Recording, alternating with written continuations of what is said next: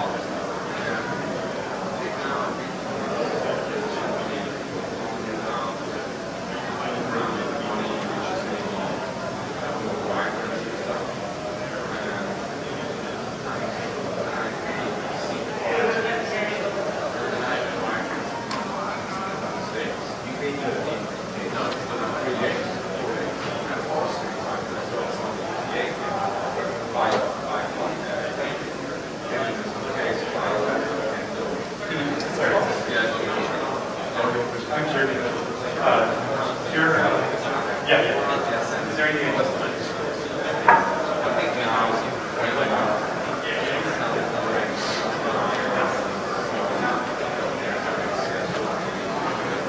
Hello, check one, two, web, web test, web test. Yeah, yeah.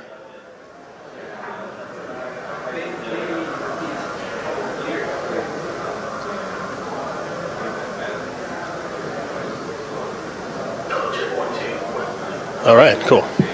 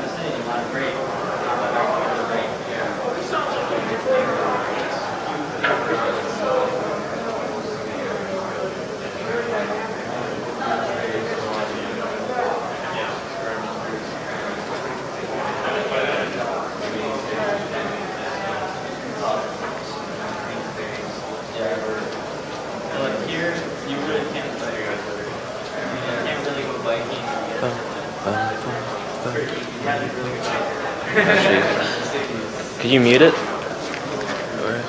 Could you mute?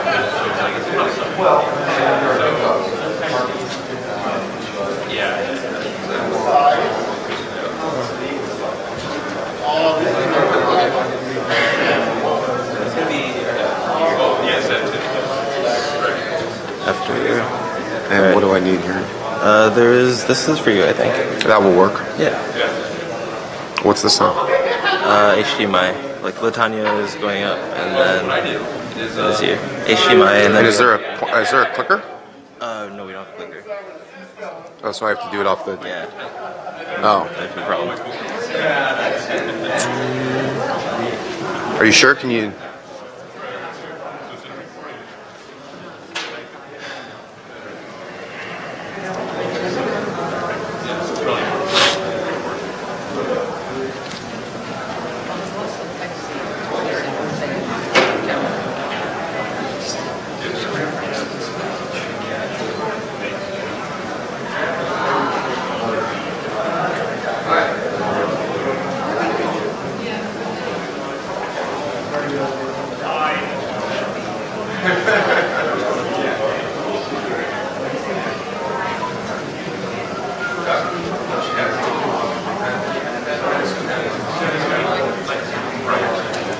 right, give us like five minutes, then we'll start.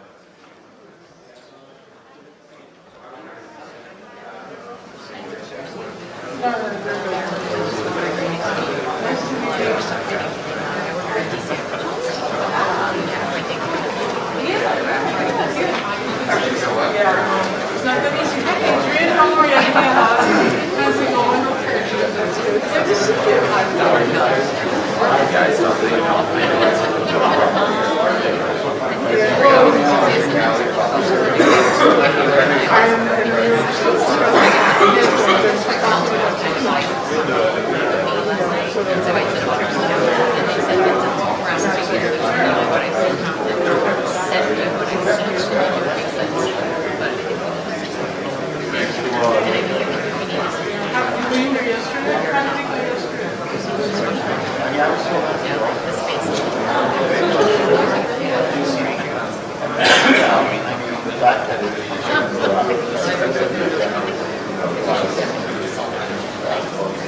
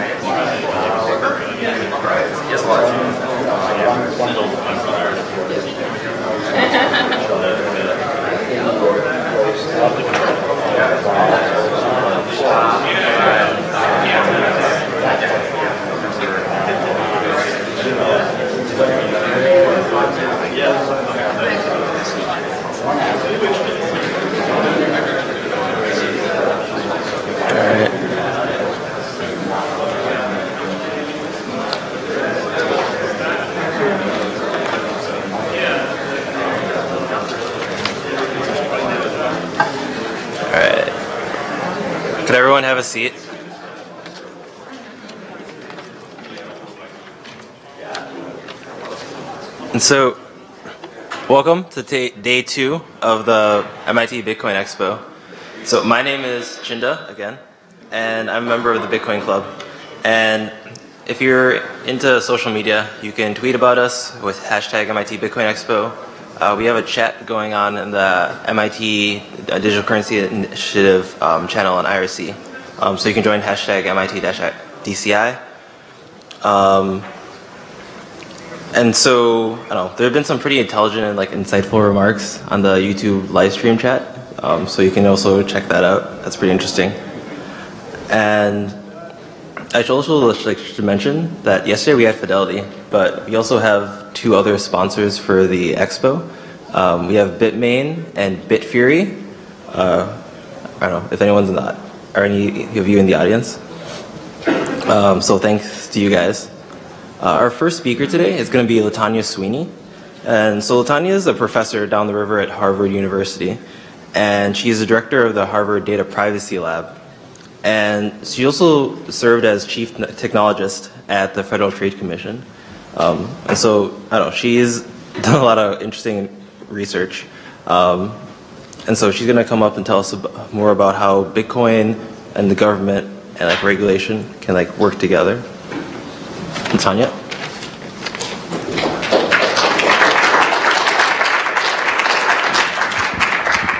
Actually, my voice travels, so probably putting this away is better than putting it close. How's that? Ah, he says no, I have to talk into it because of the, um, of the online participation.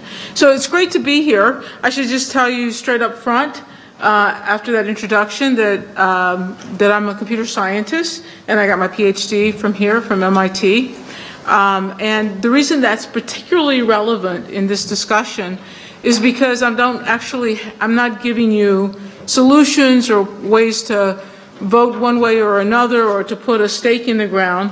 But what I am going to try to do is share with you pla people and places that have been here before and, uh, and sort of what is the landscape. So uh, primarily technology design and business practice are having a dramatic impact. I would actually go as far as to say that combination of technology design and business practice is in fact the new policymaker. The decisions that get made by groups like this or by a single technology designer dictates the rules by which we live our society. And the scope of those rules are increasing every day. You know, when um, at the time that the uh, United States wanted to figure out what was going to be the law or the regulation re regarding photography, this is what a camera looked like. And by the time the American jurisprudence decided, they said, oh, it's okay to photograph people in public without, uh, without their permission. At the time, um, at the time, the American, Americans wanted to uh, decide what was going to be the relationship between privacy and telephone use, that's what a telephone looked like. And after a while, American jurisprudence decided that you don't need consent to record, uh, I'm sorry, that you do need consent to record people's conversations. So with photography, I don't need your consent to take a photograph of you in public, but if you're talking in public, depending on which state I am in, I may need your consent to record your conversation. And then along came the Sony camcorder.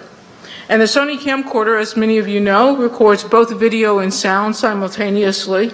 It was put out into the consumer market and it had no mute button. That meant that it was impossible for you to record people in public without also grabbing sound. And this put the actual design of the Sony camcorder in conflict with American jurisprudence. And so early on, we saw some really graphic examples. There was a case of, uh, of a police, a Boston University policeman making an arrest, and somebody came up with a camcorder and started filming him. And the person who was being arrested, I think, was let go. But one thing we know for sure, the person doing the videotaping was charged with a felony crime for illegal wiretapping. Um, the, there was a case in Pennsylvania early on where a, a mother was concerned about her child being abused on a school bus. So she kind of wired him up with this kind of camcorder and, uh, and, and was able to record the incredible abuses that her child was experiencing from the bus driver. So she calls the police, and the police arrest her for, on a felony charge for recording. So now we fast forward to today with Black Lives Matter and all of the things that we see, and actually we've seen the bend of American policy to make way for to, to change this idea that we can in fact record people in places and in ways that we weren't allowed to earlier, solely because this missing mute button was on the Sony camcorder. And the way these designs replicate, even today, my, uh, my iPhone or an Android device will also just simply replicates that design where even today where the cost of adding a mute button is trivial, a software change, it still doesn't have a mute button. This is the sleep number bed. The sleep, uh, uh, it's basically uh, air chambers, and so when you uh, when you lay on the bed, you can adjust how firm it is by how much air you want in the bed. They have a new technology they call Sleep IQ, which is woven into the mattress. And Sleep IQ, when you lay on the bed, will take you get a sense of your breathing, your heart rate. It'll record all the movements in the bed. And, and it does this and it sends all of the information from the bed through your internet connection to the sleep number server. In the morning when you wake up, you can log in to their site and you can see how well you slept and you can see when you got out of bed and went to the restroom and so forth. And this is great feedback to know your sleeping uh, uh, habits and maybe to improve your sleep. But in the process of the way this is designed, you have no idea who else Sleep Number is sharing that information with. And you have no control. It's kind of a design decision that sort of got replicated in this idea that companies collect all the data and that this is the right model to move forward no matter what the technology. This, of course, is the Apple Watch. It poses a different technology approach to something that's really similar. So I wear my Apple Watch. It keeps track of how little exercise I get. It tells me to stand up and uh, things like that to keep me active. This design is a little bit different. Instead of it going like the Fitbit all the way to the Fitbit server, and thereby being like the sleep number IQ, instead the Apple Watch just records it to my local phone still left to who can see my, my phone, but uh, given the current controversies, but it's a totally different design decision, one that keeps my data closer to my control. And so these examples are good examples to explain that we actually live in a technocracy today. That those design decisions actually dictate the policies by which we live our lives. And it's not just on a personal data front, it's every single democratic value is up for grabs. Let me give you an example. One, uh, a couple of years ago, I was talking to a reporter in my office and I wanted to show him a paper I wrote. And so we went to Google and I Googled my name. And up popped these ads implying that I had an arrest record. And, um, and, and, and so I find the paper, I point to it, and the reporter said, Forget the paper, I want to know about that arrest. And I, I assured him I had never been arrested. And with a name like Latanya Sweeney, it's not likely anybody else has my name. Uh, and so, and so we go through this. I end up paying this money to this company to show him that there was no arrest record. But as we began to poke around, like why that ad came up, every time we typed in a name whose first name was a person's name whose first name was Latanya, we would get these arrest ads. And he sort of jumped to this, he's a white guy uh, of Italian descent, and he sort of jumped to this conclusion that these were racially motivated ads. And I said, well, that doesn't make any sense. Um, but then, as the, as, but then we began to learn that if you do a Google search on Latanya, you get images that look like this. But if you do a Google search on Tanya, you get images that look like this. So that began a very lengthy study where we just sort of mined out hundreds of thousands of ad deliveries based on searches of names. And we found overwhelmingly, or statistically significantly, that if you had a name, a first name given more often to black babies than white babies, you were likely to get these arrest ads. And, uh, and you got neutral ads if your, your first name was more likely to be given to white babies than to black babies. And so, and what was interesting about this example is that in the United States, you know, discrimination is not illegal. We discriminate in terms of uh, student discounts, and as I get older, I'm looking at these elderly discounts that might be, apply. And so it was not that we discrim, not that discrimination is bad, but historically, for many reasons, the country has already decided that certain kinds of groups need to be protected in certain kinds of activities. So one of those activities is employment. And one of those groups are racial minorities. And so when a person decides that they're going to actually hire someone, they may often Google that person's name. And if they see these arrest ads, it can have an adverse impact on a person's employment uh, potential. And so it qualified for being in violation with the Civil Rights Act.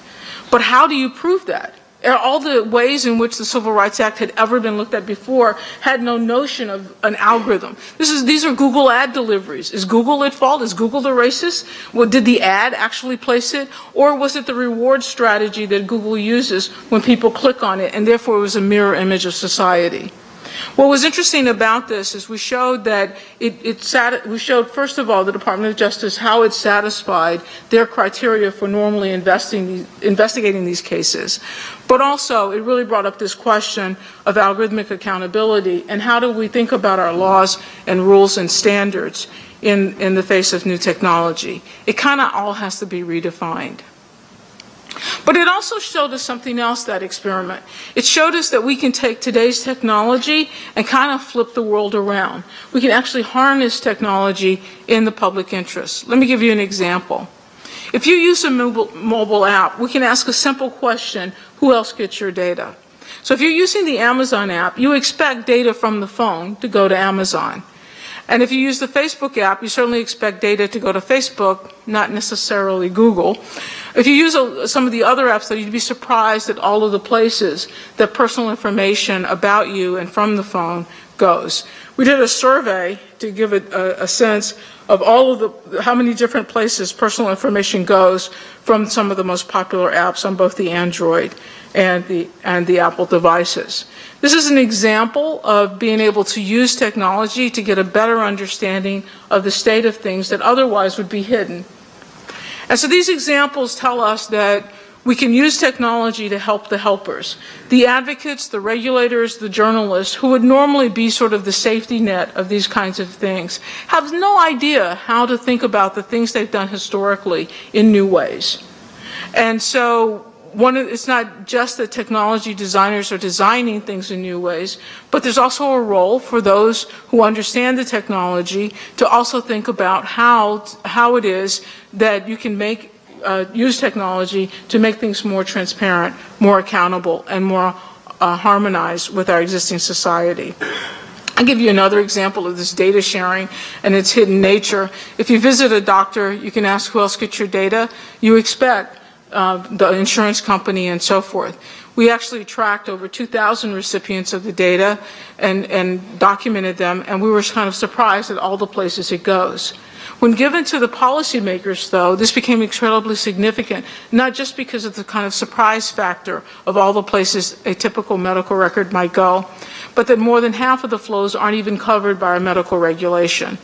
And so this had a profound effect. So what do we do about this? Well, yeah, technology design is important. It is changing the world. It's changing every value, every democratic value that has been hard fought has to be redefined by te what technology does or does not allow and how it is we can make a technology accountable or not. And that gives you, in this room, a particular role in your community. And I want to explain to you why it is that you can save the world. I'll give you an example.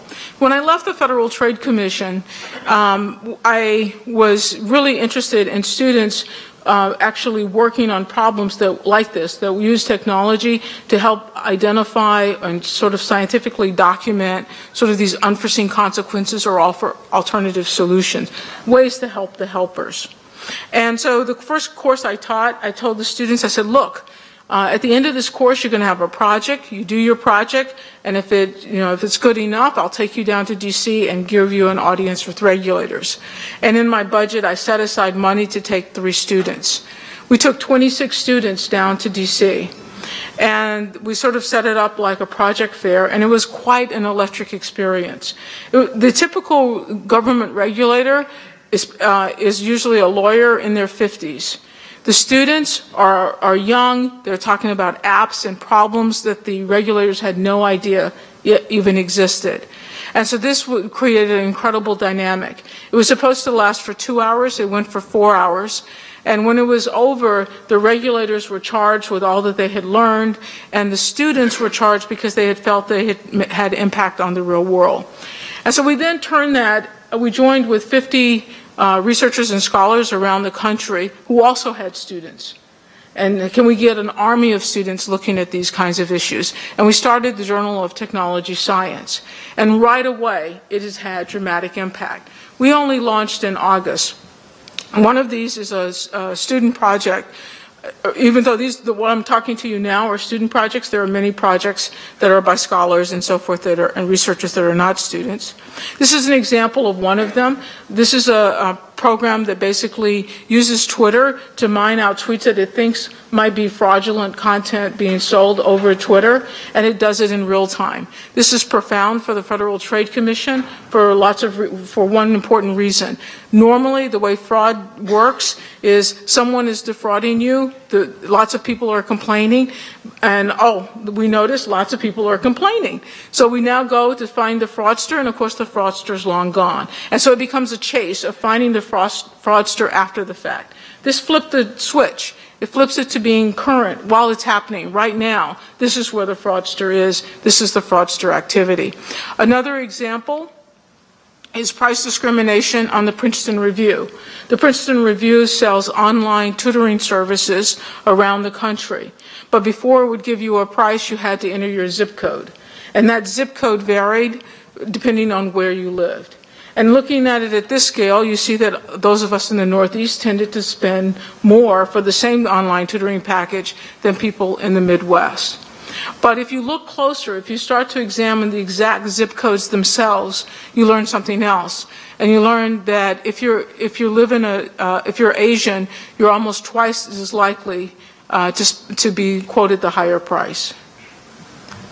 With a similar kind of price discrimination study about how, the price of the same hotel from different, same hotel at the same overnight, but from, uh, but asked at the same time from different places around the world, and again, documenting differences in price. Uh, this is a study about Airbnb. It modeled one from, from some professors at the Harvard Business School who had found that black hosts, when they offer housing uh, through Airbnb, they tend to make less money than for comparable housing than do white hosts. The students in this study uh, replicated that, but they chose Berkeley, California area, and they were able to document the same effect, uh, but perhaps even more so that uh, Asians are learning 20% less than white hosts on Airbnb in that area. Many of you may have heard about this story. This is a student for many years uh, uh, who, um, for many years, Facebook Messenger had a privacy problem that had been reported in the press, and that is that it tends to leak your whereabouts and your friends' whereabouts through your GPS location of your phone when it, you used it. And so this student just simply made a graphical representation so that you could actually see you, your friends, friends of friends, and so forth, location over time as, because they, as they use Facebook Messenger. And this had a dramatic effect, and within nine days, Facebook changed its policy. Something that had not been done for years, something that the Federal Trade Commission and others who, would- who would normally be the helpers to intercede had not been having any impact. We now see uh, this sort of very graphical way and the response to it uh, really changing it. This is a study, I'll just do one more and I better stop. Uh, This is a study of the Affordable Care Act uh, documenting that when the health exchanges came online, uh, most of the larger insurance companies said, we're not going to participate. And then when they saw that the exchanges really were going to happen, they rushed to the market and raised the price significantly.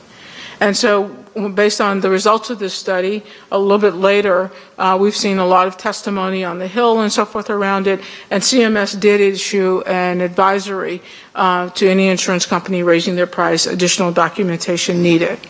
So there are many other examples that you can find at techscience.org.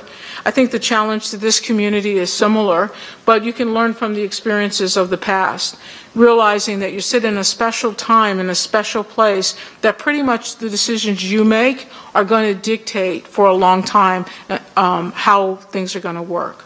Thank you.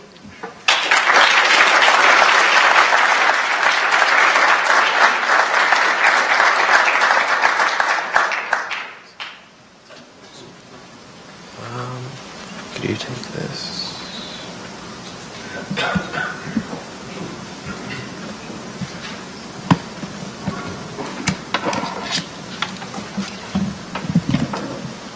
Thank you.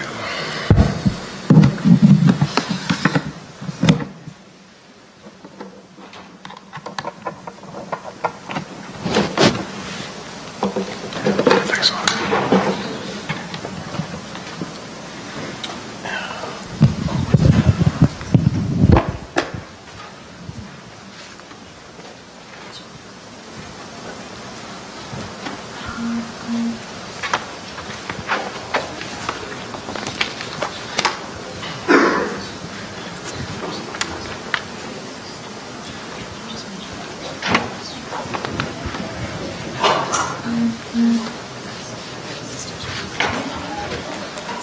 Sweet. So Alex Tapscott and uh, Don Tapscott uh, have written a book uh, called Blockchain Revolution, and so Alex is here to like tell us about um, some of the ways in which the blockchain is going to revolutionize the world.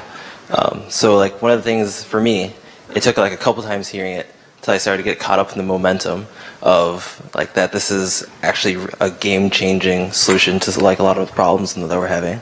Um, so good luck, Alex. Great. Thanks, Chinda. Um, one of the reasons that, that I was invited to, to come here today was to help sort of set the agenda. And I'd like to start by um, saying briefly why I think we're all here. Uh, as Nchinda mentioned, for the past two years, Don and I have been conducting a number of different research projects trying to better understand blockchain technology. In total, we looked at nine different areas, uh, financial services, the corporation, new business models, the Internet of Things, culture, government and democracy, global prosperity, um, looked at some of the challenges and some of the potential pitfalls, and also examined the question of governance and leadership. Now, we ended with leadership um, because we think it's one of the most important um, parts of this. And, uh, you know, we think basically if, if we do this right, blockchain technology has the potential to upend the old order of economic affairs, unleash um, prosperity, and, and change business models. But if we do it wrong, um, it could fall victim to any number of major showstoppers. Uh, in this room today are a group of people who have been involved in this many from the beginning, others not so much, but representing different stakeholders in this ecosystem. And each uh, one of you is going to have a role to play in, uh, in helping the blockchain revolution reach its potential. So, with that, what is the blockchain revolution?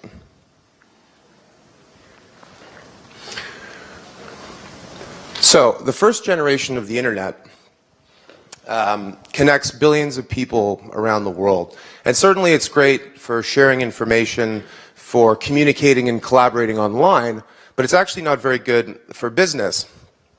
Uh, the old joke on the internet, nobody knows you're a dog, actually turned out to be true in many respects. Uh, establishing uh, trust between two parties and, and uh, establishing the identity of those two parties proved to be a very thorny problem. So that today, we rely on middlemen, not only to establish identity and create a trusting relationship, but also to perform all the transaction logic and all the business logic that goes into clearing and settling and validating um, a trade in any kind of asset. And uh, these intermediaries exist in basically every single industry. Uh, we think of banks and PayPal and Visa, but also big technology conglomerates like Facebook, Uber, Apple, uh, and governments as well um, act in the uh, sit in the middle of this process, extracting lots of value in the um, by doing their job, but also extracting lots of data and information. And I thought that last talk was extraordinary, um, just to help us really appreciate how much information flows through the hands of people who we don't fully know or, or understand or appreciate what that means. Um, so, you know, the internet dropped the cost of, of sharing information. That's great.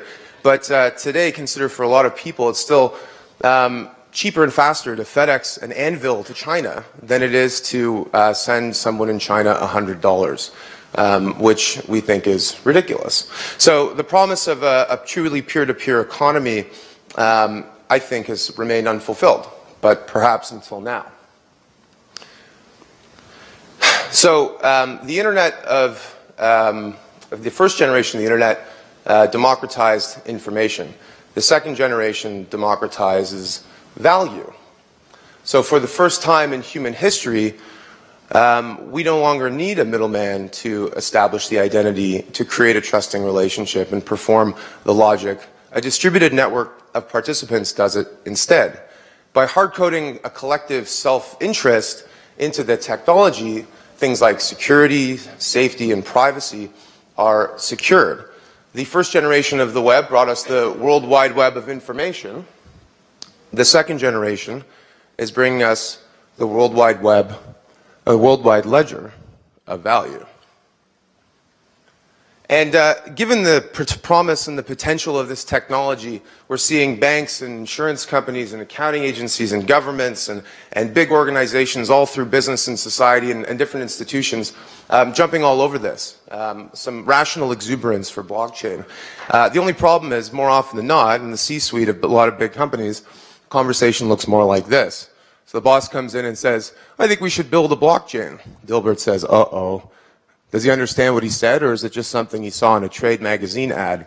What color would you like your blockchain? I think mauve has the most RAM.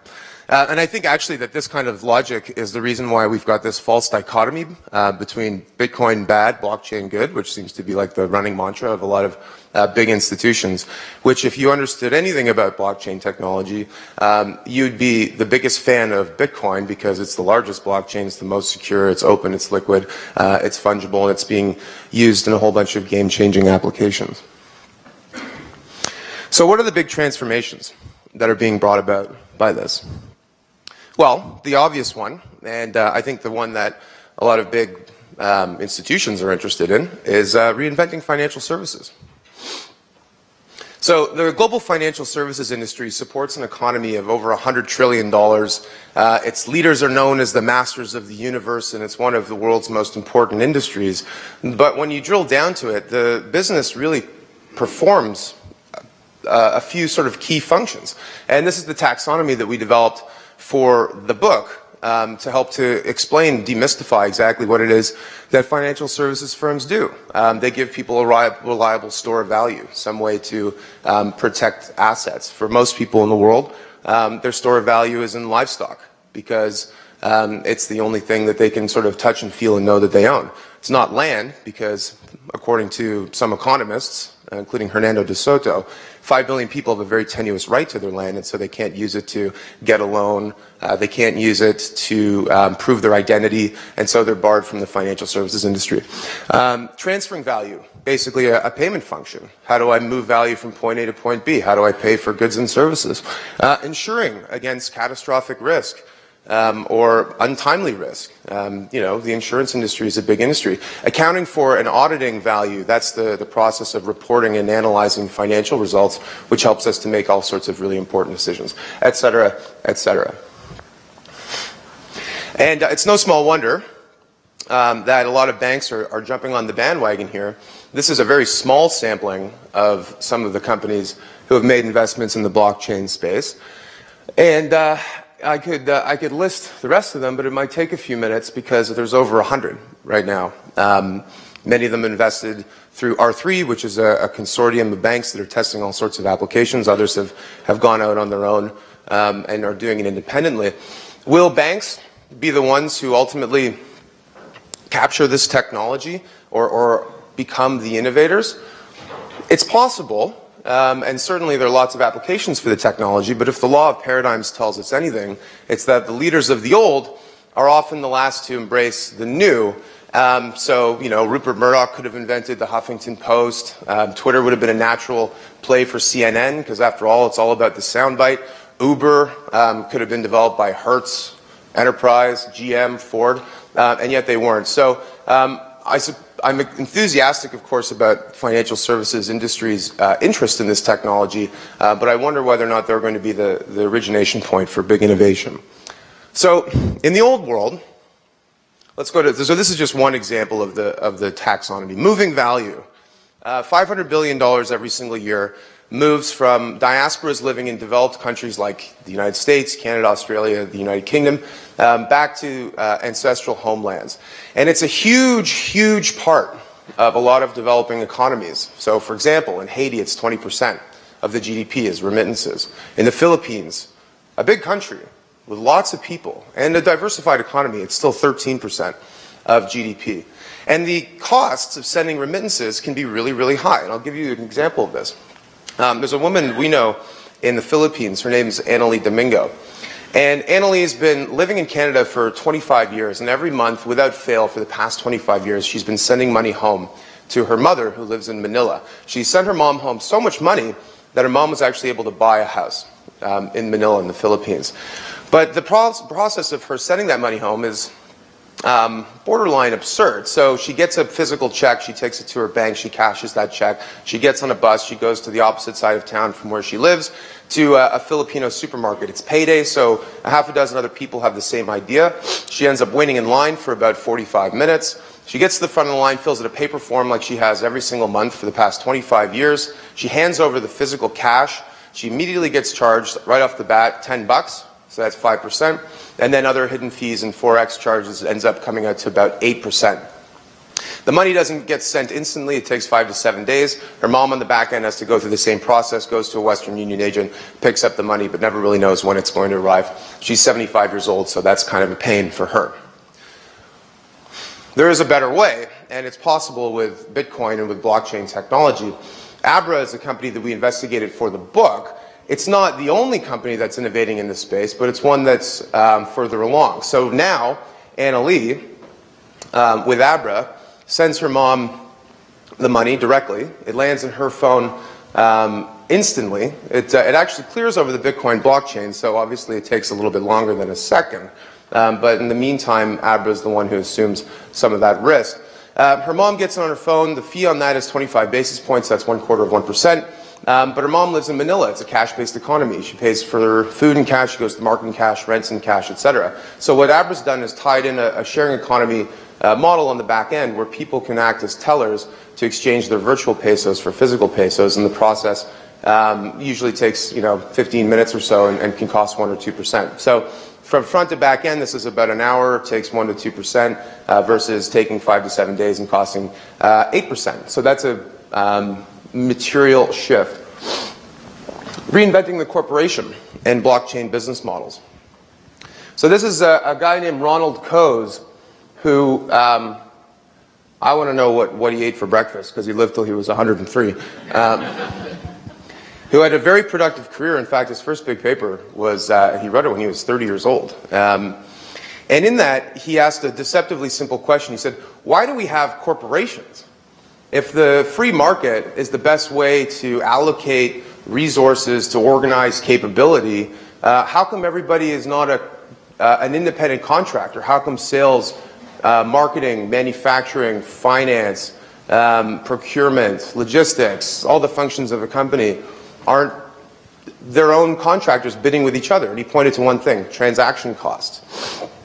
Um, so the old corporation was vertically integrated, hierarchical, and centralized and all the talent was held inside. And these corporations grew and grew and grew so long as the transaction costs of doing business inside the boundaries of the corporation were lower than contracting in the open market. The internet, um, first generation of the internet lowered the cost of uh, certain transaction costs. So search is uh, one that he identified. Um, so were able to find best price. You're able to, uh, you know, find a, a subcontractor. You're able to outsource or, or offshore and that led to the extended enterprise and business webs. but we're entering into a new era that's defined by mass collaboration. So, blockchain brings about seven new key business models. And uh, let's just go back to that for a second. I'm not going to go through all seven, but let's just choose one blockchain cooperatives. So, Uber. Uber's a disruptor, right? It's a company that took an old industry and, and turned it on its head. Um, but the counterintuitive thing here is that blockchain technology is going to disrupt the disruptors. And they say that, block, that uh, Uber is a, a so-called sharing economy company, um, but really it's not. Companies like Uber, Airbnb, Lyft, and TaskRabbit are service aggregators. They have a centralized point through which all this information and all this value flows. They organize all this capability and then they resell it to the market and they clip a big fee and they also collect all this data. If it was a sharing economy model, the drivers who are the creators of the value would own in the equity that was created and they don't. Um, so I don't really view Uber as a, as a sharing economy company. And Uber is a great service, but it's got some problems. Uh, surge pricing, um, sometimes drivers are untrained, unreliable, rides can be unsafe, um, not to mention the fact that you have to input all this information about yourself into Uber, and they also happen to know where you're going all the time, which they've resold uh, to local municipalities for the purpose of traffic studies, but could just as easily uh, do for lots of other reasons uh, as well. So maybe there's an alternative using blockchain. She looks like she's having a good time, eh? Might have to rebrand Suber. Um, so, so uh, imagine in the not too distant future, people don't own cars, but they share them uh, in a commons. And let's imagine too that, um, as a lot of experts say, that most cars will be autonomous or have autonomous functionality. So let's say that I log on to Suber, call it Super Uber. Um, I'm a node in the network, and I um, look for a fare or for a ride. Um, it immediately send broadcasts my message out to all the different cars in the area.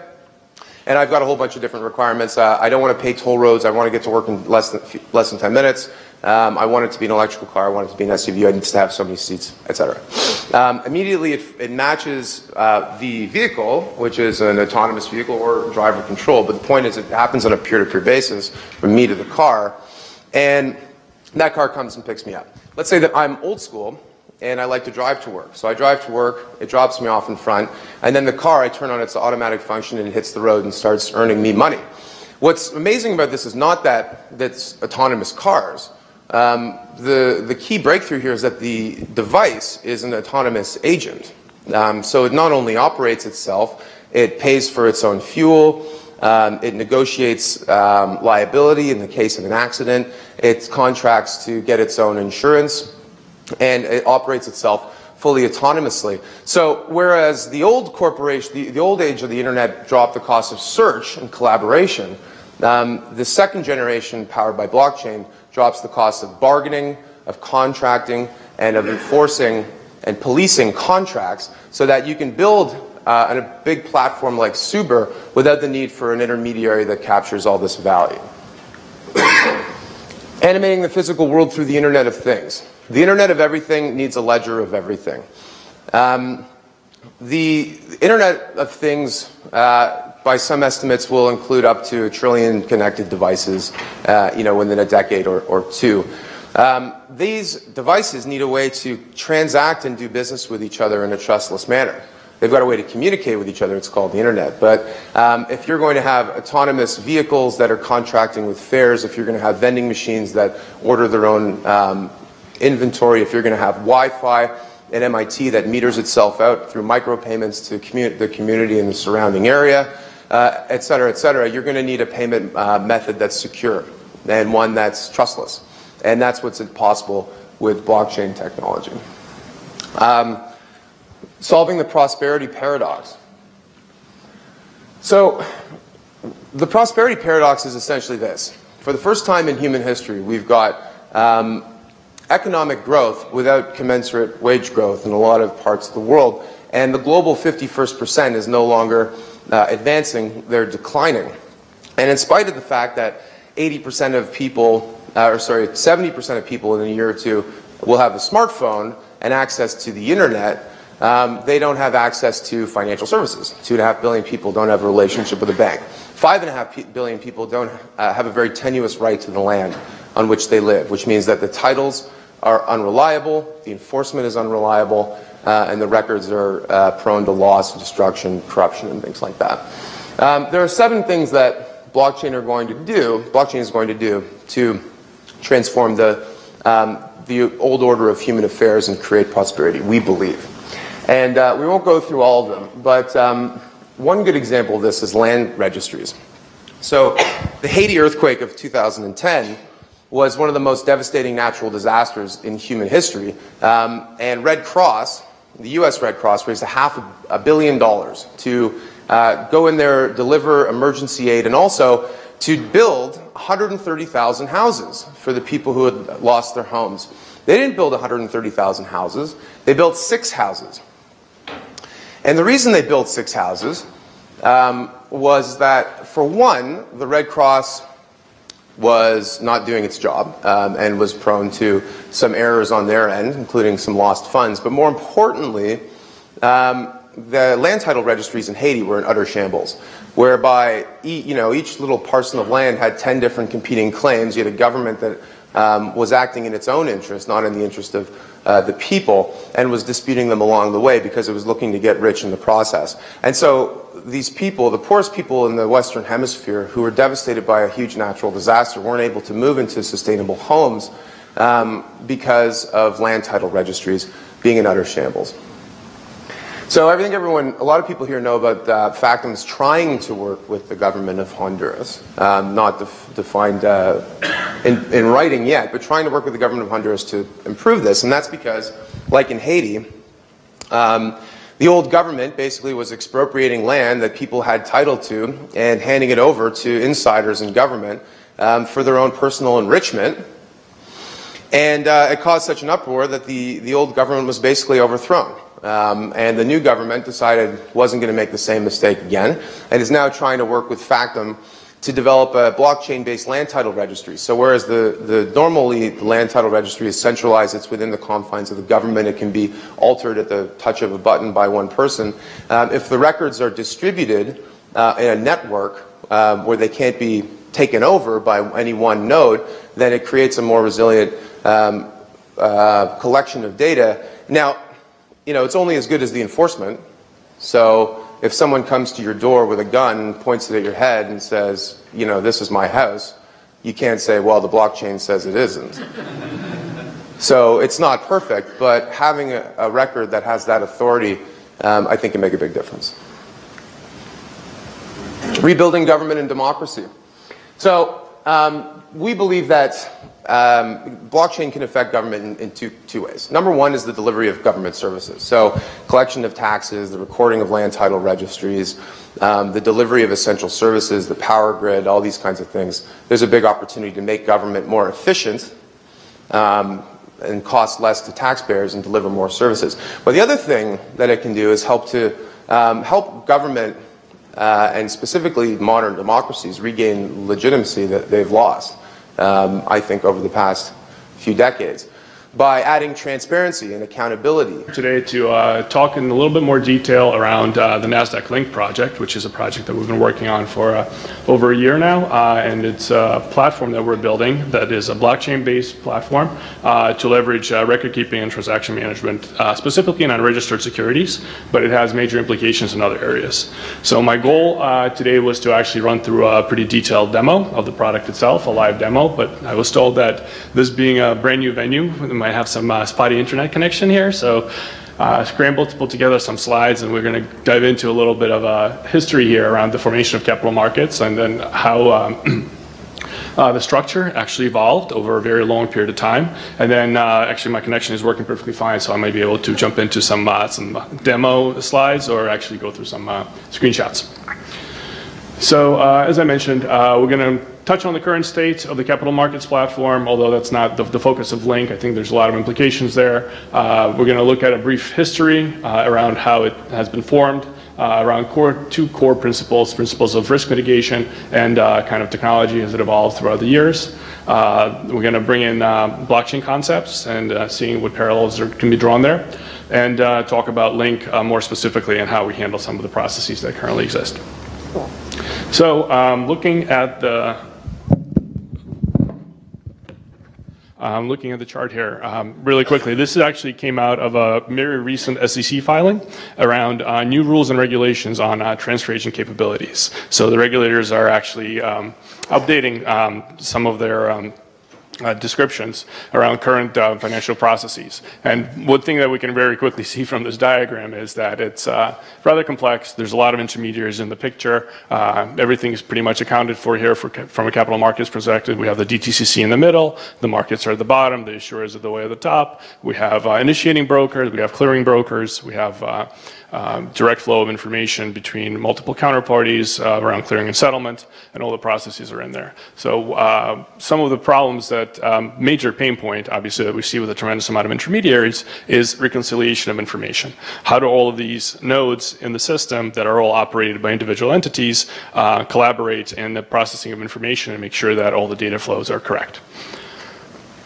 So uh, one way to, to break this down and kind of how this whole structure evolved all, uh, over time, and um, this is something that I'm going to breeze through very quickly. And um, actually, a lot of this information is available publicly, and uh, Richard Brown, who's actually the CTO of uh, uh, R3 currently has some excellent blog posts on his blog that cover a lot of this information in more detail. But I think this gives a pretty good backdrop to what we're going to talk about more specifically.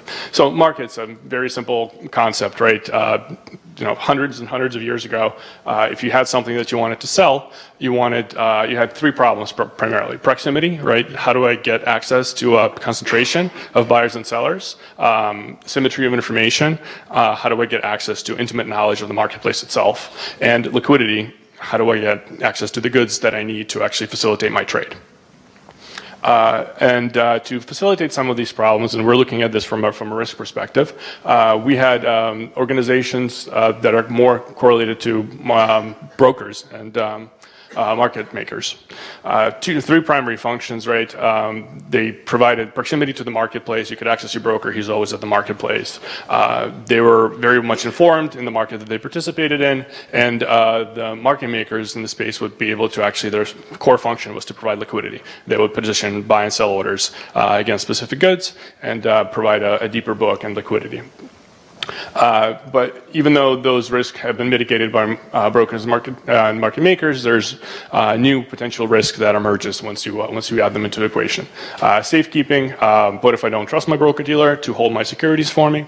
and servicing, what if my broker dealer doesn't accurately service my securities? Things like dividends, voting rights, and other things that are passed on to the investor through, the, through the issuer. enter the custodian.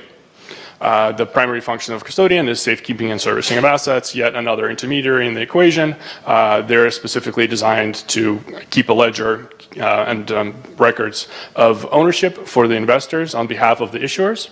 Um, and are an intermediary to the broker dealer. So the broker dealer, when facilitating the transfer, would actually engage with the uh, with the custodian and pass them the clearing instructions to be able to move the security and the underlying assets themselves.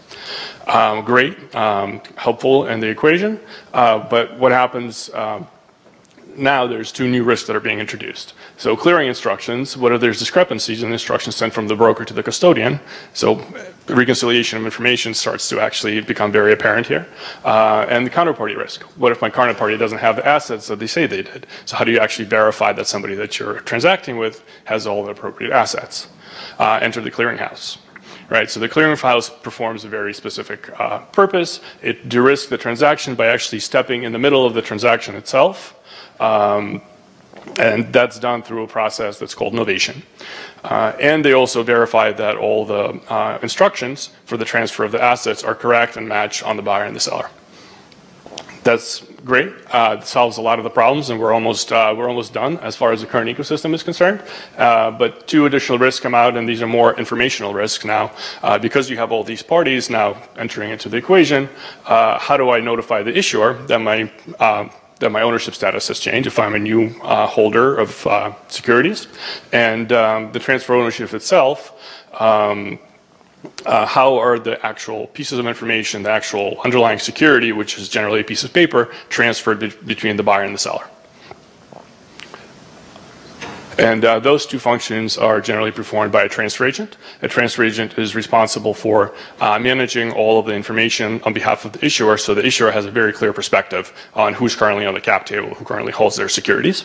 And uh, centralized securities depository is responsible now for demobilizing all the paper and actually putting all the records on the books and records of a company, generally electronic. So all of these exchanges can now happen with a books and entry books and records change uh, versus actually moving the physical certificates around. Great. And then the centralized security depository notifies the transfer agent of all the different uh, transactions that happen, so the issuer actually has a very clear picture of who owns their shares. Uh, that kind of gets us to a current state. Now let's just make an assumption that this is still old paper, but this is how the, the, all the different counterparties that exist in the current capital market system uh, came to be and the reasons for that. Uh, obviously, very simplistic view. There's a tremendous amount of complexities when you start to go international, uh, when you add other types of assets into the equation, but a good, uh, good high-level overview. So, um, so this is uh, now kind of turning that ecosystem with paper-based into what, what role has technology traditionally played uh, in this space. So very interesting example, and this is before the paper crisis, right? Uh, all of this information was transferred in uh, wheelbarrows uh, in Manhattan uh, to basically facilitate the exchange of these records. So 90% of the transfers were bundles that were received at a messenger window, uh, and then they would do um, uh, basically human validation that all the information in there is correct. Once it was verified, it went to several stages of verification. Then the actual assets were removed. Uh, entering information into the transfer journal was considered to be the most consuming uh, part of the transfer process. Uh, and old certificates, physical paper certificates, were actually destroyed. New ones were issued, uh, and there were old ones were kept as voided records for chain of custody and audit trail and uh, regulatory purposes. So very archaic process, as you can imagine. That led us to uh, a big problem that happened in the 1960s. We had uh, the paperwork crisis. Uh, exchanges were being closed on Wednesdays. Uh, the time for trading got minimized, so we would actually have time, all these counterparties would have time to facilitate the clearing and settlement and the movement and the processes associated with a securities transaction. Huge problem for the marketplace. Uh, it was a really cataclysmic event uh, that facilitated kind of a new way of thinking around these problems. And the fundamental premise was let's make sure we dematerialize or demobilize all of these physical assets and make as much of this process electronic as possible. And that's where you know all of these different studies uh, were uh, came to bear. And a lot of them, as you can see here, are very interesting. And this is 1969. This is a pretty long time ago. Technology was still uh, very nascent. We were, you know, we did not have uh, ability to cope with tremendous volumes. Uh, there was still a tendency for everybody, uh, every participant in the space to own their own infrastructure. Infrastructure was viewed as a competitive differentiator. But a lot of these studies are actually uh, hinting towards a decentralized network. So how do we get all of these different counterparties that are that are positioned all around the, the country in different areas, different silos? How do we get them to communicate? And we build a process around this um, the transfer of securities that would be leveraged by multiple participants in a cons consistent way electronically uh, to, to help us streamline this process. So one of the forward-thinking uh, models was the TAB model, which is uh, transfer agent depositories, which signified that we should have a network of transfer agents, which for every single transaction would actually mobilize the certificates at the point of the transaction, and then we would build up the amount of immobilized certificates, and hopefully uh, through this incremental process, we would end up being completely electronic, and all the ownership records would be kept on the books and records versus in physical form. Uh, there were other studies that happened. The Arthur, Arthur Little study suggested something um, very uh, similar. And then uh, National Clearing Corporation was funded by NASDAQ, uh, well, by, by NASD, the precursor to NASDAQ, uh, developed and implemented a nationwide system of incremental um, regional clearinghouses, also a, a collective of clearinghouses that, that was able to uh, work together. Uh, the Banking and Securities um, Industry Committee actually recommended that we build a centralized securities depository system. And that's actually one of the things that took hold, as we'll see on the, the slide. Uh, so this is an interesting concept and a little bit of a, of a warning uh, to the blockchain space. Uh, what happened actually was um, that uh, NYSE was able to launch the CCS, um, which was um, one of the prime, one of the first systems that allowed the members of NYSE Stock Exchange to actually de, um, uh, to uh, demobilize their securities, their holdings, and that would facilitate much easier uh, transfer of those securities without having to move the physical asset. Uh, they've had this system in place for, for NYSE itself. Uh, it wasn't accepted um, uh, nationally across the entire country, but it, it took hold and it started to um, actually mature. And then when the regulators actually started to look at this in a lot of detail, this kind of became the mandate. Like we know this works. This was the first mover. They implemented this. Let's everybody adopt this this uh, structure. So as we move forward with kind of blockchain solutions, there's a lot of competing platforms out there. There's a lot of competing protocols. One thing to remember that the first mover isn't necessarily uh, the best possible solution that's out there.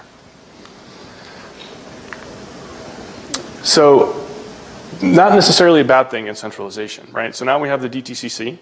Uh, it's a highly centralized place where uh, basically has immobilized majority of the paper-based certificates for, for public companies in the US, uh, also facilitates clearing and settlement. As a result of the centralized siloed approach, they actually do get a lot of efficiencies.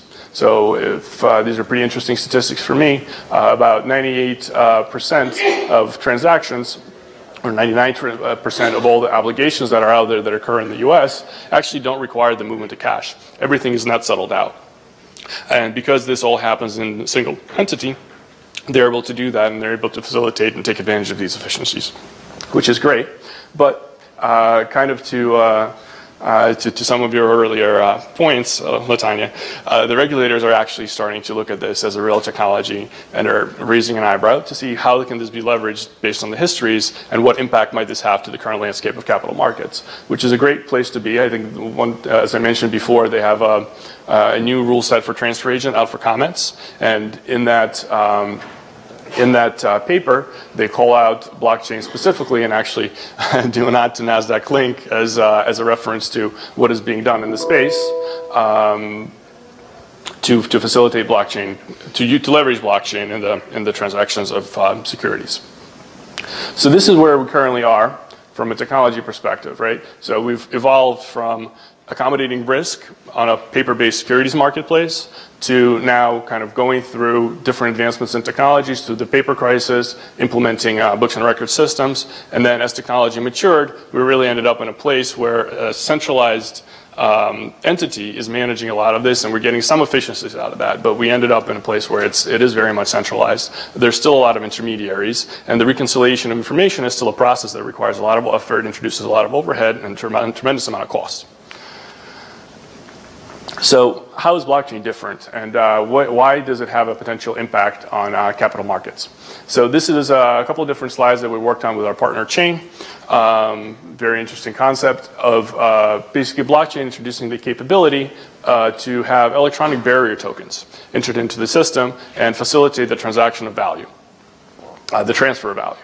Uh, one of the proven ones, of course, is Bitcoin. It's a native issuance of a, of a token that represents value that can be peer, you know, transacted peer to peer. Uh, you can look, we, you know, different um, companies have been looking at currencies. Securities is something that's emerging. That's where we play a role uh, from a Linq perspective. Uh, commercial IOUs, brand loyalty points, and the list goes on as far as how many different things can you look at uh, that are currently physical in the form of a card, paper-based certificate, or something of value to uh, be able to digitize it into a bearer token and enter it into a network that's blockchain enabled.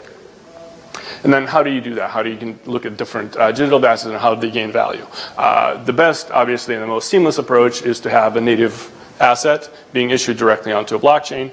Um, that's our path. That's what we're doing with Linq, with unregistered securities. Uh, there's other ways to get around this, and I think there's a, basically an evolution that will happen. Um, a lot of folks dealing with money and Bitcoin currently have a trust model where they pool a large amount of funds in a central, central account, and then there is an issuance that happens on the blockchain to be able to distribute that value. Uh, in, um, in lower levels of granularity, and then you can also ask, you know, uh, issue IOUs onto the blockchain. So these are just a couple compelling examples of how this can be done. Um, and then fundamental principles of the blockchain as a technology and why it would be interesting uh, to capital markets as a whole. Uh, assets are issued onto a network. Uh, that spans multiple organizations. So you can still have all the different entities that were created to mitigate risk in the previous slides that we described. You can still have broker dealers, you can still have clearing agents, you can still have custodians. They all serve a purpose to a certain extent. Uh, what you can do now is have all those participants live on the same network, work off the, on the same, off of the same information. Uh, and be able to interact, uh, leveraging a protocol that's consistent, uh, that um, that basically solves the reconciliation of information problem that we have previously. Uh, entities control asset movement by directly interacting with the network shared ledger. Uh, all transactions uh, enabled and, and, secured by cryptography. Keep going here. Uh, programmable smart contracts is something that becomes very interesting and introduces a new layer of complexity that can be entered into the platform. So you can now um, custody assets in a different way. You can do escrow type of services. Um, you can build very complex um, use cases around uh, dealing with securities. Um, instant direct value transfer 24-7. The blockchain doesn't get turned off because there's, just nobody monitoring and it doesn't have to you know, fit into a trading day. Uh, flexible digital rails to enable user-friendly uh, apps and interoperability. Right, it's, blockchain really does provide you a set of primitives uh, that allow you to build complex uh, business logic, complex applications, and then complex user interfaces uh, that uh, implement those primitives. And then because they implement the primitives, you can scale them relatively easily. You can have multiple embodiments of the same type of fundamental principles. Uh, and then transaction uh, finality, which is kind of the golden grail uh, from a clearing and uh, settlement perspective. This is something financial services is very much interested in.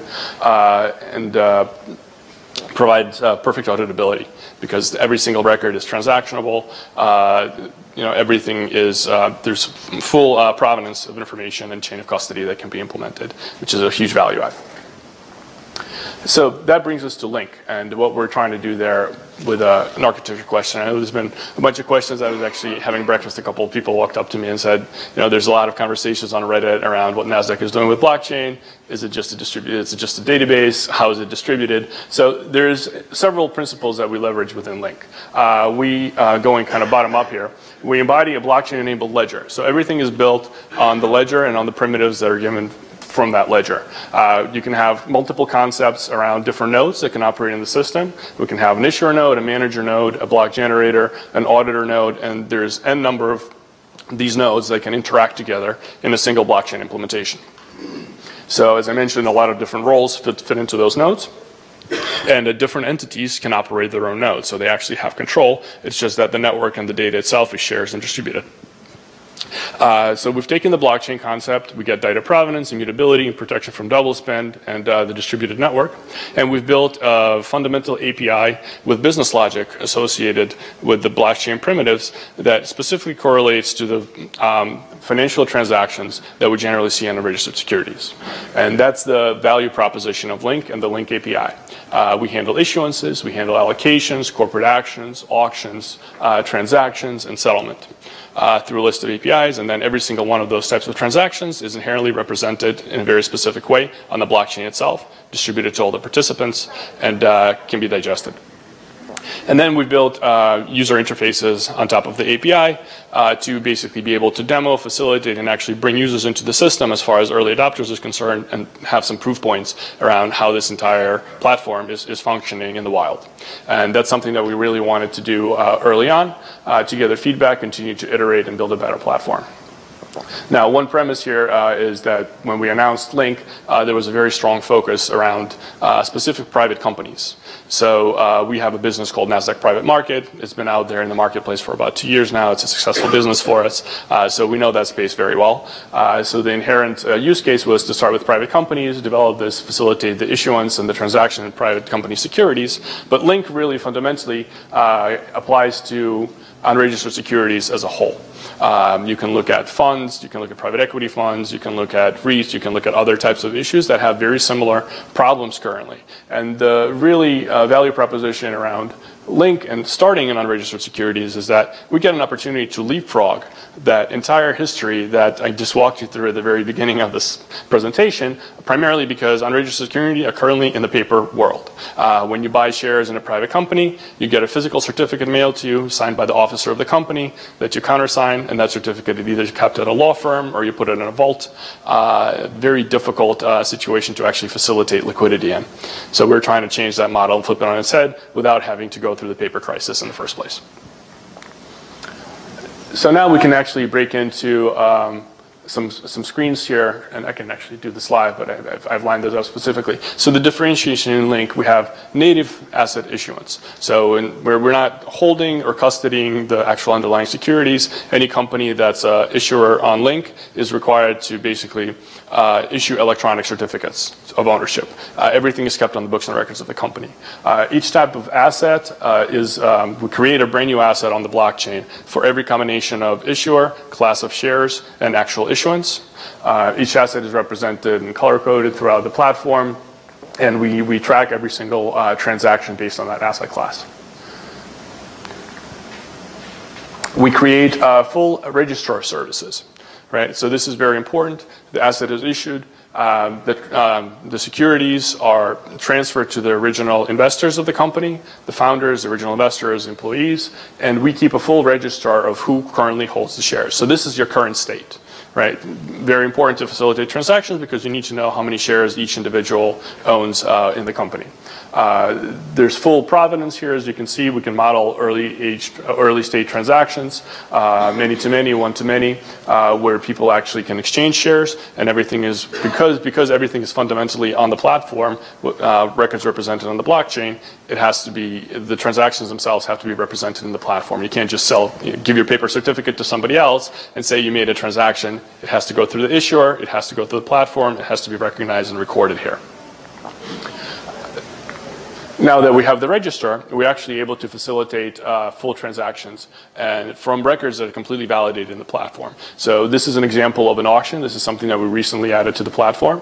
Is we can uh, we can allow uh, current holders to put orders into a specific auction right? We will uh, have buyers come in on the other side, people that are interested in buying out the stock. We will do um, the provider allocations. We do the price discovery from a setting of the clearing price.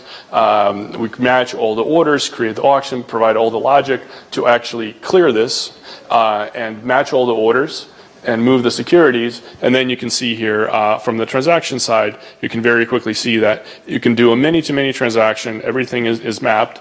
And once the actual auction has completed, the system automatically uh, cancels the appropriate certificates, creates the new ones. Every new certificate has a direct relationship with the historical one through the transaction itself, and you get that full chain of custody, full provenance record in perpetuity uh, through the life cycle of the company.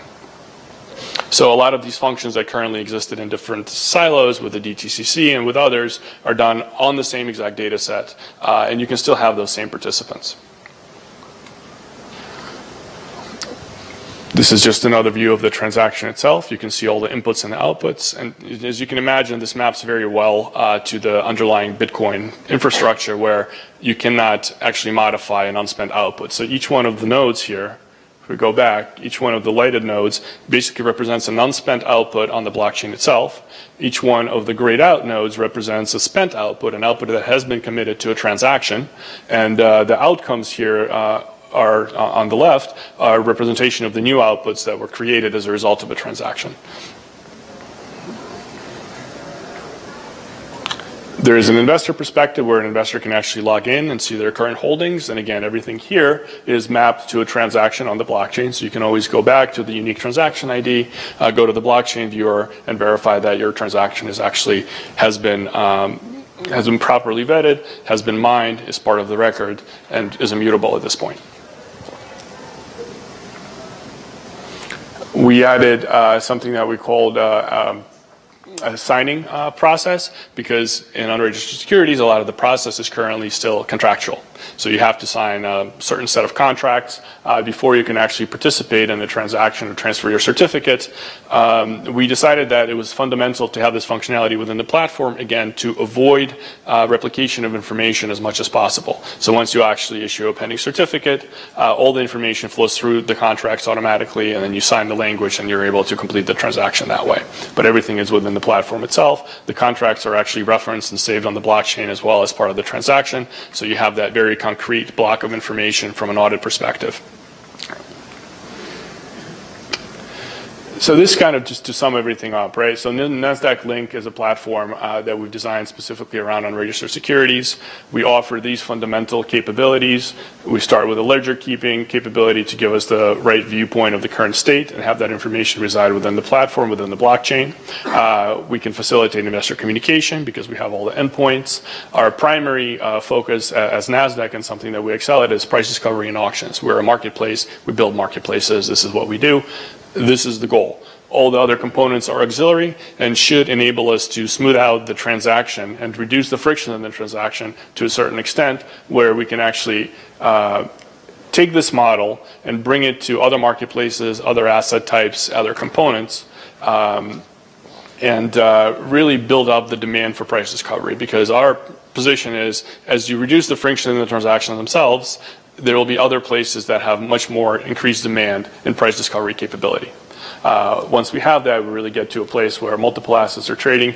We have a we have a demand for markets and price discovery in a lot of different places where they currently don't exist because there's too much transactional friction that's currently there.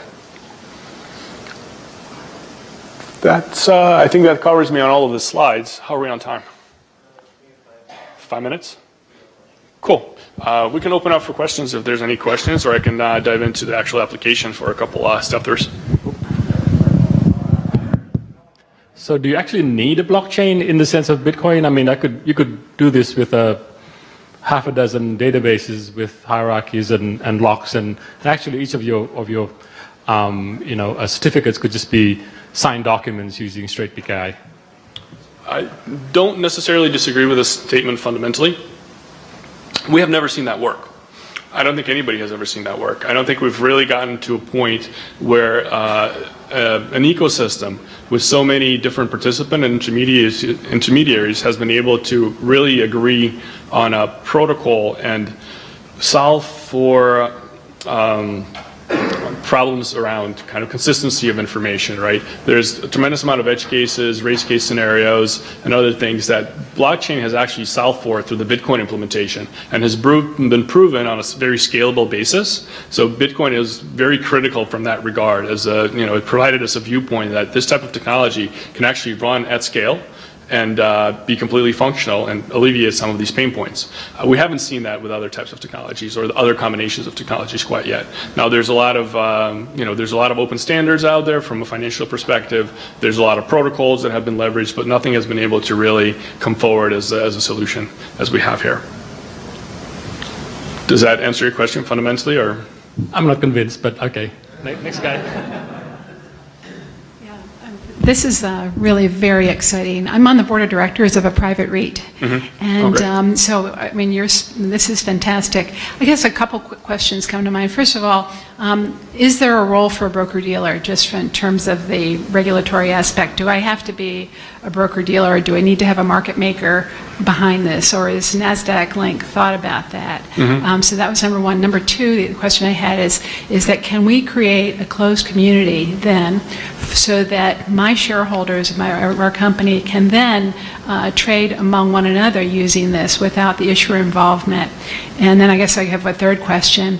I'm just thinking whether you've considered whether you know you're taking the pricing. So we have an NAV that we establish as our price for the stock, and we're very comfortable with that in our yeah. current except that now it, you relinquish that pricing then to actually creating a small market, which mm-hmm. is really ideal in many ways. But I would imagine that maybe some of your prospective customers for this would be a little bit nervous about it. So I've, I've given you a lot of questions. So yeah, no, no, and they're great questions. It kind of a little speaks a little bit to the open-endedness of this uh, conversation here. So once again, I think Linq was designed with the idea of providing fundamental functionality around managing a registrar, facilitating transactions, interacting with the issuer, interacting with the investor, and being able to bring all these pieces together.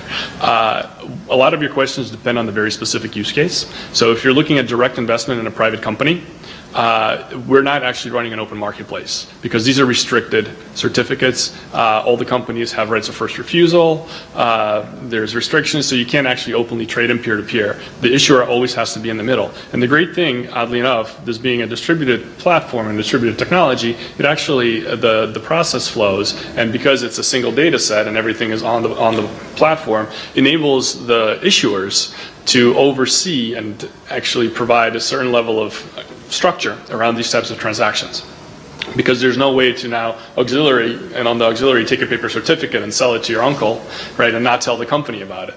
You have to do it here. You have to do it on the platform. They have direct visibility. Uh, in the, from the perspective of funds uh, and fund of funds, you can actually create very different structures. And the auction capability that I showed you here um, actually takes into account the price discovery capability, right? Because you can have orders uh, coming in at different price points. You can have pro rata distributions. You can build in a considerable amount of business logic to be able to facilitate what you're talking about to actually create a dynamic marketplace. Uh, but that generally doesn't exist in the in the private company space right now. Uh, But again, uh, for looking at very specific use cases around funds, fund of funds, private equity funds, uh, Sounds great. Thank you yeah, very much. absolutely. Uh, so the so the long-term trend of U.S. policy on clearing is, is seem to uh, be heading towards centralized clearing for more assets, uh, especially for swaps under Dodd Frank. Um, how do you see Linq interacting with traditional clearinghouses, CME, ICE, LCH, uh, if at all? Uh, and you know, do you plan to do registered securities, swaps, security-based swaps, derivatives transactions? For Linq specifically, uh, yeah, and, and I guess where do you see the risk sitting uh, after Novation? Would it be on the on Linq or what? Yeah, so no- Novation is, is a question mark here because within the context of, uh, of this technology and this platform, we're trying to get to a point where novation is no longer required, where you've removed a lot of the risks associated with the need for a centralized clearing counterparty uh, to a point where you don't actually need to do that. Uh, It's going to be an evolutionary process. It's going to take a considerable amount of time to get people comfortable with that. And, and currently, the, in the specifically in the private security space, there's currently a demand for a broker dealer to perform that type of a function. The broker dealer actually takes on a lot of the risk uh, and facilitates the transaction and enters into the middle of it. Um, interaction with uh, some of the current traditional clearinghouses for unregistered securities. Right now, there's really no real plans to be able to do that. Uh, one pretty significant pain point for us is the actual ability to move funds efficiently and wrap that into a single transaction. We have a couple pending things that we're doing in that regard uh, to help us with that and a couple partnerships. Uh, once that's achieved, uh, aside from regulatory uh, concerns, there's there's not much much need to go in that direction. But you know, we in, capital markets and public capital markets, obviously, we interact with those uh, clearinghouses on an ongoing basis. So it wouldn't be extremely challenging to be able to build the same kind of data dump functionality that we currently have.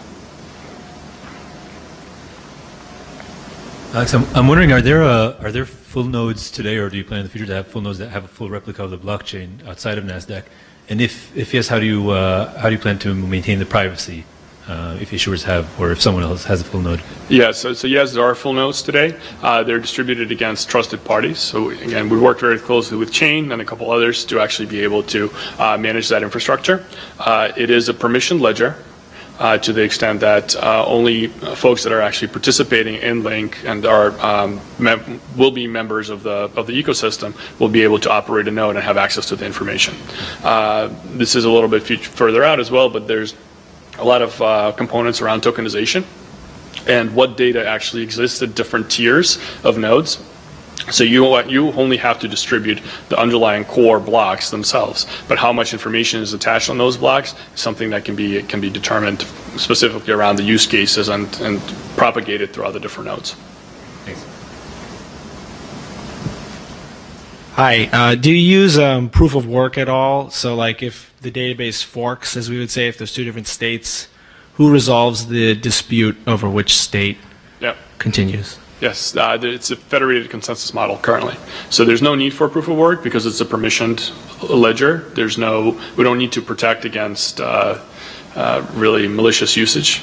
So we use a federated consensus model where multiple entities will reach consensus around the current state of the information without having to actually facilitate the proof of work and extend the required compute to do so. I'm just I'm just curious how many people are in the federation. Sorry? Like the federation, is it like seven people or is it like a Feder- hundred people? Well, Federation is being worked on right now. We have seven pilot customers as far as the companies are concerned. That's been announced publicly. And we're working through actually defining the, the minimal viable ecosystem that'll be required to get all the right members and participants onto this platform and have a full, uh, full interaction. The technology is there. It's a, it's a distributed platform, but it's more of a business relationship type of uh, situation right now.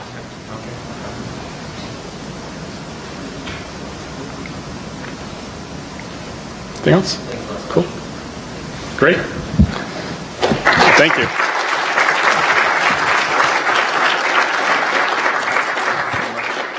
Great, thanks. All right, so our next speaker is Kathleen. And so R3 is a spawn of about 40 banks who came together and decided they want their own blockchain. And so Kathleen has the most wonderful job of telling us how it's as good or better than Bitcoin. Um, I like the use of the word spawn. Um, actually, R3 predates the consortium that we manage, but you know, I think I'm going to grab the spawn uh, moniker for uh, talks moving forward. It looks like we're running a little late on time, um, so I'll keep my remarks brief. uh, in fact, the next panel was supposed to start in two minutes, so I'll just maybe reduce my talk down a little bit more. No? Okay. All right. Um, so my name is Kathleen Breitman. I work at R3, which manages the Distributed Ledger Group, which is the consortium of 42 banks interested in using blockchain or distributed ledger uh, technology.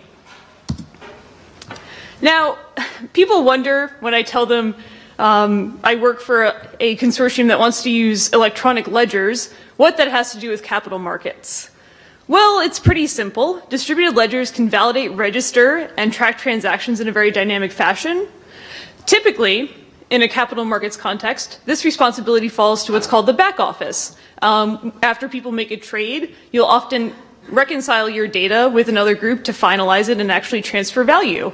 Um, in the use case of um, trading equities, this can take up to three days.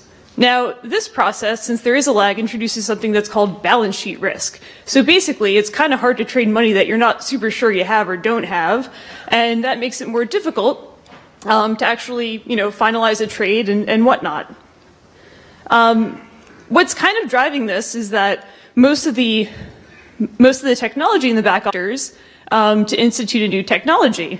Um, that said, this has kind of grown into a behemoth mass um, where it costs in the order of hundreds of billions of dollars to maintain these existing systems, which don't offer a terrible amount of efficiency anyway.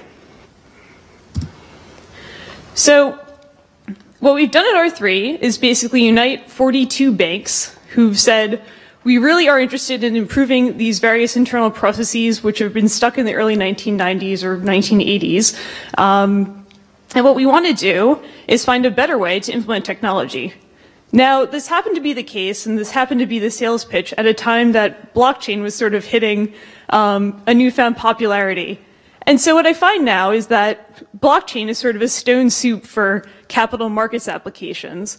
Um, if you think, you know, your collateral management process is quite archaic because it's done in an Excel spreadsheet with sitting on one person's computer, yeah, sure, blockchain can change that. Um, and what we're doing at R3 is trying to think of a way to systematize and create a global ledger to ultimately bear, you know, the cost of all these transactions. That's what our financial grade ledger is. That's one pillar of what we're doing. Another aspect of what we're doing is product development. So how do we templatize and sort of create a new digitization standard that reflects the times rather than the 1990s or 1980s when many of the back office processes um, that we see were made. So how do we actually, you know, register and create authority around these transactions in a way that the 21st century, you know, ought to ought to bear? And finally, our approach is, is centered around a lab. So there's many different solutions in the space right now. Um, we're currently building ours, but in the meantime, we're experimenting with many of the vendors and trying to extract as much value from the collaboration and uh, insights that we, we glean from actually trying to operationalize this. so most recently this week, we announced that we united 40 of our 42 banks um, among five different cloud platforms in our labs. So this is a pretty tremendous effort. Um, from a technology perspective, it wasn't particularly remarkable, but I think that this issue is as much a political issue as it is a technology issue. And so at R3, our consortium model is kind of made to facilitate ease of adoption um, by virtue of the fact that we can introduce a network effect more effectively. Um, so at Bitcoin conferences and Bitcoin talks, I often hear what um, I might see on Reddit, which is that R3 is trying to, you know, do something bad to Bitcoin. uh, This isn't particularly the case. I think, you know, we don't have an official POV as a company, um, but it is the case that the DLG solution does not rely on Bitcoin's code. And, you know, many design choices in Bitcoin are trade-offs motivated by a specific threat model. Um, Bitcoin is very much a censorship-resistant cryptocurrency. And many of the design choices that have led to the success of Bitcoin are not suitable in a capital markets context where there's known participants and a strong incentive to be able to punish people if they do break the law.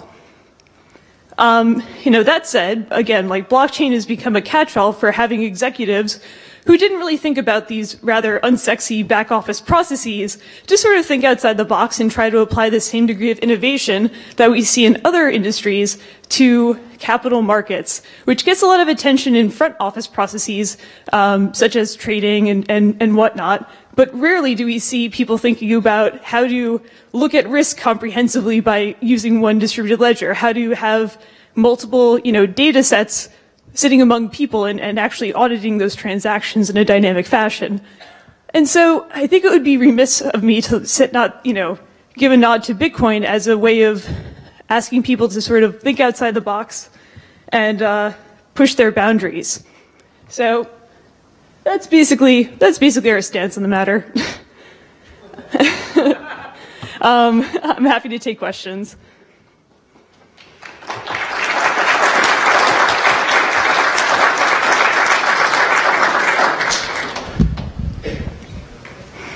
Uh, Kath, Kathleen, thank you so much for your presentation. Um, any of the mainland Chinese banks? No. Thank you.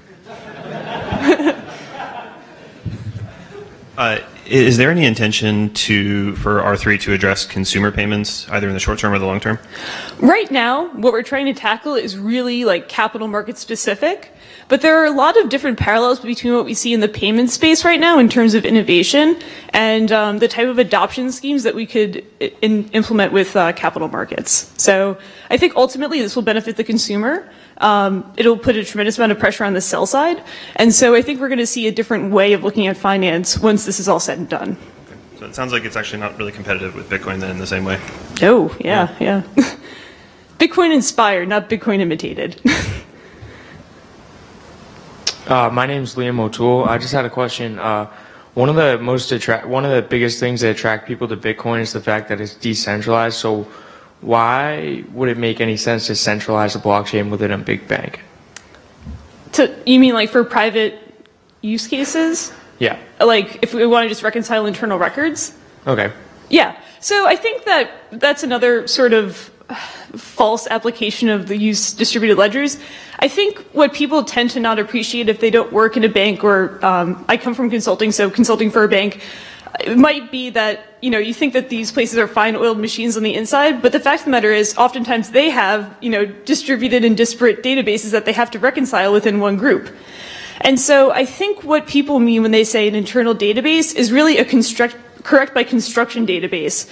So effectively, you want the guy sitting in the department over from you who eventually has to like look at your expenses, for example, to be able to say like, oh, hey, like that's weird. Why didn't that transaction clear? So on and so forth, and have more of an audible database.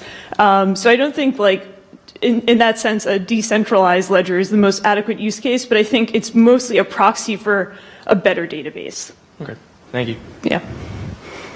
So in terms of uh, privacy, like even between banks, if you have 42 banks in a consortium, yeah. some banks don't want to see, I mean, pe people don't want to see what other people are doing. Ha have yeah. you looked into things like Zerocash or confidential transactions? Absolutely. And I wouldn't even I wouldn't even put your um, question as at a banking level. Like within groups in a bank, you can't see what other groups are doing for different you know financial regulatory purposes. All fair and good. Um, I would say at R3, our you know architecture group, which is ultimately trying to build this you know financial grade ledger that's going to underpin everything, um, we have three main concerns. We have scalability, privacy, and then smart contracts or business automation, because you can't really get to a lot of the numbers that people have speculated without automation. Thanks. No problem. So I've got two questions. Um, first of all, R3 is a premier member, I believe, of the Hyperledger project. Um, so Yes. I'd like just like to ask, you know, kind of what is your POV on that and how it relates to the ledger that you're building? And secondly, uh, the Hyperledger project was kind of it, it's kind of kicked off by Digital Asset Holdings. They've been very public about focusing on securitized loans. Are you focusing on a slightly different use case? Um, yeah, we haven't really focused on like, you know, syndicated loans or anything like that um, per se. We're really more focused on the labs and the architecture layer at the moment, and use cases are kind of something that we're dealing with um, on an interest by interest basis through each of the banks. Um, in terms of our participation with the Hyperledger project, I think we represent, you know, our members' interests. Um, there are about five different code bases which has, have been donated to it. I think, you know, them, you know, serves the best uses of our, our members. So it's open-ended. Hi, my question was also about privacy. So I was wondering maybe if you could give a little bit, a few more details about uh, kind of what sorts of transparency and auditability slash privacy banks actually want, and what techniques you're using or you plan to use to enforce that, uh, and also how you plan on dealing with things like permissioned access and revoking permissions and things like that.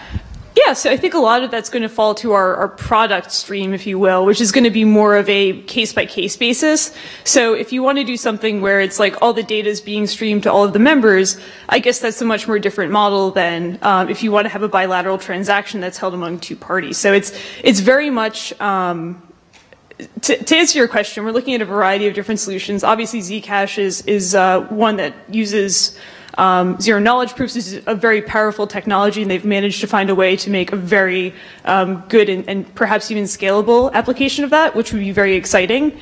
Um, but we also have some other um, some.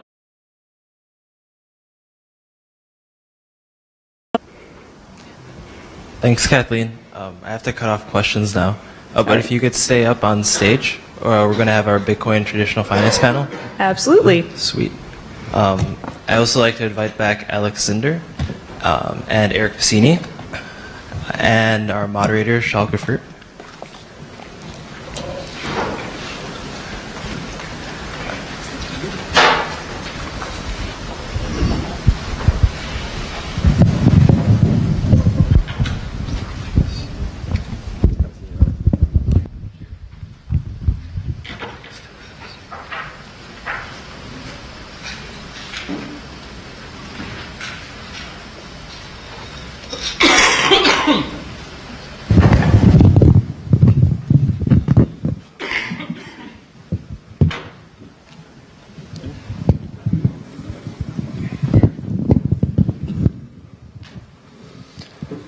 Okay, so I'll actually start with the name of, uh, of the panel, which is Bitcoin and, and traditional finance. Uh, and actually, with, with my fellow panelists here, uh, if you look at us, I'm, I'm in awe of all of the work that a lot of people in the room are doing around uh, Bitcoin and traditional finance and actually leapfrogging traditional finance uh, using Bitcoin and using uh, fully public distributed ledgers. Uh, myself and, and the fellow panelists here, most of us are around blockchain and traditional finance, and even I'll find that a bit more around blockchain and traditional financial uh, companies, uh, and how traditional financial companies are using blockchain uh, to uh, evolve the way the way we're thinking. So let's start with a round of introductions, starting with you, Alex.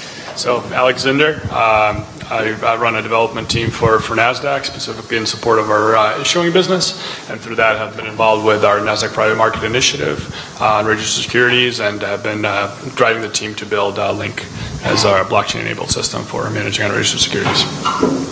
And my name is Kathleen Breitman. You just saw me speak, but my formal title is Strategy Associate at R3. And good morning, Eric Piscini. I'm a technology partner with Deloitte, and I lead our blockchain uh, group globally for the firm. And I'm Melanie Shapiro, CEO of Case, and we've built a hardware blockchain wallet that secures blockchain transactions with biometrics and multi-sig technology. I'm Shaul Kfir, the Chief Technology Officer at Digital Asset Holdings. Uh, before I was at Digital Asset Holdings, I was one of the co-authors of, of LibSnark, which is the underlying uh, cryptography li library behind uh, Zcash and, and, the recent zero-knowledge contingent payment on the Bitcoin network. Uh, and uh, I'd also love to answer, a lot of people ask us about uh, the Hyperledger project, so I'd also, if you want to catch me after that, love to talk about the initiative in, in the Hyperledger project. so I'll start, I'll start with you, Alex. Sure. You hear that uh, blockchain is the is the solution to everything. I think it's now a, a viable competitor to 42 as being the solution to everything. uh, Um, I think fundamentally, and I think a lot of us have actually touched on this today, there's a really good collection of, uh, of talks kind of insinuating the same point. Uh, I think one of the primary things that the blockchain helps us solve for is the reconciliation of information. Uh, and that becomes uh, increasingly critical in a, in a transactional business being a financial transaction that has a lot of value associated with it. One fundamental problem is to make sure that all of those participants in a transaction are actually evaluating their positions based on the current state of the truth. Right, so the solution would be to be able to have a platform where everybody is looking at the same exact data set and knows that the transaction that they're executing is based on the same premises. And that's a fundamental problem that we have in the financial uh, sector today. Yeah, I, maybe I would add something, which is we keep talking about financial services, but if you look at every industry that we touch as Deloitte, every industry has the same challenge, right? Whether you look at retail, you look at distribution, manufacturing, supply chain, all of those uh, components of the economy have a potential for a blockchain solution. I would even add to that that it's not just the institutional use cases of the blockchain, but there's a lot of social use cases as well and consumer banking use cases um, that the blockchain can basically help with. Um, so not just on the company side, but on individual people as well. So Eric, uh, Deloitte works with probably most, if not all, of the of the uh, uh, the largest institutions, the largest enterprise in the world, not just financial institutions. Uh, what kind of large corporations are interested in Bitcoin and in blockchain technology, and how does a company like Deloitte go through that transition and bring your customers through that transition into a new technology? So it's a good question because you have you have two different groups, right? So you have um, internally within the firm, within Deloitte, we, we looked at this almost three years ago and we said, what is the value of blockchain for our business, for our own business, right? So we do, for those who don't know, uh, Deloitte is really big. We have 250,000 people in the world and we have a lot of different businesses. And audit is the traditional business of Deloitte. And that was the first situation we looked at on what, what is blockchain going to change in the business of auditing our clients. So we did a lot of work in this. Um, the challenge is to find enough participants in a solution to be able to audit effectively with blockchain. So that project is not moving forward as fast as we thought it would be. Um, but now internally we have uh, other areas within within the firm where we change the way we we, uh, we deliver business, right? Um, what's interesting to us is really the, the market facing. So a lot of the industries that we are dealing with are considering blockchain. You know, honestly, we end up doing 50% of the time a lot of education about what blockchain is really uh, about. Um, 25% of the time, it's um, a, a little bit more than education. It's really asking them, are you really sure that blockchain is going to be the solution you're looking for? Because you can probably fix this with a database and better governance. And then 25% of the time, it's yes, maybe we do have a case, and let's investigate and build a prototype together. Uh, and we started with financial services like everybody else, but I think today we, we are doing that for uh, insurance, for retail, for, again, supply chain, global commerce, and we, we have a lot of different cases. I find it interesting also that you said uh, database because this came up a lot of times in, in Mhm. Arvind's uh, excellent talk yesterday uh, and in Thomas's question before around uh, is this a new type of database? And actually, at Digital Asset Holdings, we, we say private chains are a new type of database. Uh, so I know the, the Reddit crowd and the Bitcoin crowd thinks of that a lot of times as, uh, as a derogatory term of private blockchains being a new type of database. We actually find that, yes, it is a new type of database, but it solves a specific, going back to Arvind's talk, it solves a specific user story for the type of institutions that are clients of, of NASDAQ, of Deloitte, of Digital Asset Holdings. If I were, if I were to just make one point, it just kind of came to mind to succinctly state the problem set and the solution that blockchain actually brings to bear. It's really uh, informed, verifiable trust, right? You have the concept of trust. You tr- have a certain level of trust between your broker dealer, between your vendor provider, between your, uh, you know, whoever you're, you're, you're paying for whatever services are being rendered. Uh, but in a lot of cases, the information is in there to make sure that that trust is informed and it's also verifiable. And I think blockchain does have a lot of capabilities in that regard. Thanks. And Melody, now you, eh, with Case, you've uh, tackled the specific problems, the problem of identity management in financial institutions. Uh, would you like to talk a little bit about explaining what is the problem and how Case uh, looks at, at solving that? Sure. Uh, so I think that you can answer this question in, in two different ways. So the first is that um, we're also looking at this from a consumer banking perspective as well. So there are a lot of places in the world that banks just don't go to bank the people of those places. Um, and most of it has to do with the fact that the risk is just so high. Um, there's a lot of fraudulent charges, and there's no way to prove who those people actually are.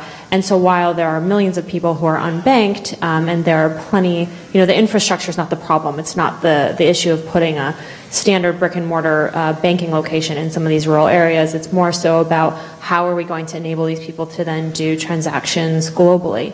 Um, so one of the things that we're really interested in, um, and particularly with our product, because we do a lot of work around biometrics, is being able to um, basically verify people's identity and let them uh, sign transactions with their person, who they actually are as a human being, um, and then issue those transactions um, on the blockchain. So that's the piece of it that we're interested in from the consumer side. And then, you know, the other side of this is basically transactions for large institutions, whether they're um, you know, banks or health insurance companies or what have you, but basically being able to provide a method for these people to uh, to produce transactions and without any form of doubt prove that you or me, Melanie Shapiro, I have signed that transaction into the blockchain. Um, there's you know, obviously there are, there are problems with our systems right now, and, and risk management is a huge problem in big banks. Um, so it really just comes down to now, okay, cryptographically we're securing the identity. Now we just have to make sure we're securing those keys. So we're actually protecting the private key rather than um, the person making the transaction, which is a much simpler problem mathematically, uh, we believe, to solve, especially when you introduce um, biometrics. And um, we certainly uh, are very big fans of biometrics and have um, done a ton of research on securing those biometrics as well and, and where they're stored to make sure that side of it as well is, is securely done. Thank you. Um, so Kathleen, both of us, I think, are, are, big Bitcoin lovers and Bitcoin community people inside of companies that uh, deal with uh, with private blockchains. Uh, what are the parallels between between Bitcoin and private blockchains? Yeah, so I think um, I think again, like people tend to uh, tend to see what they want in the Bitcoin model um, when we're talking to banks and whatnot, and I think what they like to see is a cryptographically assured audit trail. Um, correctness by construction, meaning a way to validate transactions in a very dynamic fashion. Um, and also just the, the, the, network effect of using and everyone having one copy of the ledger.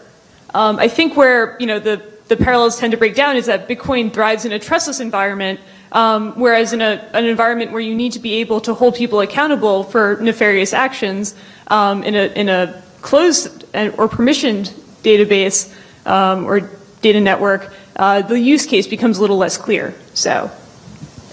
Maybe a question to everyone. Why weren't these problems that, that we've uh, said, why weren't they solved until today? Is this truly a tech problem? Is it a business problem? And what's changing now? Uh, what's new in the tech and in the business that's going to make things change uh, now in the near future? Spoken to anyone. I, I, mean, I think a lot of it has to do with the fact that um, first of all, people don't like to talk about things like security. Um, no one likes to be told that you're doing things in a very insecure way or we could be doing this better. Um, and a lot of times you see big um, innovations happen and world changing innovations happen in more of a consumer market. There's less resistance. Inside of a big organization, um, I mean, there's always, there's always fight back to all of this stuff. And I think that we've just, as a community, early on, the Bitcoin ecosystem, I mean, I've been in this industry for a very long time, um, we've made a lot of noise. And I think that, um, you know, at the very beginning, it was a little bit, the noise was not very positive. It was more, a little bit more aggressive. Um, and I think people just started listening to us. The, the comparison of this is going to be like the internet and you didn't listen about the internet and we, we told you so. Uh, and I think that this technology is very similar in that way. And once you actually got people to be receptive to the technology, then guards are down and you can actually start you know, implementing it and figuring out how can it actually be useful. We're not trying to take away your business. We're trying to bring efficiency uh, and, and cost-saving techniques to your, your operations. Um, and yeah, I just think the marketing of, of, Bitcoin and like you know blockchain scare quotes um, has been so uh, so like new and innovative that people are kind of putting a lot of their hopes and dreams into it, um, which has spurned a lot of interest, which has made you know people all all throughout the um, the C-suite really excited about it. Um, whereas it's kind of, I guess to Melanie's point, like a little bit um, boring to talk about, oh, we need to upgrade our security protocol or something like this. Now, if you're doing it through blockchain, it's all of a sudden much more appetizing. yeah. Yeah. Yeah, to, to do that, to extend on that point a little bit, I think it's also that the, the inherent value of the technology is the distributed nature. So whenever you sit down to have a conversation around blockchain technology in general, you have to have other people around the table with you that are not internal to your organization. So I think it almost in a lot of ways it opens up the conversation to revisit how we interoperate as a community, as an industry, as a collection of industries. And uh, to a certain extent, I think also blockchain, uh, Bitcoin is a very strong catalyst. So I think Bitcoin fundamentally proved out that you can commoditize a, a rail system for movement of value, right? And that's something that traditionally has never existed. And actually, you brought up an extremely good point in our previous conversation together that a lot of our current institutions value their infrastructure as a as a differentiator, as a competitive advantage, right, to what they do. So it's very difficult for them to give that up and say, okay, we're going to move on to a commodity-based ledger system from our current homegrown solution, which we view as a differentiator, and completely throw that out, right? Uh, but it's it's a very interesting catalyst, and I think the social aspect of it, of being you know being almost forced into a situation where you're sitting across the table with your peers from from other uh, organizations, is a huge value add. And I think that's that's an important point that we're seeing that since since 2008, there's been a large shift in that mindset of not thinking that infrastructure is a large competitive advantage. Uh, there's so much cost pressure right now uh, to to externalize costs around maintaining infrastructure and compliance. Uh, and maybe Bitcoin was the MVP validation uh, for this integration of many different technologies that were already out there that made people aware that there is a way to externalize the cost and mutualize it across all of the all of the market. I also think it takes just one big bank to say, we're looking at this, and nobody else wants to get left behind. So if, um, you know, a JP Morgan comes out and says, oh, we're exploring the blockchain, we, we, we should explore the blockchain. So I can really applaud companies like R3 and, and Digital Asset Holdings because, uh, you know, they've been able to get all of these big decision makers around a table together and like, look, guys, fear of missing out, right? You don't want to miss out on all this technology. And maybe before we open up for, for a few questions from, uh, from the audience, uh, a lot of the people here today, I think, are, are uh, young students or, or young uh, graduates who uh, have great ideas and are looking to open startups or have just started startups in space. And Melanie, you went, we we went through that transition of starting a, uh, a consumer startup and starting to deal with large financial institutions. So what are the lessons learned? And, and I see already laughing uh, uh, about, I think about the pains that we've uh, discussed many times in, of working with these institutions. What are the lessons learned that you can, that you can give uh, advice to uh, folks in the crowd? Sure. So, um, just a bit of background. Um, I co-founded a social uh, startup uh, before I did this, and so it was a much different product. We had consumers and millions of consumers, and none of them had. You know, some of them are loud, and you respond to them, but primarily you just have customers, and you just make those customers happy individually. Uh, when I started Case, I intended to start it as a consumer company and realized that uh, the technology really was budding also within institutions. So quickly, I went from just servicing individual people to, okay, wow, now I'm sitting with the CTO of a big bank, and all of a sudden, my company or my customer is uh, is a bank, and you know the decision makers within that bank.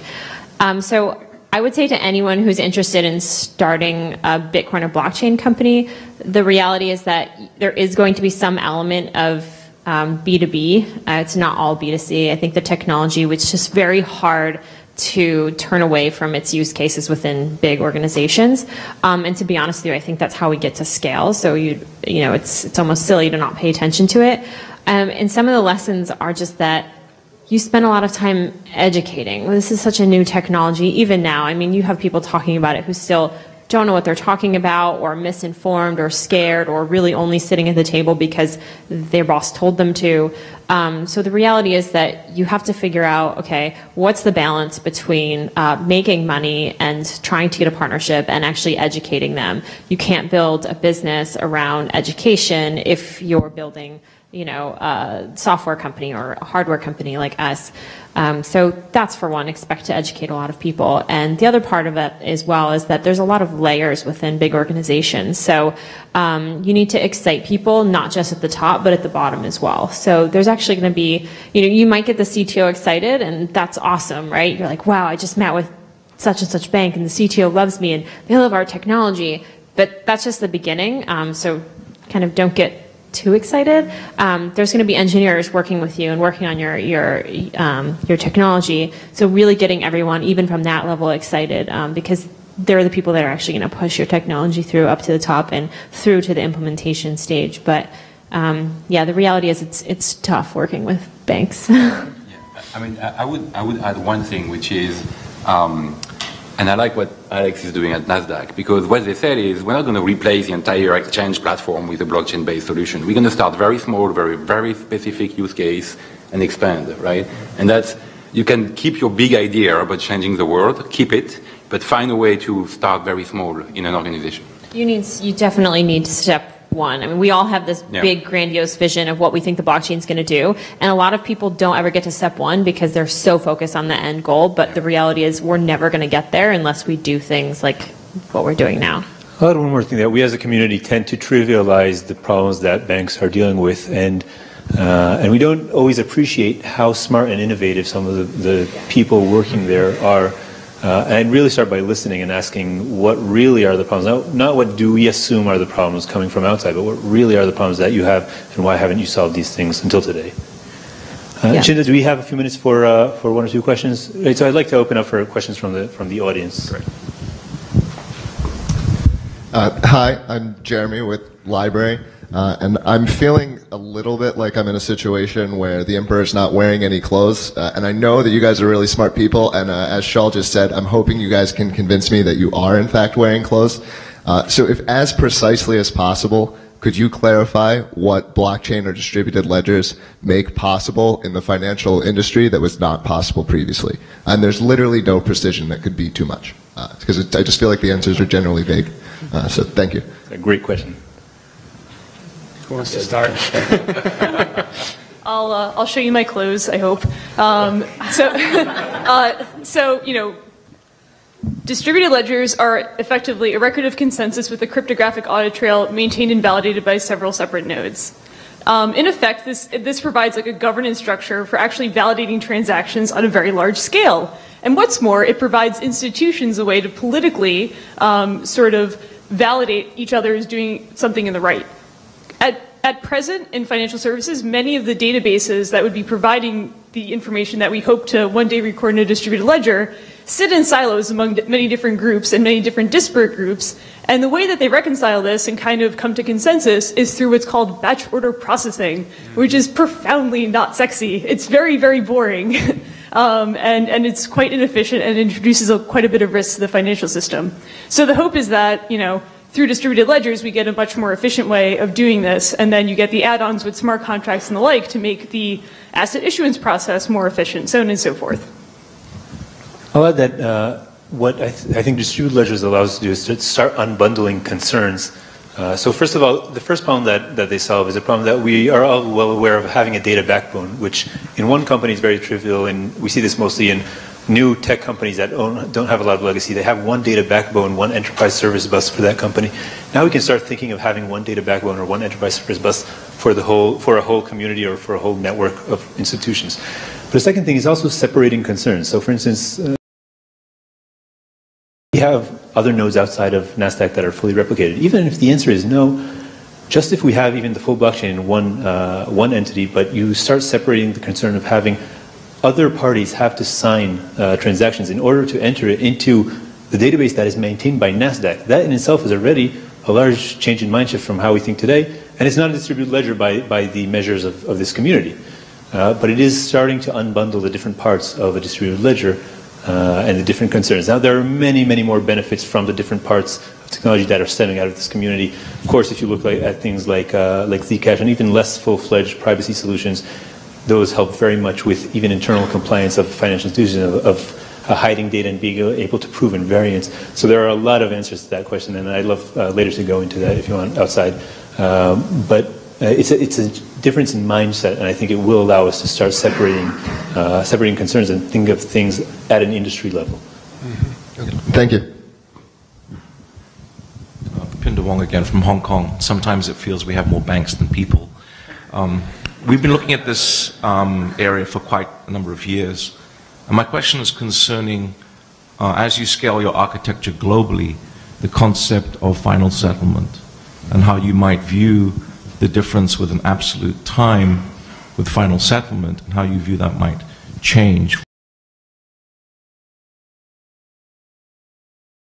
How do you, how do you envisage, or do you envisage, the notion of final settlement changing because of blockchain?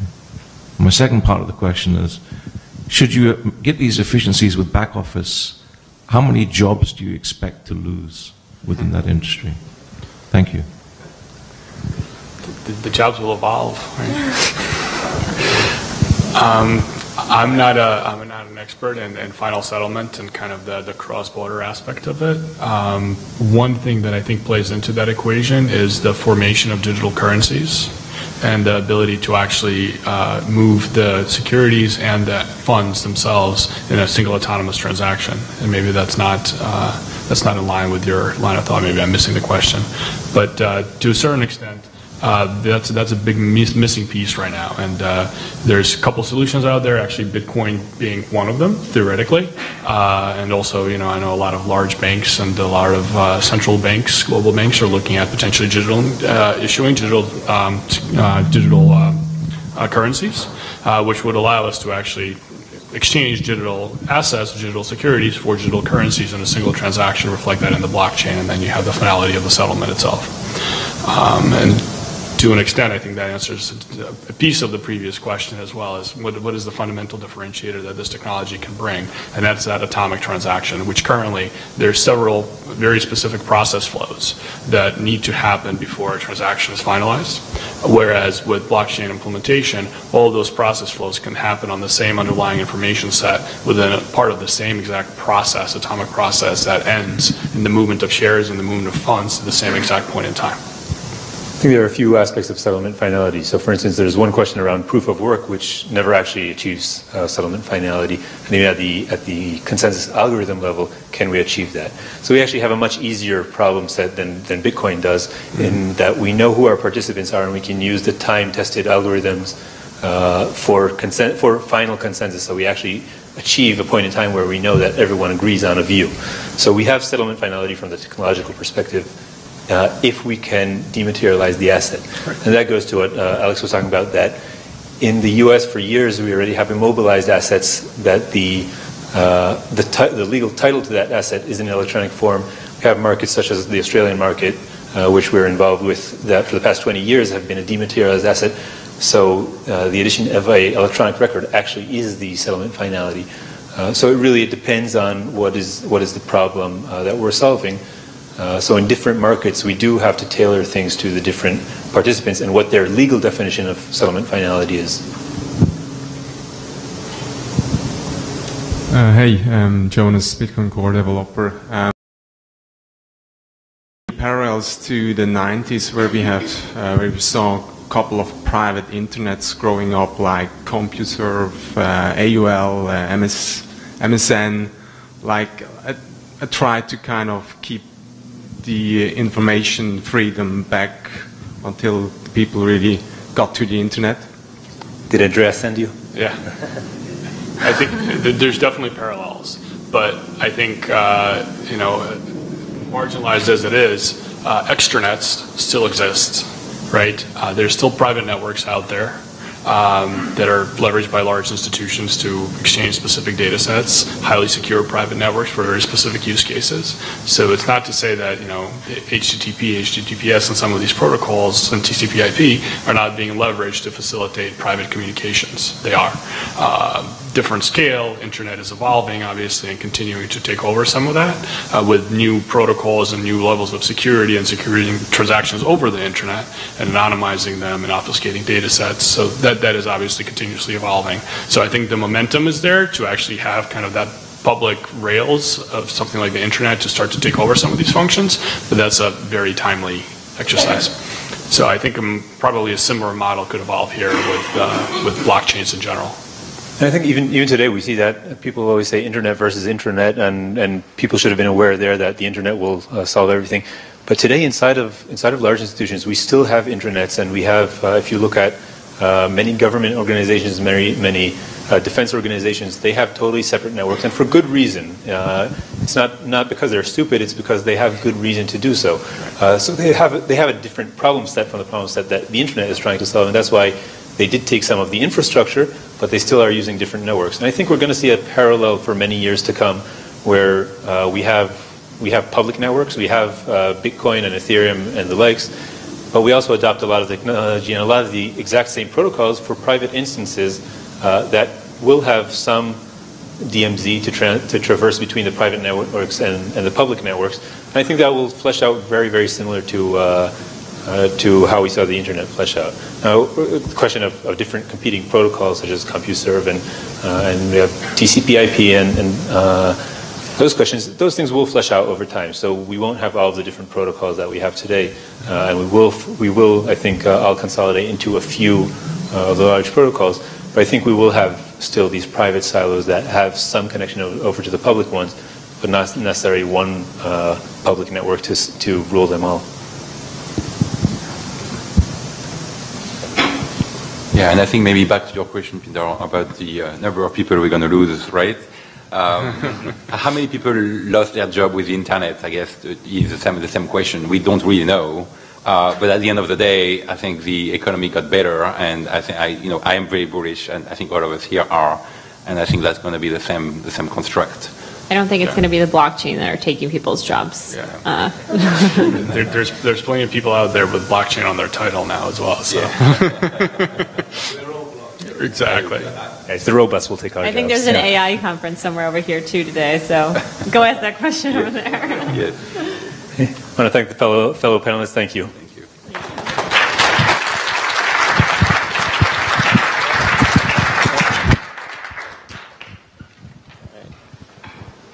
Thanks.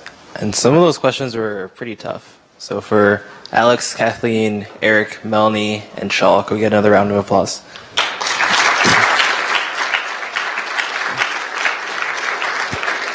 All right. So, and so, contrary to popular belief, Ben is not just the name of the person. It also stands for. So I invited students from Ben to come and like talk about what Ben is and if they're doing any research, um, what that is. And so up first is the executive director, Dean Masley, uh, to explain what Ben is.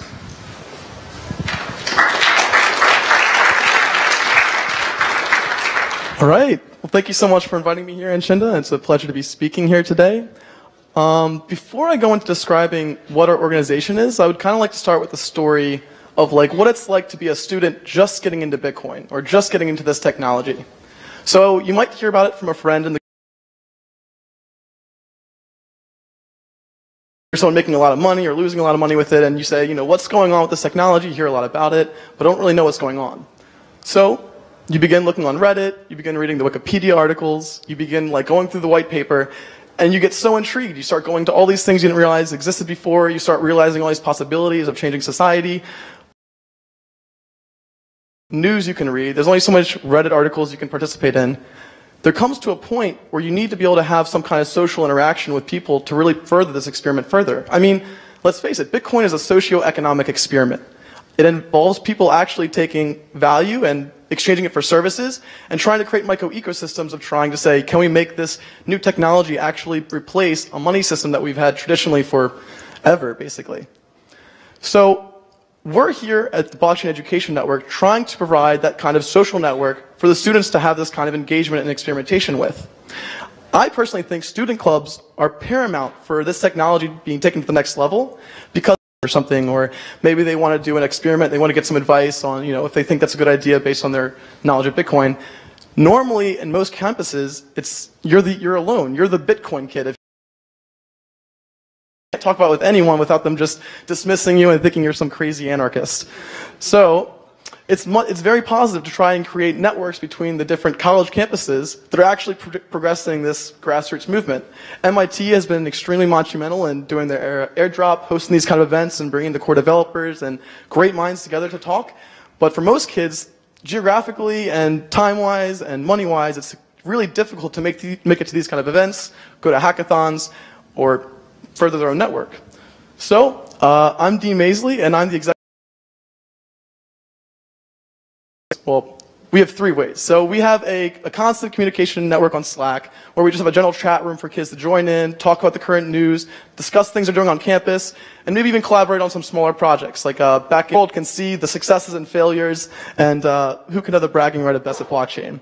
And so we do these kind of events. It's a little bit silly. I mean, we're here at MIT. We're talking about high-level technical discussions. I'm here talking about blockchain trivia.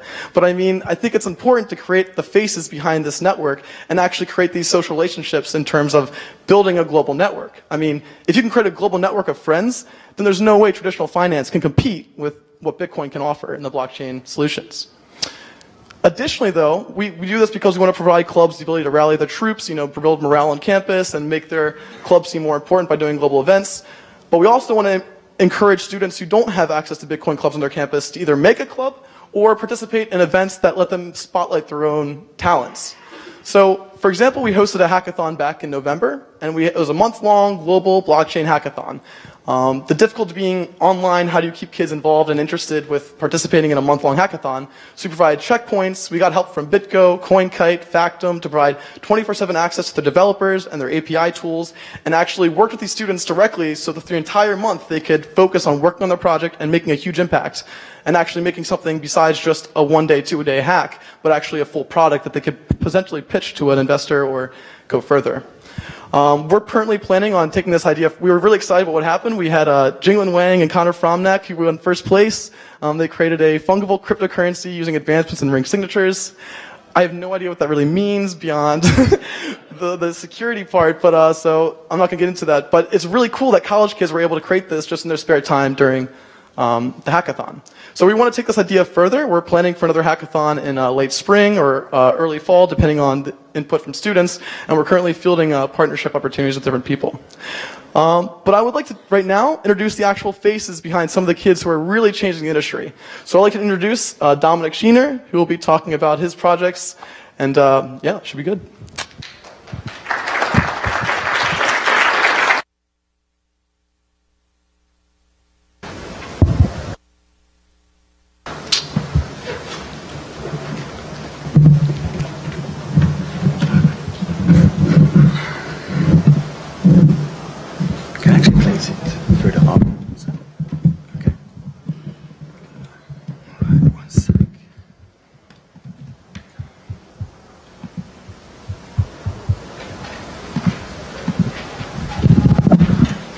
Awesome. So my name is Dominic. I'm from Italy, and today I'm going to present to you a project which I've been working on for quite some time now. I want you to be super fancy with my title, so it shows democracy powered by the blockchain. And so what I'm actually working on is a kind of backbone. What I'm actually going to talk about is a kind of backbone of, the, of democracy today, which is voting. Even though we only care about voting like once every two or four years is probably one of the most important processes that has the most direct impact on our lives. And obviously with the democracy, like with the presidential run right now, voting is re really relevant to us. So as with any um, kind of protocol, there are certain properties that a voting system, that a system needs to achieve. And when it comes to voting, there are six main properties. Integrity, that means that your vote is cast and counted as intended. Then there's secrecy, that nobody can map uh, a vote back to you and figure out who you voted for. Enfranchisement, meaning that you have the right to vote and actually make use of this right. Identification, meaning that only those eligible can vote. Security is kind of obvious. And convenience, meaning that the process itself is not too difficult. There are other important properties such as cost effectiveness, accessibility, and verifiability. But most of the countries and people today don't really care about that. So the problem with these properties is that actually that they're in direct conflict with, between each other. And because they're in, in direct conflict, of the voting systems today kind of have to um, make trade-offs between the properties and like create a preferential list of which um, properties, properties they want to achieve. And because of that, the voting system and the voting process today looks similar to that. So meaning there are four different phases. First of all, the voter is required to leave her cozy home and go to the voting place. There she waits in line. And then she's required to identify herself. Most of the time, the voter also has to pre-register, meaning that the voter actually needs to become an, an eligible voter before being able to vote. So once the person is identified, um, she's required to sign something or she's, she receives some kind of voting ink to make it to prevent double voting. Then she receives her ballot, she goes into the booth, and then casts her ballot. So now the voter can go home. At the end of the day, then all of the people that work at the voting place, they then like seal off all of the ballots, send it to a central counting station. There the votes are counted and like publicly announced. And at the end of the at the end of the day, and the results are announced. Now there are kind of uh, differences in the way vote like ballots are cast and counted. In Europe, there is mainly secret paper ballots. And in the United States, uh, electronic voting is actually quite popular, specifically DRE voting and optical scan voting. But the problem with these systems is that they're kind of treated like black boxes because there's no way to um, know if a vote has been cast correctly and counted. And because this process is so complex and has such huge infrastructural requirements, it's really expensive. For example, the 2010 general election cost about 161 million to hold, and that was just for 29 million voters. So it's probably going to cost a lot more for the United States. And it's kind of absurd to think that it's so expensive to really like secure our democracy when there are better systems today. And so, so the question, so like the problem really is that voting today is super cumbersome, obfuscated, obfuscated, inefficient, expensive, disenfranchising, and based on an outdated system. So how can the blockchain help? Well, if we look at the properties again, um, there are actually no trade-offs when we use a blockchain. So let me actually explain that in more detail. Obviously, the point of a blockchain is that you have the kind of cryptographic proof that the transaction happened. So to ensure secrecy, we need to use um, an anonymous uh, system to cast uh, the transaction, the ballots, and that is achieved through zero knowledge proofs or, for example, ring signatures. And integrity is actually achieved by just using a blockchain because you have the cryptographic proof that you actually voted. And enfranchisement is achieved by making the voting process itself much easier than it is today, and I'll talk about that more later. And identification, identity itself in the blockchain space is probably the biggest problem apart from scalability.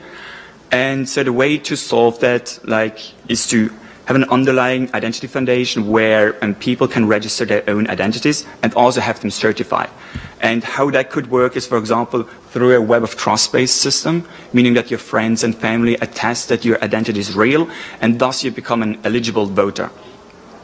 Or another way is to do, use certificate authorities. So, for example, a bank or a government is going to certify that your identity is real. And then you can vote. And security. Security in the blockchain space is kind of achieved by focusing on the weakest link in the chain, and that is identification, because um, like private key management is really difficult, as we've seen with the Bitcoin. With Bitcoin. And so the way to achieve security is to actually introduce a second layers of um, authentication, which could, for example, be biometrics. And convenience is achieved by making it finally possible to actually vote with your mobile phone. And about verifiability, the big advantage of a blockchain-based system is that verifiability is actually like you achieve end-to-end verifiability, meaning that you can yourself verify that your vote has been cast correctly and that you're also like included in, in the outcome. So when it comes to blockchain and voting, it's actually more about reinventing the voting process entirely instead of just reinventing the way uh, ballots are cast and counted. And so, for example, instead of having a 13-step process for voting, it's more about making it a three-step process. And the really interesting thing is, this, is that Estonia is already doing it like this, and so it's probably the most forward-thinking country, and I think that like us people who are in the Bitcoin and blockchain space can really learn a lot from them. They're not using a blockchain yet, though, but from what I've heard is that they're actually trying to use it for their verifiability aspects. So where does my, my work come in here? So I've created a simple proof of concept about six months ago, which is called Public Votes. And it's a, a publicly verifiable voting system, and it's built on Ethereum. And I think about 3,000 to 4,000 votes have been cast on it so far. And since then, I've been working uh, with a lot more parties. And I've also like done a lot more research in regards to how feasible it actually is to use the blockchain for voting.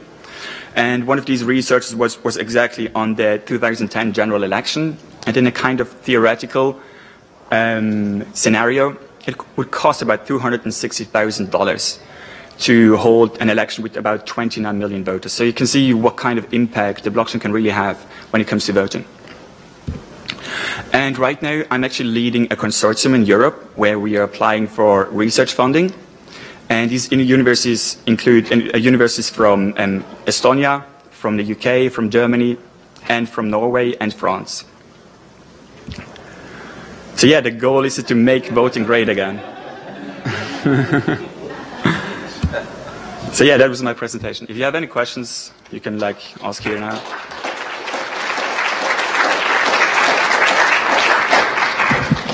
Is there time for questions or should I?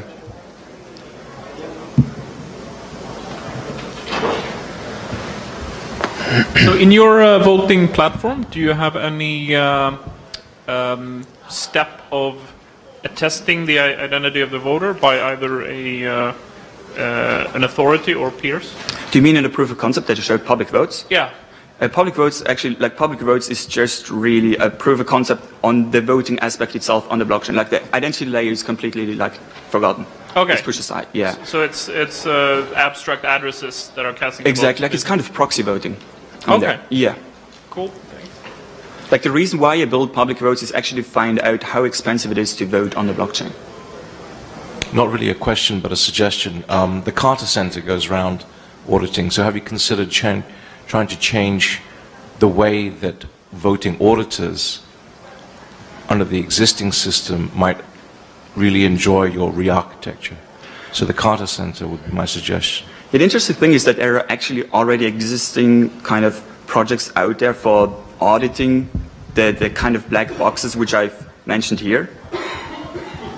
So, for example, there is um, Auditorium, I think it's called, and they're actually using the blockchain. So, the way that it works is that with these electronic voting machines, you have a kind of peer-to-peer network, and all of the logs inside the electronic voting machines are shared between all of the different machines. So, you actually have a kind of blockchain structure, a, a ledger, where you can see if if a voting machine has been tampered with.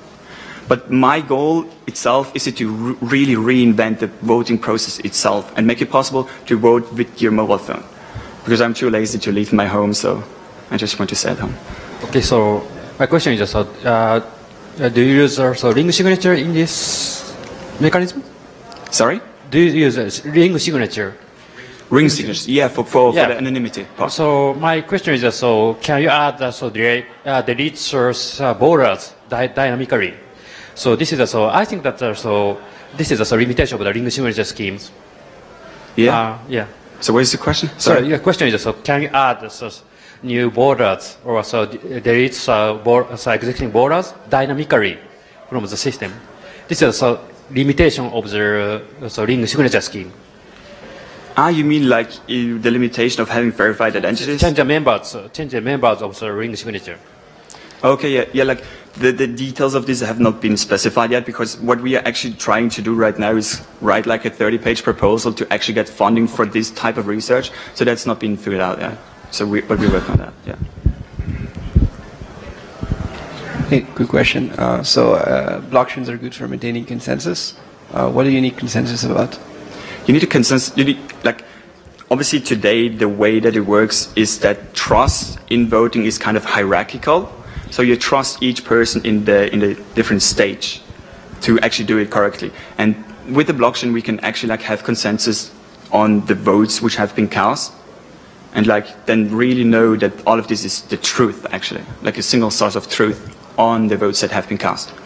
And then in the end, the, like, I, like I said, the main goal of the blockchain is to actually make it end-to-end verifiable, so that you yourself can actually verify that your vote has been cast properly, and it also like counts to the end result. And so that's where the blockchain aspect comes in. If all the votes which are cast are published, you don't need consensus there, but for everyone to see. So, what do you need consensus for? You need consensus to have like a single ledger. That's what you need the, the consensus for. You, you don't need consensus. Why do you not need consensus? We can discuss that later.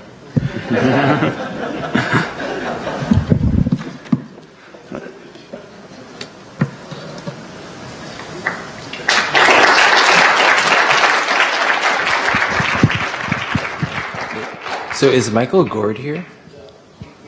Hey, Michael. Come on up.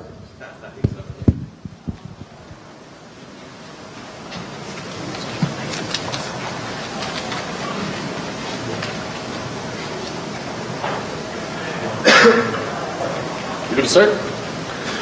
Cool. So I just want to start by thanking Agenda and the MIT Bitcoin Club for organizing this. It's, it's pretty awesome that this kind of stuff happens now to bring the community together. Um, so just going back to what Dean said a little bit ago, when you're a student at university, you're almost certainly the only kid on campus that's re- or at least if you're very in the community, you're almost certainly the only kid on campus that's really involved or really wanting to be involved. So if you're bringing up Bitcoin in class and stuff, um, aside from MIT, you guys might have a different experience, but I, I feel that most schools, um, the teachers haven't heard of it. The, the, at least when I, when I first started a couple years ago, the, the students hadn't heard of it.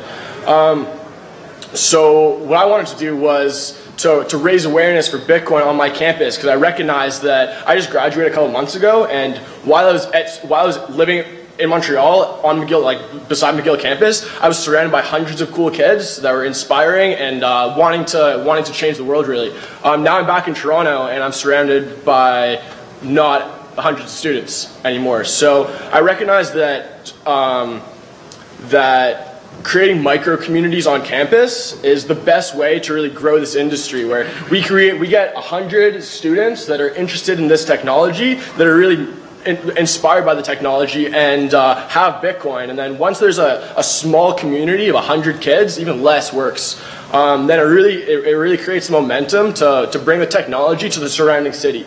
So um, when I first got into Bitcoin, there I, I knew nobody in the industry. I didn't know any companies in the industry, and I wanted to get involved. And I, I was really fortunate. I was living in Montreal at the time, and um, the Bitcoin Embassy in Montreal had just started on Saint Laurent. Um, anyone's heard of that? It's pretty cool.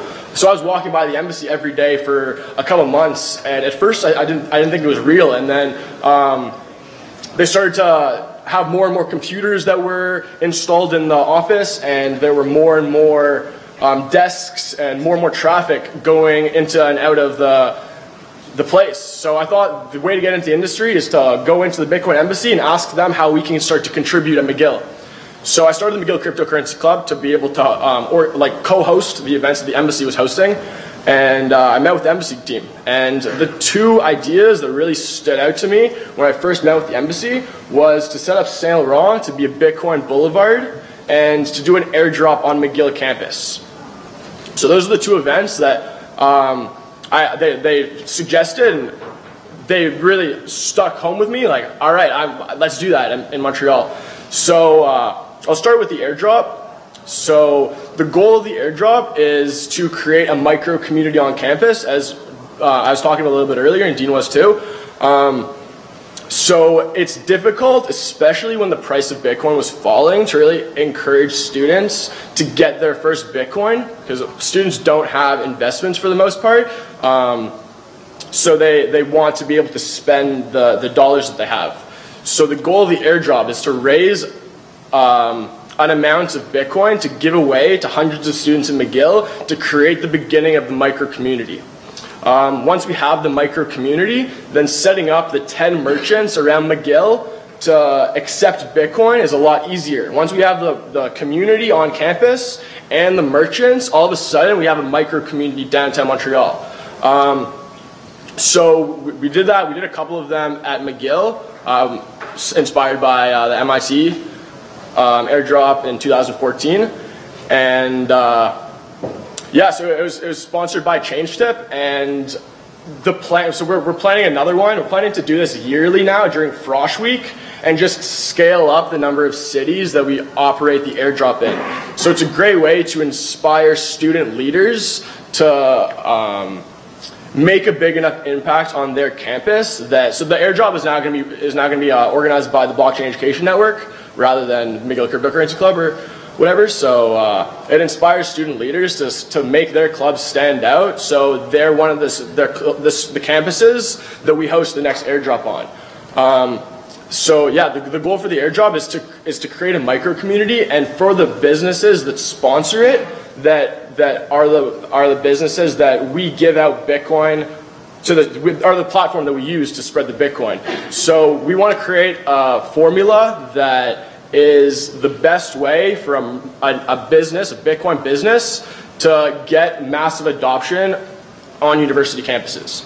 Um, so that's, that's the first one. And the second one is the Bit Crawl. Um, so once there's a community of students on campus that have Bitcoin, um, students want, first students want to be able to make an impact on, uh, on the school and the city that they live in. And students also want to be able to create, to create changes in their surrounding environment. So students want to be able to, um, students that have Bitcoin want places to spend the Bitcoin. So I started setting up merchants in Montreal to accept Bitcoin. Uh, it was easier because before Bitcoin, I did a lot of music and event stuff, so I, I was already familiar with the venue owners. Um, but uh, I, so I, I hosted a couple at, at single venues, which was good. Um, they they brought out more of a crowd than the bit crawls, um, but setting up one merchant at a time is kind of slow. What I realized is that as soon as there's one merchant that's down to accept Bitcoin, and there's an event where a community is going out to spend Bitcoin at the venue, all of a sudden now there's value that we're bringing to set up another three, four merchants in the same neighborhood to also accept Bitcoin. And when we do an event like that, idea is that it creates um, more, more, uh, more city news. Um, and uh, we and we create grassroots change in the community to continue to accept Bitcoin and um, for more venues in the in the neighborhood to accept Bitcoin. So we did one of those in Montreal on Saint Laurent. It's uh, one of my goals of leaving school, and we just did two in Toronto. I just graduated and moved back to Toronto. One of them on Queen Street, which is uh, a main street downtown Toronto, and the second one was in Kensington Market, which is a really trendy uh, student neighborhood in Toronto. Um, yeah, so we're, we're doing, we're going to be doing more bit crawls. We're going to be doing an airdrop every year for Frosh. So we're looking for partners. If you guys want to get involved in an airdrop at a specific city or the global events, um, yeah, let's talk.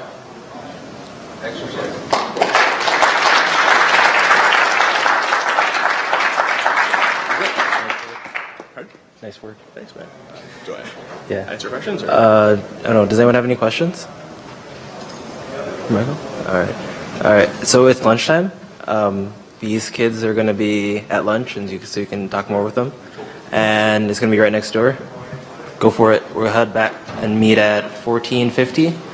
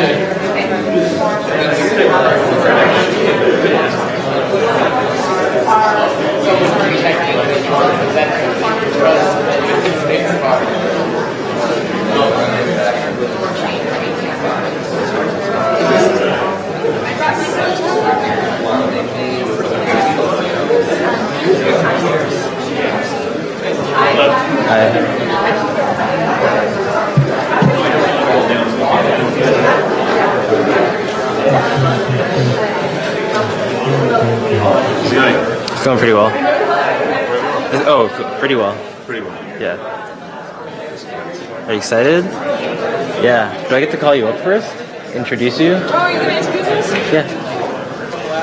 Great. Awesome.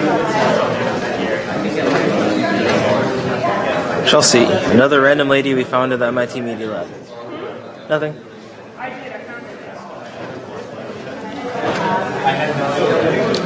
All right.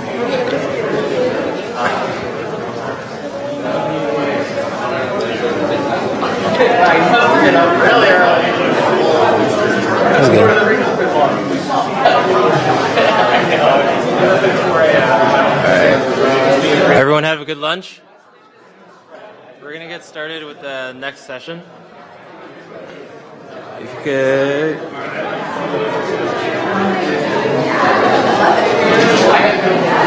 And so we're gonna have our emerging markets panel for a bit of speculation. And so I'd like to invite Meltem up, along with Sam Rosenblum, who's community director, um, who is head of Americas and Asia Pacific at Coinbase, uh, Ben Peters, who's co-founder and CTO at Bitso, and our moderator, who hails straight out of the MIT Media Lab, and she is head of social innovation at the MIT Digital, Digital Currency Initiative, Chelsea Barabas. Good luck, Chelsea. So we have until three thirty. Um, yeah. Hello. Sunday. Yeah. How's everybody doing? Good? Okay. Um, so as Chinda just, um, you know, opened us up, uh, my name is Chelsea Barabas. Uh, this is Ben Peters, Meltem, Sam. Um, do you guys want to just go ahead and give a quick introduction about who you are and what your companies do before we dive into questions? Sure. Okay, go ahead and start. Hi, I'm Ben Peters. I'm CTO and co-founder of Bitso, which is Mexico's Bitcoin exchange. Hi, I'm Meltem Demirors. I'm the Director of Community at Digital Currency Group. We've invested in 67 Bitcoin and blockchain companies across 20 countries, and we own and operate three companies in the space as well, including Coindesk, which is the leading media and events platform. And uh, we're investors in Bitso and Coinbase. Yep. Hi, my name's Sam Rosenblum. I head up our work at Coinbase uh, for the Americas and Asia Pacific. Great. Uh, so, for those of you who don't know, this panel is kind of broadly going to be about uh, the potential applications and uses of Bitcoin in emerging markets. Um, over especially the last couple of years, we've really seen the conversation about Bitcoin, you know, shift from talking about um, you know, its uses for maybe more dubious things like uh, uh, buying things on the dark web or um, supporting uh, organizations like WikiLeaks to seeing a, a, really strong conversation about the social impact potential of Bitcoin. Um, and a really big part of that conversation has been talking about the potential of this technology in the developing world or in emerging markets. And the, you know, the general kind of thesis there is that in places where there are kind of weak institutions um, and regulatory frameworks um, to protect everyday people, something like blockchain technologies and Bitcoin could serve a really interesting role. Uh, the other side of that, though, is to think about, you know, kind of some of the the weaknesses or the the growing pains of this technology at this phase in the game, right? So, still a very volatile currency, kind of something that regulators, policymakers are still struggling to figure out how to um, deal with, which means that we don't have very clear safety nets or due process procedures for everyday people. Uh, so, for you guys, I'd love to hear, um, you know do you see emerging markets being the real um, starting place for us to start to see the social impact potential of Bitcoin? Or is it not really the right market given kind of some of um, those vulnerabilities at this stage in the game? So why don't we start over there with Sam? Sure. Yeah. Uh, yeah, I think like any other technology, I think there's huge potential for impact in emerging markets. Uh, there's also sort of paradoxically, it's much easier to, to test and see in a market like Boston or New York or San Francisco. So that's definitely the challenge. We have um, a lot of impact that I think everyone at this table and a lot of people in the room are striving to, to achieve. In order to get there, I, I mean, there's a reason why they're still emerging markets. They're, they're very difficult uh, in a lot of ways to, to bring a new large change. Um, I'll just speak briefly from the, the DCG perspective as an investor. I think what we look at when we think about Bitcoin and the associated blockchain technology, there's really three primary use cases. There's Bitcoin as a store of value, there's Bitcoin as a payment rail, and then there's the underlying blockchain technology, which has many different extensions and applications. If we think about the first two use cases, which is Bitcoin as a store of value and Bitcoin as a payment rail, I think that's where the potential in emerging markets becomes really exciting. If you're living in Argentina or Greece or in a state where the state currency is losing value year after year, owning Bitcoin is a great hedge, an open hedge against that local currency, especially if there are capital controls in place that don't allow you to easily move money. Um, that's really transformative. And I think from an investment perspective, that's where personally I'm excited about seeing more money moving into Bitcoin. And then I think beyond that, if we think about the financial system and the cost of serving a customer, um, today, all of the people in this room, we have credit cards, we have bank accounts, we have an easy time transacting with value, but if you think about someone who lives in a part of the world where there is no financial infrastructure, and you think about the advent of smartphones, internet connectivity, um, Bitcoin offers a great opportunity for people to move from a cash, a paper-based culture into a digital age of finance where now they can have access to financial institutions and an entire financial stack of applications, including lending products, credit products, etc., all through their mobile phones. And I think that for us is where we're really excited about areas like Latin America, some of the work Bitso is doing in Mexico in particular, uh, Southeast Asia when you think about the Philippines, Indonesia, and Sub-Saharan Africa. Yeah, so this kind of follows on directly from what Meltem was saying. Um, in Mexico, around half the population has no banking. And of the half that does have uh, banking facilities, maybe 10 to 20% have credit cards. So these are people who can't engage with um, internet e-commerce or this whole world that's opening up very quickly um, to them. I mean, there's 90% penetration of mobile phones, and, and that's very swiftly transforming into internet-enabled smartphones. So you've got people who are being exposed to the internet and international commerce, but they don't have any means to engage with it. Um, and, and I think that's where, where Bitcoin can, can really allow them to start interacting. Great. Um, so when we talk about emerging markets in the developing world and things like that, I think some of you alluded to, one of the appealing things is that you're really digging into substantial real problems that face kind of everyday people, right?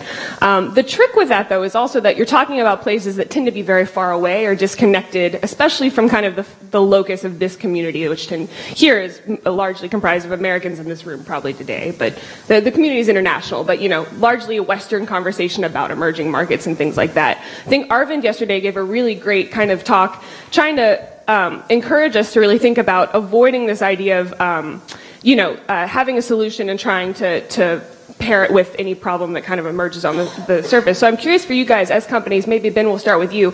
How do you guys thoughtfully go around about the, um, this process of identi identifying real problems that you think fit the solution, um, the technology you're building?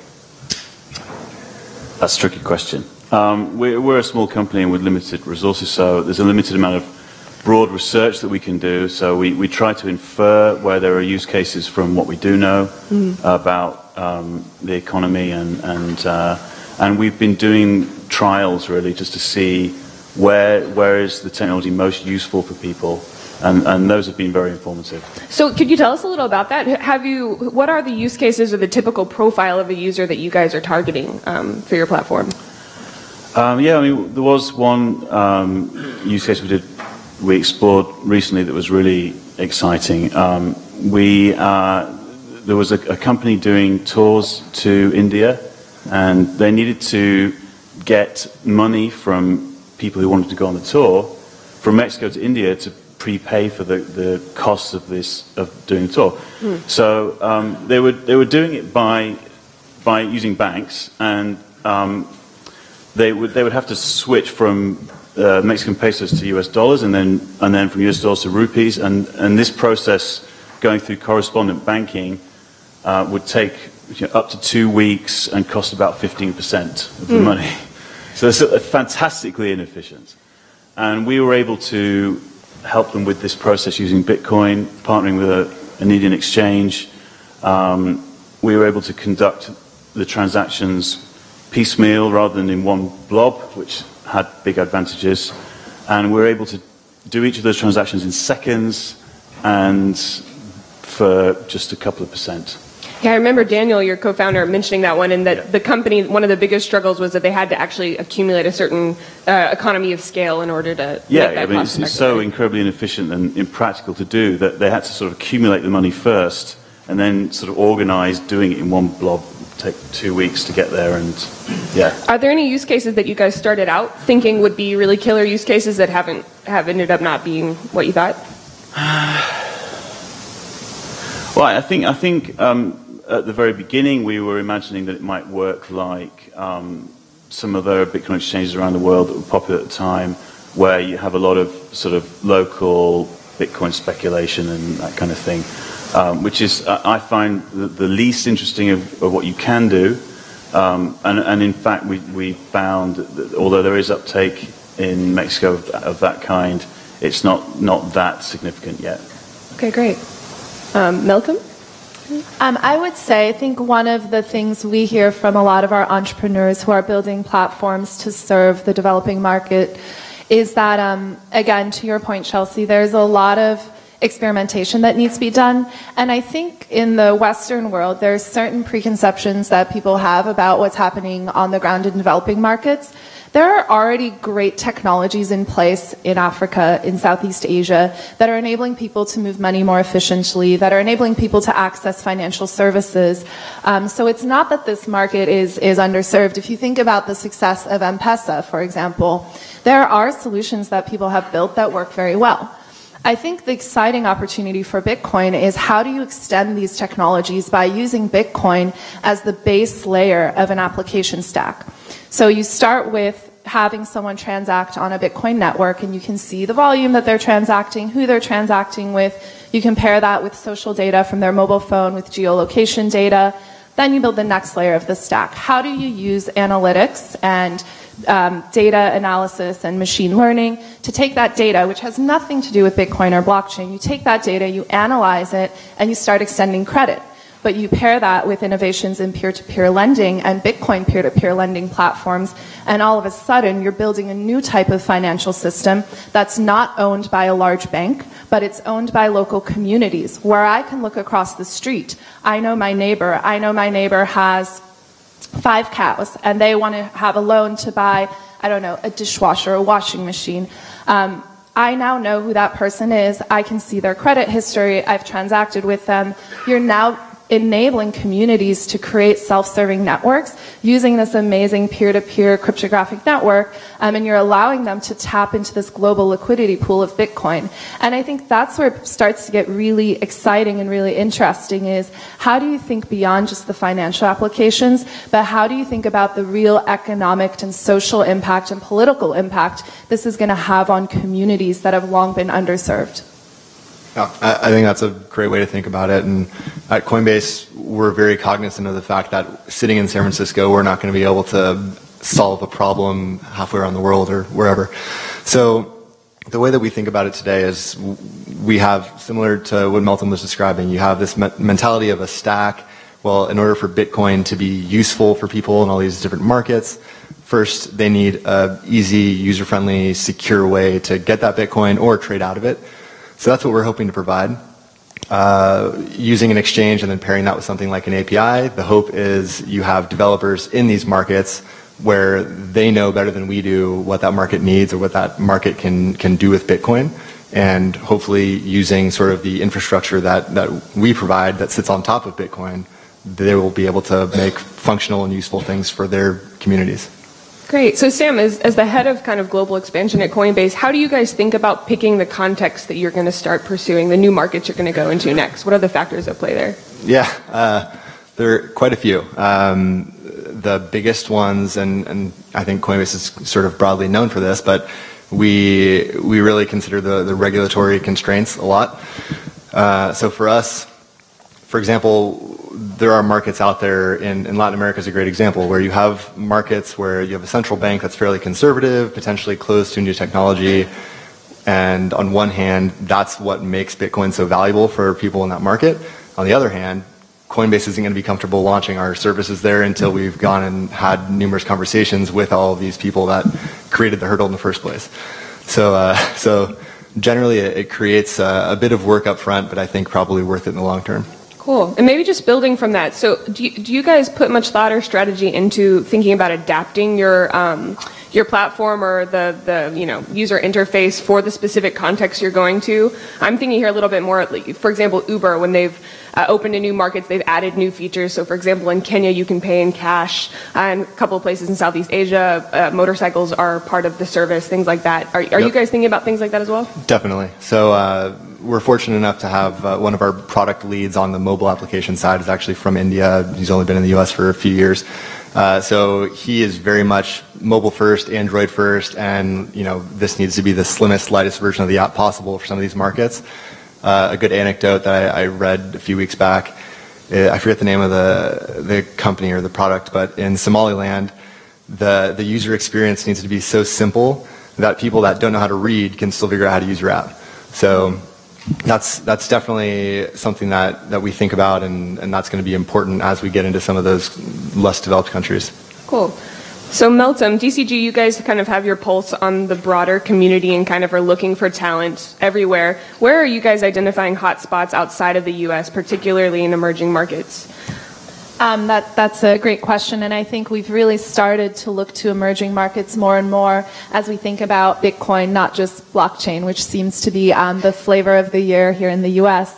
So we're really excited about Latin America. Obviously, um, Bitso is a company we're very excited about. I think what Bitso's done in partnering with 7-Eleven and OXXO and allowing people to take cash that they get at the end of the payday go to a convenience store in their neighborhood and take that cash and put it in a digital wallet is really exciting. Um, we have another company in Mexico, Volabit, that's allowing people to directly pay bills using Bitcoin on their platform and they're actually um, facilitating discounts for people to use Bitcoin or to use digital payments to pay bills.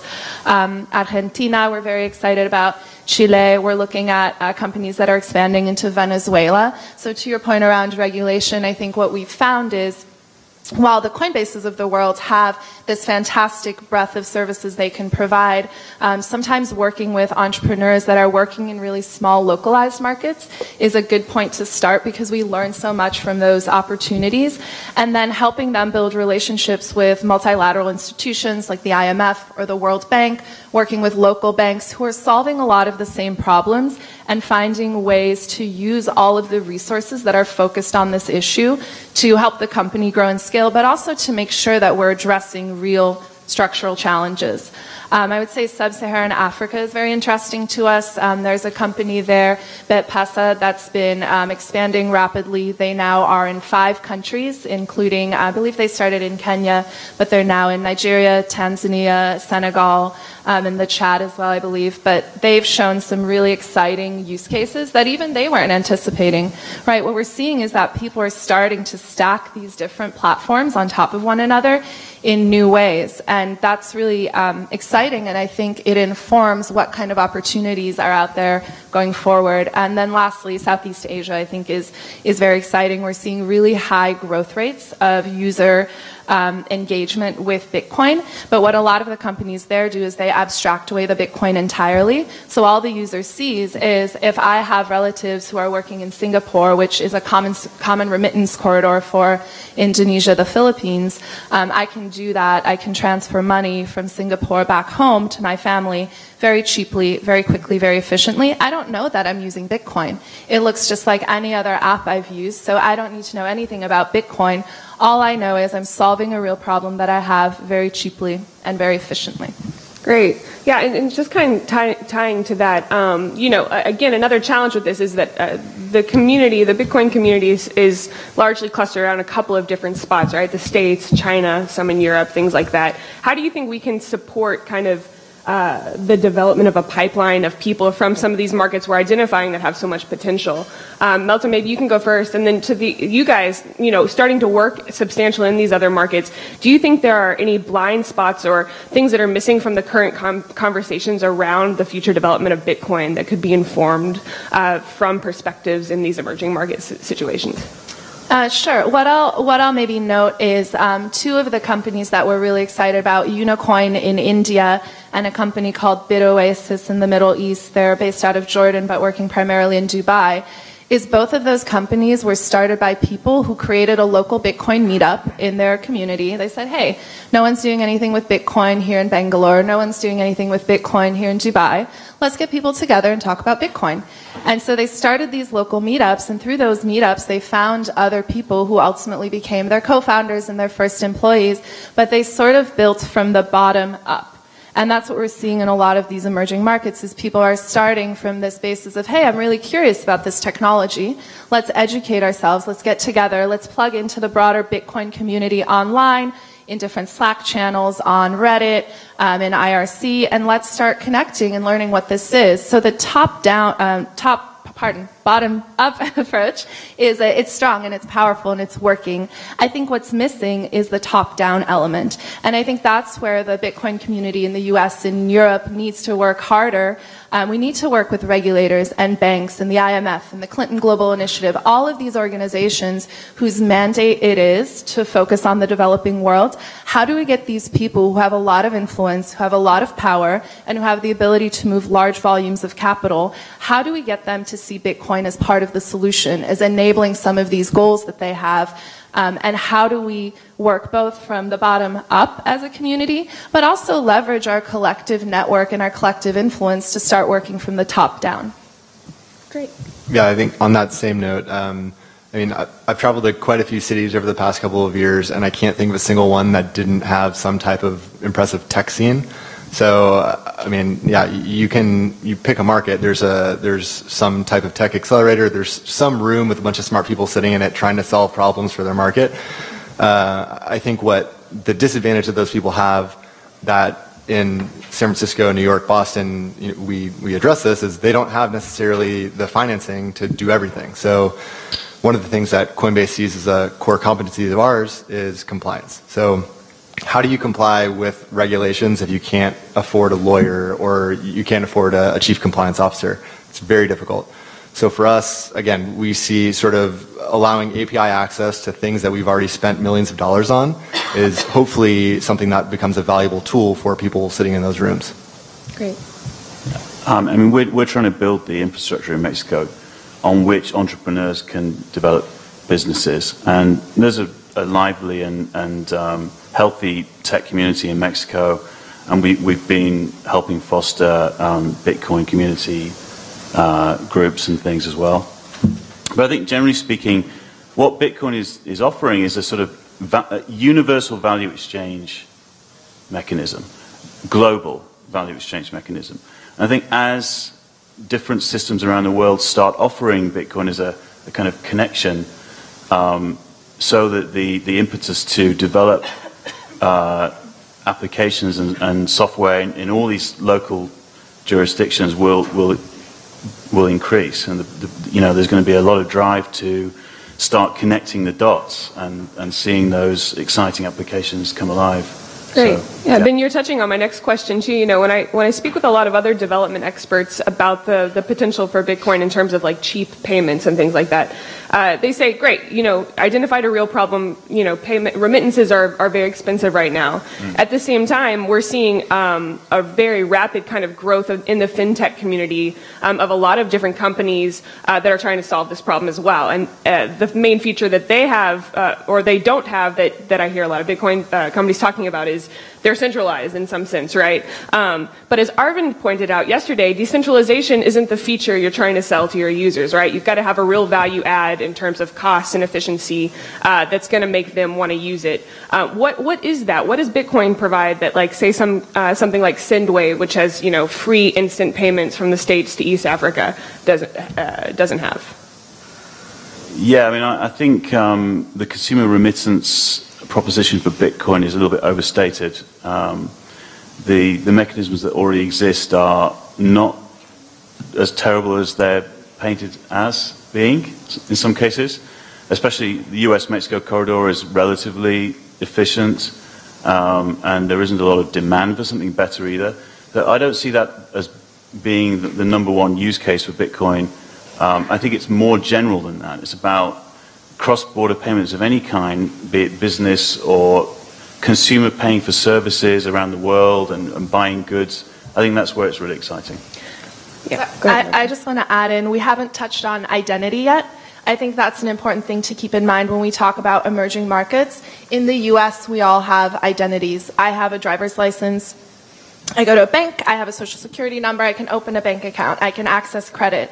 Um, in a lot of the markets we're talking about, people don't have identity, right? And not even a paper identity. I'm talking about just identity in general, right? So if you think about India, India's embarked on this project to grant identity cards to everyone who's living in, in that country, a billion people. If you think about the opportunity to take identity and to digitize it, that in and of itself creates a fundamental opportunity where you're now enabling me to send money to anyone else around the world based on their mobile phone number, their email, and to know who they are. That's something that's never existed. So I think the, the underlying identity element is one that can't be ignored when we talk about emerging markets. Sam, you have anything? Yeah, I don't have too much to add to that. I think that's both of those are, are very valid and right. Um, yeah, I think the identity question for emerging markets is probably going to be one of the toughest things to solve. And you do have governments out there like in India where they're working on not only like getting you an ID card, but they have your biometric scan and all that. Uh, so it's pretty cool. And, and I think in that same vein, you have large financial institutions that are also trying to be helpful. Like they, no one wants their market to be underserved. They they realize you know you have banks in Indonesia. They realize that half the population of the country doesn't have a bank account. They're looking for ways to solve it. So um, I, I think that there are a lot of smart people, not only in the tech and Bitcoin communities, but in traditional government finance. They're they're trying to work towards something. It's just a very very difficult thing to achieve. So I, I, think again, in, in line with these guys, by by doing what we can to get there, uh, a problem like identity, you can, like a bunch of smart people in a room eventually can solve that. So uh, yeah, it's good to hear that everyone else is thinking about it too. Great. Yeah, just a heads up. I'm just going to ask maybe one or two more questions. So if you guys start thinking of questions you're going to have, you'd like to ask, because we're going to have like 10 minutes left. Um, so, so on that, I've heard uh, you know, Ben, you talk about a couple of your users aren't necessarily um, what at least I hear being kind of like the typical story being told of maybe um, the user being, you know, low wage migrant worker or a rural unbanked farmer, um, these types of profiles. Um, I'm curious, you know, for me, there's always been a little cognitive dissonance when I think about who I see as being the real early adopters here in the States. They're typically, you know, young, um, tech savvy, uh, upper middle class folks who have the means and kind of curiosity and things to really start playing with this technology, uh, which seems a little incompatible with that other profile that so often gets raised. So I'm curious, um, is that the right, is the, the migrant worker, the, the unbanked farmer, the right profile to be starting with? And if so, how are you guys building your products so that the, so it's accessible for those people? Yeah, I mean, I don't, I don't think that they're Oh, I'm sure we do have some users of that kind, but I think for the most part what we're intent on doing is building the, the infrastructure and APIs that, that people can build products on. It's the products that those um, consumers are going to be making use of in the end, I think, rather than uh, directly using Bitcoin or even knowing what Bitcoin is. And, but they'll nevertheless get huge benefit from these systems. Gotcha. And I think, as Meltem noted before, the people in that demographic you just described, they're not thinking about Bitcoin. They're not thinking about a protocol or a, a, unit of value. Like they're thinking about how do I, you know, how do I get this bill paid or how do I receive money from my family abroad. Mm-hmm. So, uh, yeah, similar to what Bitso is working on, I think if you provide a secure and, and easy to use exchange and, and maybe a wallet or something else, you're providing these tools that can be built on top of by people in the markets. Uh, and those are the ones, again, they know what is needed uh, much better than someone in San Francisco does. Right. So, but with that though, are are you targeting in say the markets you guys going to that profile, or is it is it um, a different profile? The the vast majority of our customer base today are people that are very savvy on Bitcoin. They're trading. They're mm-hmm. they're arbitraging across exchanges. They're doing all kinds of stuff that a, a nomadic farmer is not doing. Right. So. Um, yeah, I, I, mean, I think the short answer is we're going to do what we can to provide that infrastructure. We're going to do what we can to sort of market the API tools that are available for anyone out there to use and, and hope for the best. The other side of that coin, uh, we are actually starting January of this year, we started Coinbase Labs. So we're going to start putting some resources into addressing specific e- either market problems or maybe funding people that are solving those problems. Uh, and again, I think those people are going to come up with the right answer much more quickly than I am. So does that mean you guys are trying to source uh, talent and stuff from some of the emerging markets you're trying to go into, or is, is... potentially? Okay, cool. Yeah. Great. Go ahead, Sorry, I just wanted to add to that. I think to your point, Chelsea, um, in a lot of these markets, what we're seeing is the users are not the people at the bottom of the pyramid, right? If you think about sort of the pyramid that a lot of people use to describe access to financial services, they're not those people. Um, the people that we're seeing use these platforms and the people that we're seeing really engage with Bitcoin are people who are typically um, expats or they're people who have a small business and they're trying to pay contractors or employees that work in different regions. Um, they're individuals who have real problems, are moving amounts of capital that are normally significant, right? And they're people who have a familiarity with technology. What's interesting is thinking about this as a distribution channel strategy. To me, I don't think a farmer in a field somewhere is ever going to say, oh yeah, I'm going to get this great app and I'm going to use Bitcoin and it's going to be awesome. No, the way they're going to get exposed to Bitcoin is through a distribution channel that they're already using where all of a sudden, um, instead of getting their payouts from the government in the form of cash or in the form of money that somehow gets into an M-Pesa wallet, they're going to get money via Bitcoin. And they're going to interact with it and they're going to say, huh, this is really interesting. I wonder what else I could use it for.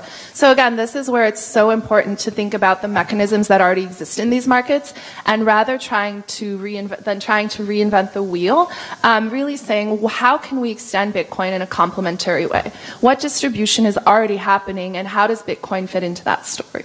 Great. All right, let's open it up for questions. Nico, would you like to go first? Okay. I'm an expat from Argentina. Everything that you describe, I'm very familiar with. But I pay the rent in bitcoins here in Cambridge, and my friends from Argentina barely know it. Um, so What you just, you nailed it right there. It's like there's a huge amount of opportunity, and it's going to come from the 1% or 0.1% of that, that social scale. Do you think, or what is your opinion of that social inequality that right now is happening and how Bitcoin is affecting those countries? I, I'm talking about Argentina, right? So my, my Bitcoin savvy friends from Argentina are getting a lot richer than the farmers from Argentina. Um, I, I can start there.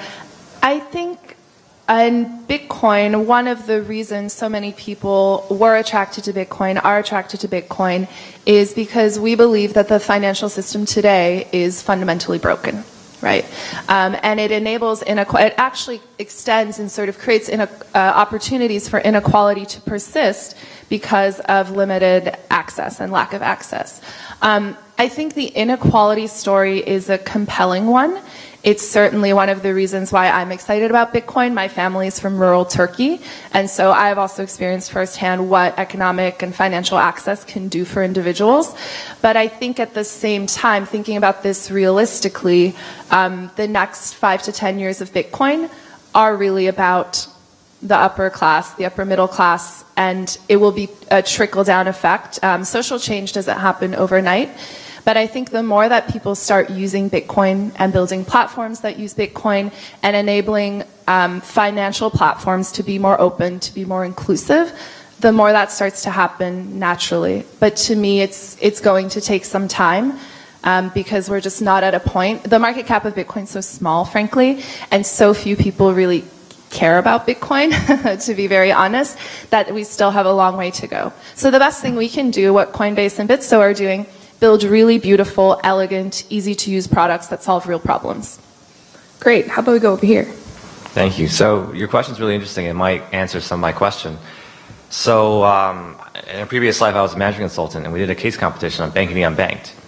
And in our solution, we did some research into blockchain, and we concluded on principle that it would make very little sense to not use blockchain to build a next-gen financial, a resilient and a decentralized kind of financial network.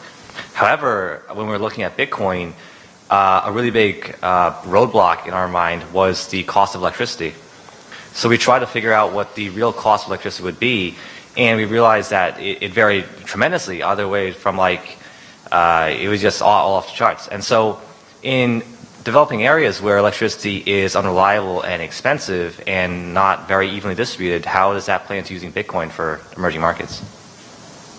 Yeah, so uh, there's probably mixed opinions in the room on this, but I think for Coinbase, this is the value of having off blockchain transactions or potentially a, a, trusted third party that you are relying upon. So if you don't always have electricity, uh, and let's say you have to go to a central place in your community to access electricity and you can do so once a day or something like that, uh, yeah, you, you have to go and, and kind of do all your transactions while you're there and then you're not going to have access for the next 20 hours or whatever it may be. So uh, I, I, think it's more. This is more of a product question than a, a, Bitcoin question. Once you accept potentially having people not directly interacting with their Bitcoin address or something like that, uh, and then on, again on the product side, yeah, I think there are a number of ways you can try to address it. Uh, and this is something that actually you have banks again you have a, a, large bank in indonesia right now that's uh, setting up virtual accounts for a bunch of people that previously didn't have any access to a bank account, and uh, they're now relying on a third party that's not the bank to, to sort of be a proxy bank for them. So there's a lot of interesting ways to think about that, but I think it's more of a product question, assuming ideologically you're okay with not having people do their own Bitcoin transactions with their own addresses. And I'll just add one note. I think Bitcoin's also not the only protocol that's going to emerge. So if you think about um, how the internet works today, one company that we've invested in that I think is doing amazing things is called IPFS. Um, and what they're building is basically a new distributed peer-to-peer form of internet. Um, so you think about the ability to create localized networks where you can still transact even if you don't have access to the internet. um, and you think about building censorship resistant systems, and again, this gets back to some of the social and political vision around what Bitcoin could enable, I think it's equally important to not just think about the financial implications of Bitcoin, but to think about how other systems that we rely on work, internet, elec- electricity, power distribution. Um, there's a company in Brooklyn that's working on creating localized power networks where people can share electricity. So as these concepts of, of Bitcoin and cryptography and the blockchain start to evolve, people are starting to create solutions to address not just the movement of money and value, but the movement of all sorts of goods and services that enable people to create value. Great, let's go back over here.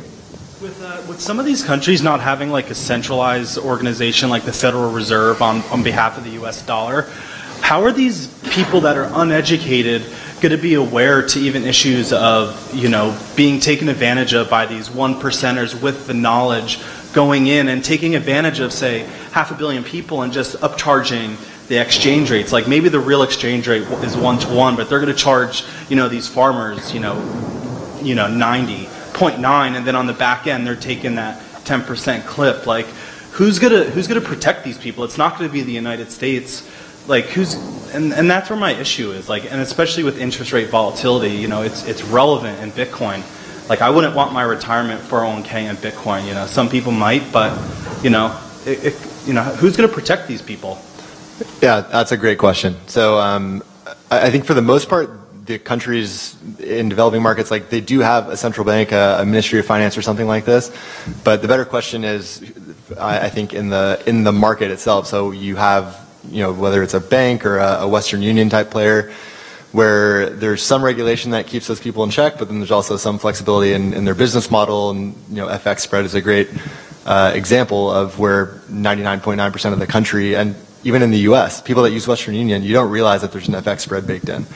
So, uh, yeah, I, think the the number one answer in my mind to broadly what you're asking is you have a new generation of people that do want to come in and, and create an impact that is more. Uh, you can call it a social impact or, or whatever you want, but it's an impact that is not necessarily based in how much revenue am I going to make from this.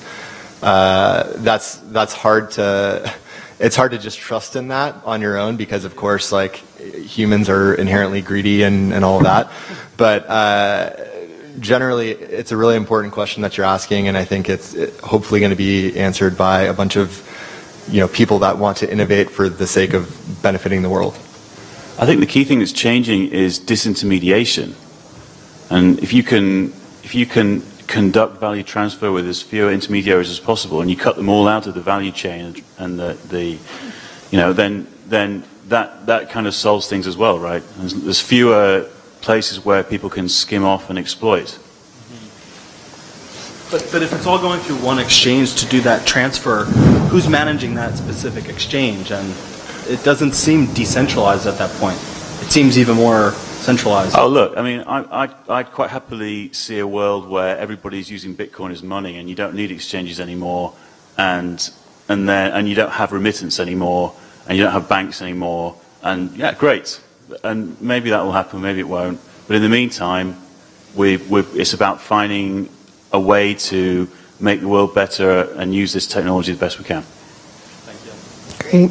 We'll go back over here.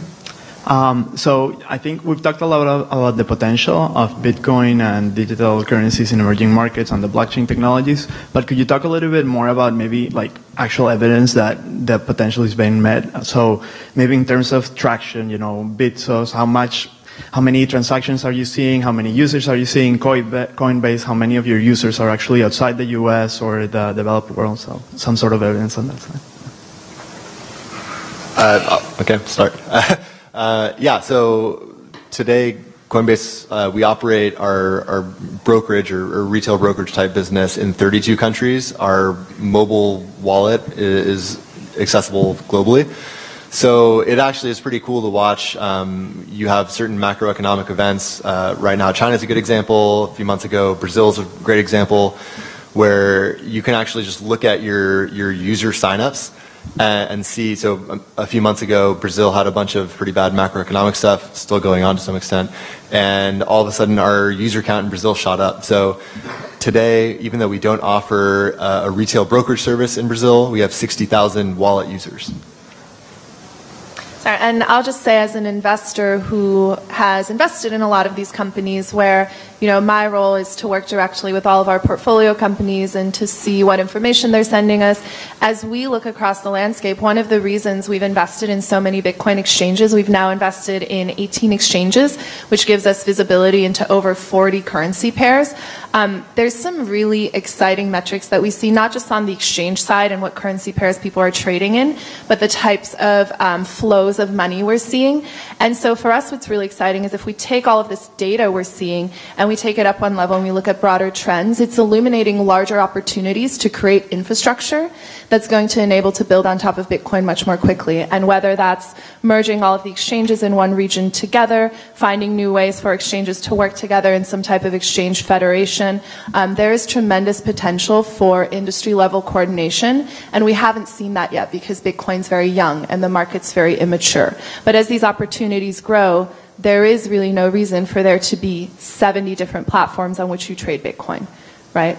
You create one platform where there are many market makers, um, but you have really this global liquidity pool. So there are a lot of opportunities we're going to see in the next two, five years where you're going to see more uh, convergence, but also more efficiency in how people access this market.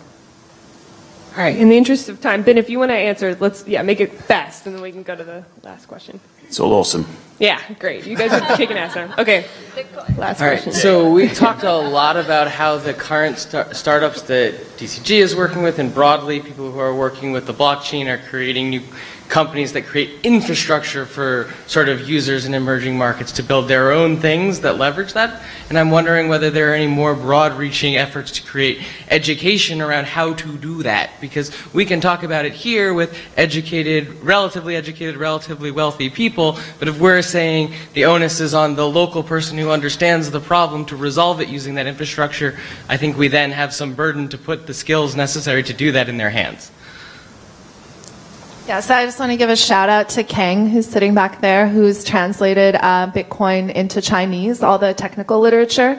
So there are people like that who are working in different countries. There are organizations in the Middle East who are taking all of this documentation, this language around Bitcoin, and translating it into Arabic. Like the term Bitcoin doesn't exist in, in Arabic, right? So predominantly, I think it's really a lot of people who are volunteers, um, who are using their own time, who are themselves taking the, the onus on them to create um, education resources for their market. And that's why universities like MIT are so important. If you think what the Digital Currency Initiative is doing, um, universities are, are sort of the gateway, right? And you think about MIT, you think about Technion and institutes in Israel, you think about universities in China. There are great institutions all over the world that can work together and so getting more of that collaboration and the dialogue going is, is very important. So I'm interested beyond that, though, pushing it from those. I mean, MIT is known for its tending to push this out to public users, not necessarily their students, and more broadly, even in the companies that your group is invested in, if they're moving into emerging markets and you're sort of relying on that infrastructure and to in turn be used by those local communities, I, I wonder if it is not directly in your financial interest to sort of support educational endeavors for increasing the use of those infrastructure products by local users and in turn sort of pushing forward the benefit. Because I know that we talk about it. It's I'm not like I know that people are doing things. It just seems small in scope compared to what we're doing to serve ourselves I think there are, uh, you know, for example, Stellar also has been uh, investing quite a bit of time in developing curriculum around uh, development of open financial platforms as well, and they've recognized as well the same thing. There's an interest alignment yeah. in having more grassroots talent to kind of build upon their technology. So I think we'll see more of that. That's hopefully. my main goal is to call attention to the alignment of in the incentives of not just saying, oh, those people will benefit. We actually probably have to go help them understand that, that they will benefit, and we benefit by proxy. Great. All right. All right. I thank our panelists. You did Yeah, a wonderful job. Can we have a round of applause? Okay. So we've had a lot of business talks today. So we're gonna take a technical break. I invite Guy Zyskind. Um, so like about one and a half years ago, Guy and his partner Oz Nathan won the MIT Summer of Bitcoin competition with their project Ethos. Um, which was using encryption to allow users to control more of their data online. And so, like any good startup, they pivoted. And so Enigma is a more generalized version of their original product. Thanks. So, see. Sorry? No, no.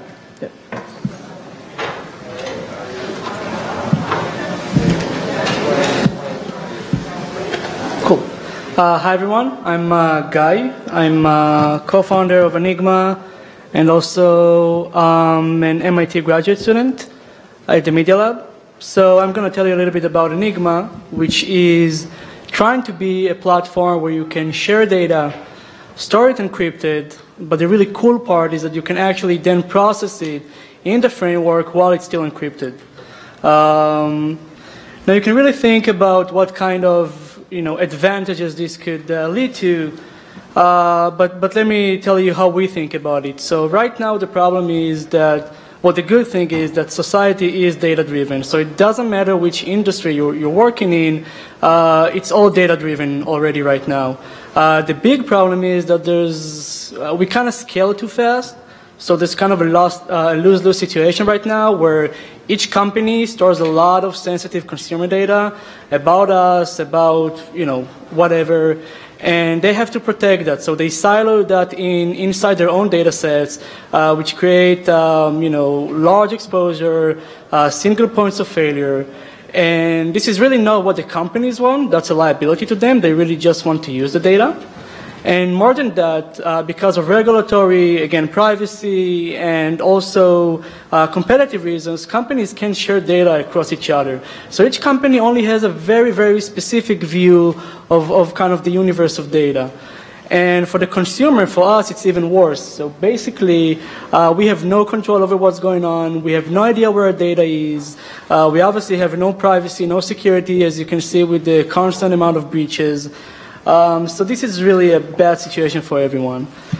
So really what we're trying to do is to create a system where you can just pull the data, have it encrypted at all time, and then just query that data. Just ask questions about the data and only get the results that you're really interested in without actually seeing the data itself.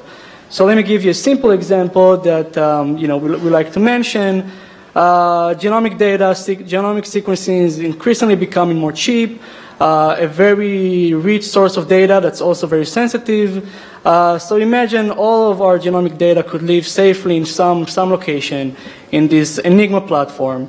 And then imagine that scientists could just query that data directly. They would not be able to see it, but they could set a query, for example, which genes correlate with skin cancer, and just get the result without actually learning anything else. And it's uh, important to mention that the Enigma network itself, well, that network does, it stores the data, it does the computation, it doesn't know what it's working on. So no computer in the network can actually see any of the data as it does the computation. That's really the key insight. And if we generalize this, this actually leads us to um, two properties that, that are really important. So on the owner side, they get privacy. This is what we want. This is what the people want. We want to know that no one is looking into our data. On the requester side, the ones that are actually interested in utilizing the data, they want correctness. They want to know that uh, they have some model they want to test, they have some hypotheses, they have some code they want to execute, they want to get the correct output. Don't care about the inputs, but they want to get the right results. So I guess like everyone, uh, you know, there's this big trend uh, we can, uh, you know, just put a blockchain there. It can solve everything. It can do whatever we want. Um, would really be great if it was as simple as that, but the fact is that it's not. So blockchain, as many of you know, uh, only gives us one of these two properties. It gives us correctness, but not privacy. What do I mean by that? Let's, let's give you the Bitcoin example. So the Bitcoin example gives you a distributed consensus, distributed agreement over a ledger of transactions over, so everyone can know the correct state of the ledger, that all transactions are valid, this is correctness, but everything is public. And Bitcoin itself has a lot of problems with this. There are many interesting solutions to solve that problem specifically. What we're trying to do, we're trying to be something more general, in, over computation in general. So Uh, obviously, you need something else. So blockchain is really not enough. Um, and luckily, there's a, a very interesting sub, um, uh, sorry, subfield of cryptography called secure computation or secure multi-party computation. Has been around for a long time. We've known for decades that you can actually do run any code on data that you cannot see and still get the right output. So basically you can do exactly that. You can, you can manipulate data without seeing it and still get the right results. Uh, the problem is that this is a very interesting theoretical problem, but we did not know how to do this efficiently. It's not practical, it's not scalable, it's even worse than Bitcoin and blockchain. And it's also unclear how do you deploy this. So you need a distributed network. Finding a distributed network is not an easy task, and I'll touch that later in more detail. Right, so before I kind of touch how the blockchain really fits in the picture, so it does have a very important role, let me kind of give you an overview of, of this uh, process of secure computation from end to end. So on one side, you have the data owner. That could be us, that could be companies sharing their data sets, and, and you want that data to be always encrypted, even when it's processed. So what happens on the, on the owner side, on the client side, they take their data, and they split it into pieces. This is a process that we call uh, secret sharing. It's very similar to multisig. So it's the idea that you can take a piece of data or a data set, split it into multiple pieces. So let's say 100 pieces, it's whatever you want. And then what you can do, you can say how many pieces are required in order to decrypt, to reconstruct the data. So let's say you, you say you split your data into 100 pieces, and let's say that you say that 90 of these pieces are required in order to get the original data back. So then what you do, you have the Enigma network. This is an off-chain network. This is what we provide. And then the, the client, the owner, sends one piece to each node. So let's say there's 100 nodes, 100 pieces, each node gets one piece. The idea of secret sharing is that unless you have at least 90 of those pieces, so uh, unless you have that, you cannot learn anything about the data. It's completely secure, completely private, just like encryption. It's completely random. And so, in other words, what this is saying that unless you can corrupt an adversary can corrupt 90% or more of the network, you can learn nothing of the data. You can never recover the data. This is the point of distribution here. And, but the important part is that secret sharing allows you to still do computation on the data. So let's say from the other side, the data now lives in this form in the Enigma network. From the other side, a requester can send a query in, and then the network can collaborate and jointly compute from start to end uh, the entire computation. At the end of it, each node in the Enigma network would have a piece of the output. But again, that piece reveals nothing. And then what all the nodes do, they all send together the, the, their pieces to the one who requested the, the query. Uh, and the, you know, the one in the endpoint who requested the query can, on, can combine these pieces, but these are pieces of the output. So the only thing they learn is basically the result of the computation, which is exactly what we wanted. Now, this is not very new. This is secure computation and secret sharing in general. Uh, the key point was how to actually make this efficient and scalable. And, you know, we thought long and hard of this problem. We've been working on this for like a year and a half now. And the interesting part is that secure computation in general was basically trying to do um, both consensus and, and private computation at the same time. So if you kind of look at the, the, the protocols, you really see consensus everywhere. And, you know, we now have the blockchain, so what we did was in a very specific and clever way, we said, okay, we can outsource consensus parts to the blockchain, and it could be any blockchain. Current implementation uh, utilizes Bitcoin, but this is really modular. Um, it could be another public blockchain, it could be a private blockchain, it could be a centralized database. But just to be clear, you know, the security of the system as a whole is going to be as secure as the blockchain you're using. So, you know, uh, make your own decisions. Um, but the fact is that if the blockchain takes care of consensus, the network takes care of, of only a fast, uh, secure computation process, this becomes very efficient. So let me just give you an example of, of how this idea works. So the biggest weakness of secure multi-party computation is scalability. You get really poor uh, n squared scalability in many, many of the operations. So many of the functions you would try to, to compute, uh, it turns out that as part of the computation, all nodes in the network have to talk to everyone else. What does this mean? Why is that so bad? Well, I mean, you, you really can't scale the network. And uh, on the other hand, you really want a large network because personally, I wouldn't trust uh, a Bitcoin network with two or three nodes because I don't feel that's enough. For the same reason, you wouldn't want to trust an Enigma network with two or three nodes. You really want a large network to enjoy the security. So what we did here is looking at recent theoretical results, we saw that there is a way to actually take a subset of the network. You take a quorum or a committee uh, for each computation, and if you choose it randomly and if you choose it in a specific way, you can basically make sure that you still enjoy the security of the system, but each computation is actually done by a small fraction of the network, a, con well, uh, a constant uh, fraction of the network. So the problem was that this protocol as well is only theoretical, required a very expensive uh, Byzantine agreement protocol, so uh, another distributed consensus instance, and by actually outsourcing that to the blockchain and using the blockchain to help us with actually deciding these quorums, uh, we can actually uh, solve the scalability problem completely. So we can very efficiently, very quickly choose for each computation one small quorum to do the computation. Uh, only they do the heavy lifting, and they, they, they send back the output. Um, and the, the, the, idea of this consensus inside the secure computation protocols keep repeating itself uh, all over. This is just like one very uh, um, important example. Now, another problem that we have to face is, you know, some of you, if you have some distributed systems background, you would know that uh, cryptography, computer science like to kind of partition the world into honest or malicious. So it's really black or white. We're all either good or bad. Uh, the fact is that the world is more complicated.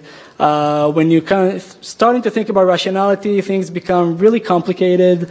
Um, and we had really bad results. So previous attempts to actually try to add rationality into secure computation was really bad. So it actually said that you can only do worse, you cannot do better. But you know, we kind of formulated it in a different way. We added incentives with the blockchain.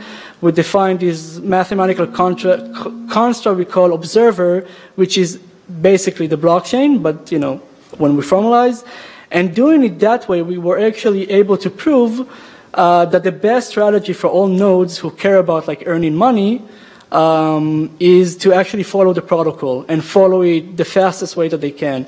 So you can actually get better results right now, even, even from that. And you can actually encourage all nodes to do the computation correctly.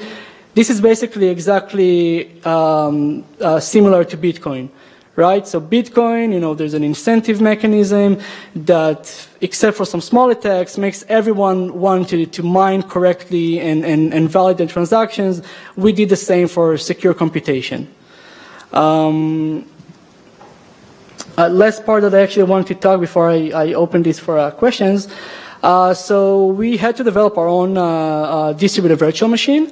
This is very much like uh, Java virtual machine, Python virtual machine, Ethereum, Bitcoin script, um, but it has some other complexities that we had to deal with. So A, um, there's like more cryptography involved. So it's not like, uh, it can't be like just any code. It has to really make sure that like, as each in instruction is being evaluated in the network, it doesn't leak anything. This, this is what gives the, the guarantees of the privacy. And the second interesting part is that, you know, if you think about Bitcoin or Ethereum, each node is actually doing, like running an instant, kind of siloed instant of the VM, and they execute that kind of in vacuum. Uh, in our system, you need nodes to communicate. So, so a node, as part of the network, has to know how to halt the state. They have to stop, like mid-computation, wait for incoming data for other nodes in the network, then send some information, continue that. All has to be automated, has to be secure, and has to be fast, and that's what we did. And in fact, a lot of the improvements of why this is much more scalable and efficient right now compared to like uh, result that you've that if you check, you know, result in the last 20 years, uh, what we have now is much more efficient because this is where we did a lot of the optimizations. Um, so, you know, last summer we published a white paper on this, and that was when we like worked for like a year about this topic. And the cool part was that until that point, we had no idea if we were working on something that, that is interesting to other people. So it was really cool to see that, you know, other people are also interested about it. Uh, the team is mostly here at MIT, so we are four people right now at the core. We are actually growing right now. Um, and uh, yeah, I'll be happy to take some questions or feel free to email me or talk to me later on. Sure. Um, so when the end-to-end process runs and you get this output, Yeah. is that output have the differential privacy property? Like, can I get out of it information by asking something and then say neglecting part of my query to infer something about um, the thing that I neglected? Because I find that to be a really interesting element of sort of this. Uh, this type of thing, and it wasn't clear to me whether or not that property was considered in your work. Sure. So that's a great question, actually. So yes, the idea is, so hopefully what we want to do, unlike differential privacy, is um, to actually encourage like working on large data sets, and then you can actually get like meaningful signal and results. And you might not even have to add noise to the output like you do in differential privacy. However, we will test for that. And if we need to add noise to the output in a differential privacy way, then yes, we're going to do that. Um, yeah. I was just curious.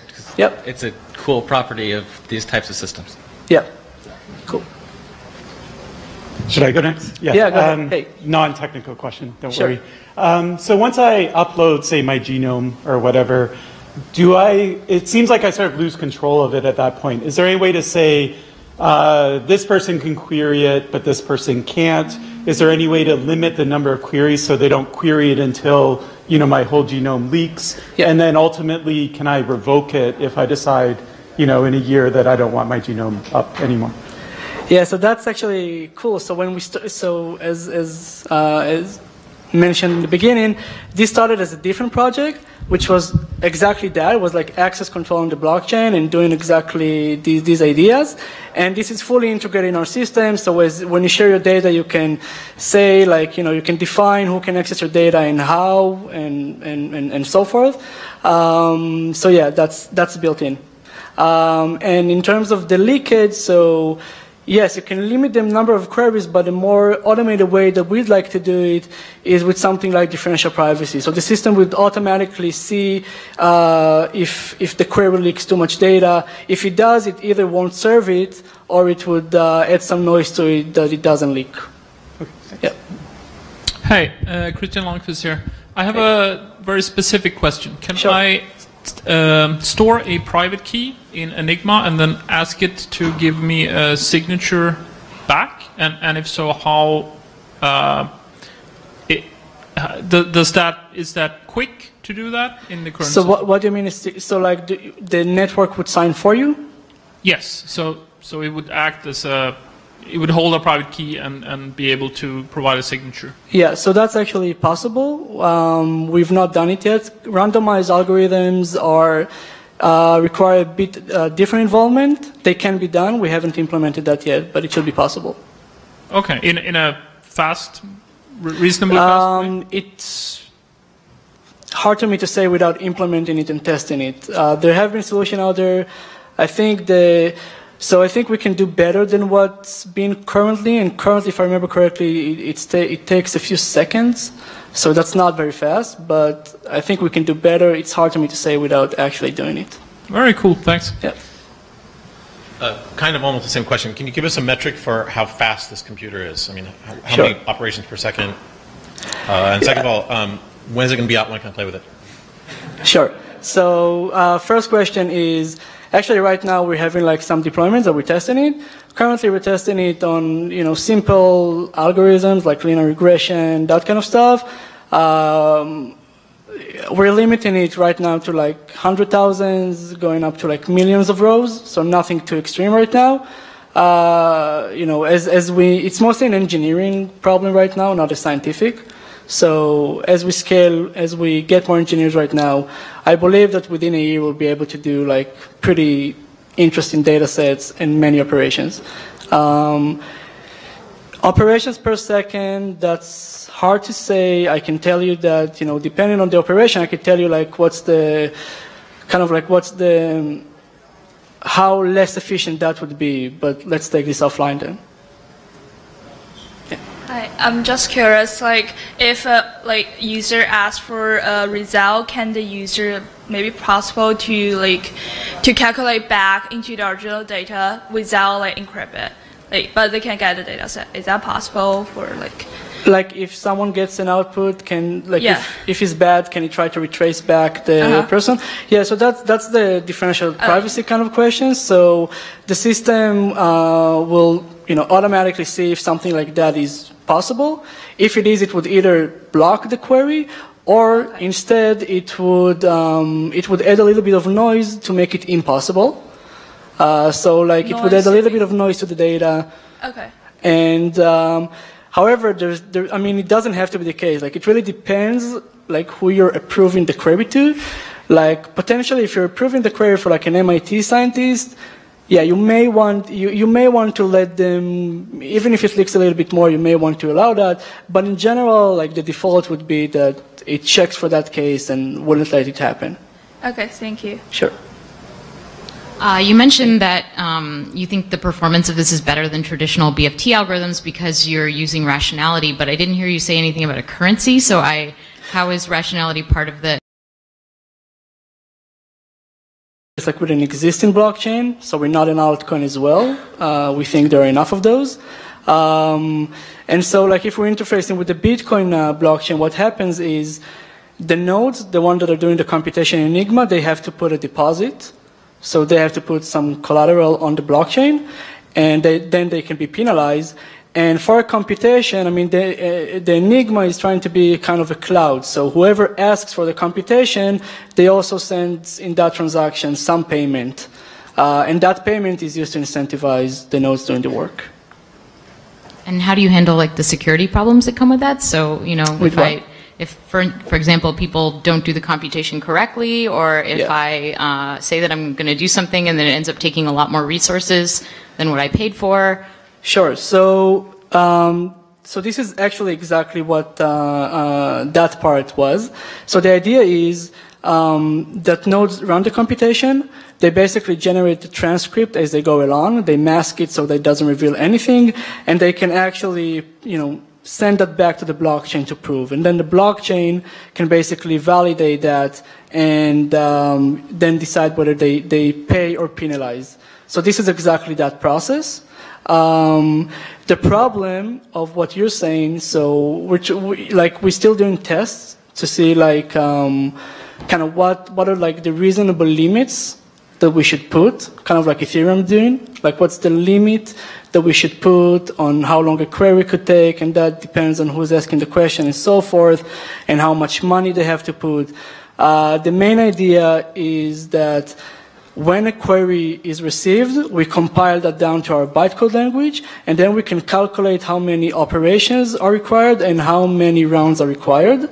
Um, this is true except for dynamic cases. Um, and then we basically um, amortize the cost like per round, per operation. I'm not sure if that was clear, but yeah. Uh, so you have some secret sharing mechanism to initially distribute the data, and it sounds like you have some punishment mechanism if that secret share is reconstructed. But what stops me as a user from like distributing a secret share for, let's say, my genome, and then later uncovering that data, which would then create the the punishment case? Like, are these secret shares uh, somehow like unique, such that you can prove that like you never unlocked yours individually? What, what do you mean unique in what sense? Uh, like,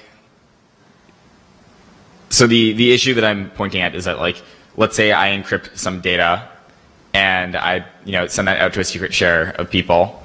And then later I just reveal that plain text data. Mhm. I, you know, is it possible for me to create a convincing case and like cause your, uh, like, uh, punishment commitments to trigger? I'm still not sure I understand the question, sorry. Can you? Uh, so let's say like I, I put my genome into the Yeah. system, right?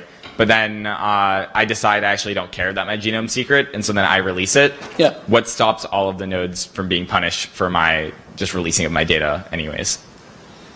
But you're the user and you released it, so that's that's what I'm not clear Yeah, about. it's- well, so I'm talking about an attack on the nodes in, the, in your network. Yeah. So I'm I get everybody to agree that you know this network of like 100 nodes aren't going to release my data, Yeah. but then as a user, I screw them all over by releasing my data. But then, Yeah. Yeah. So so I'm making every every node uh, give up their collateral essentially. yeah, but if you're, you know, you're sending that request over the network for them to do it, then that's visible, right? So like, I Well, mean, well, that's so- a valid So, request. well, so that, that's what I'm asking is like, i would it be known that I was the person who uncovered it versus? yeah, you being- sign it. Yeah. Okay. I mean, Yep. Okay.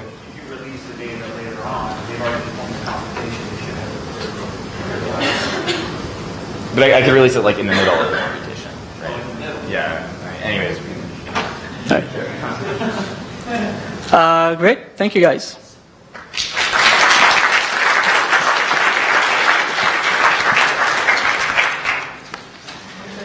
All right, Bradley Kemp, could you come up? So Bradley is uh, working at a startup uh, named Talkable, and so I mean we can never have like too much data about Bitcoin, and so we had Fidelity, and now Bradley is going to give us some more um, about the Bitcoin and scalability and his research.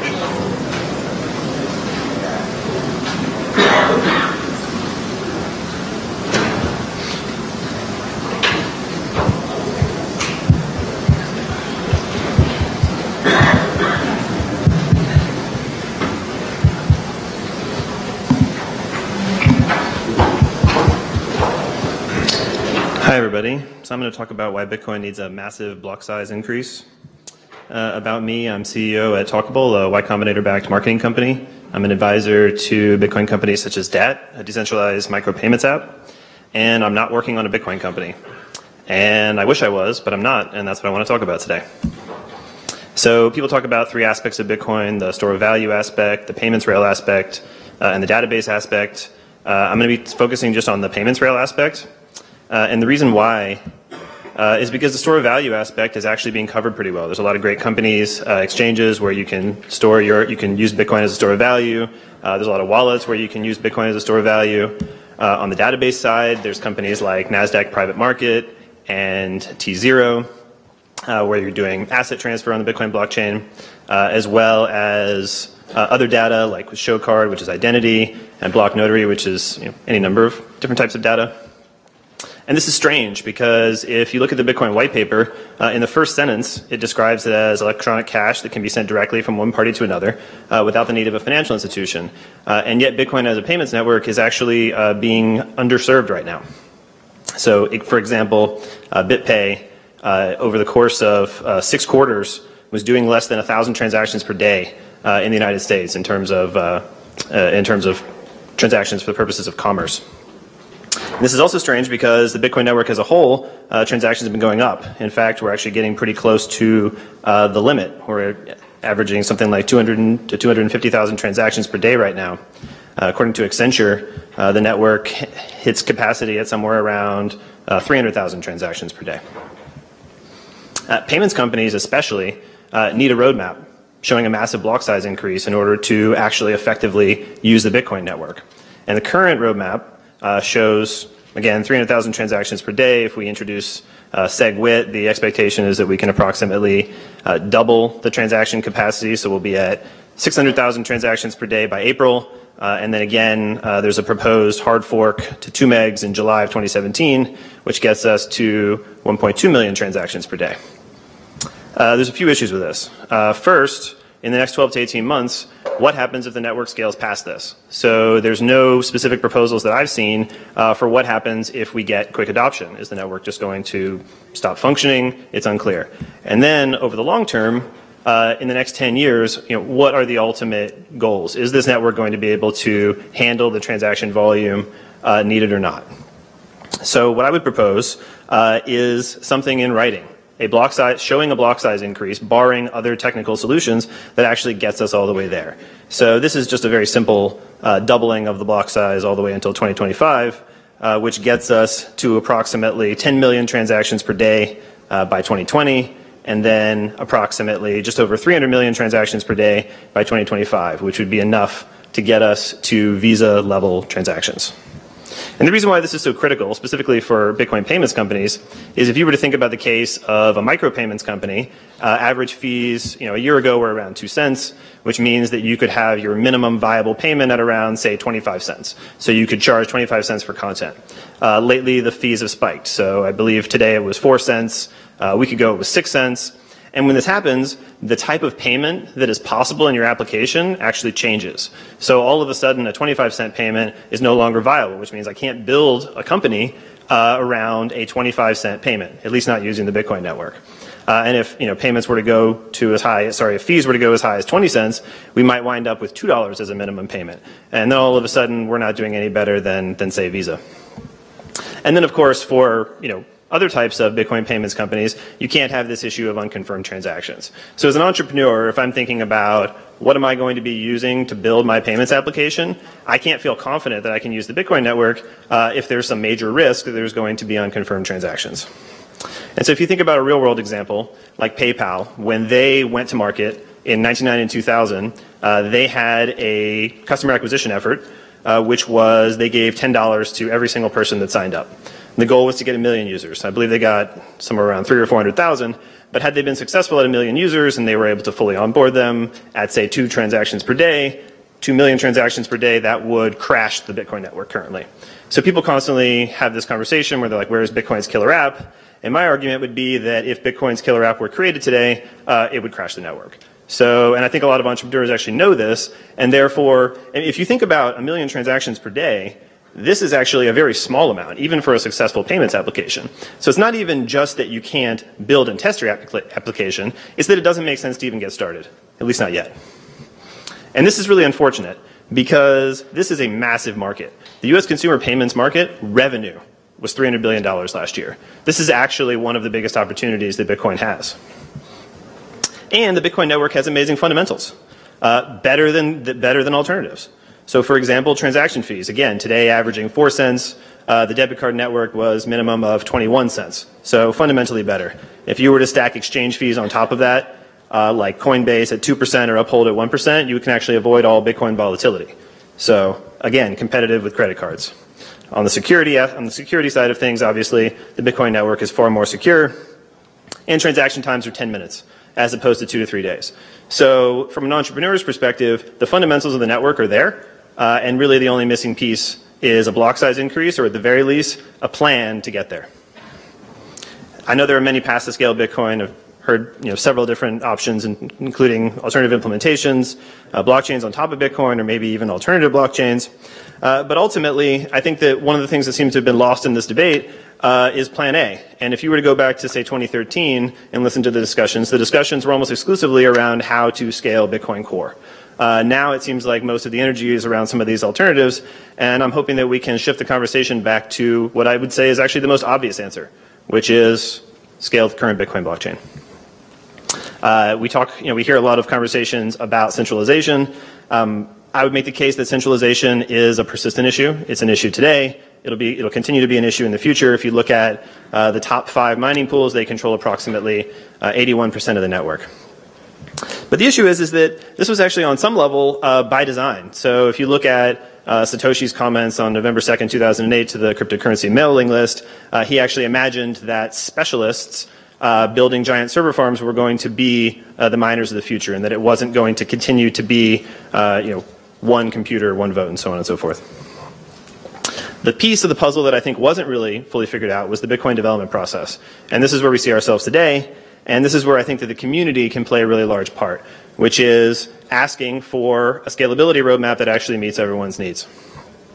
And if we're actually able to do this, uh, we're looking at a really massive opportunity. Uh, digital payments per day globally are just over 1 billion, and Bitcoin is actually well suited uh, to solve this problem. And entrepreneurs like myself are waiting for it to do so.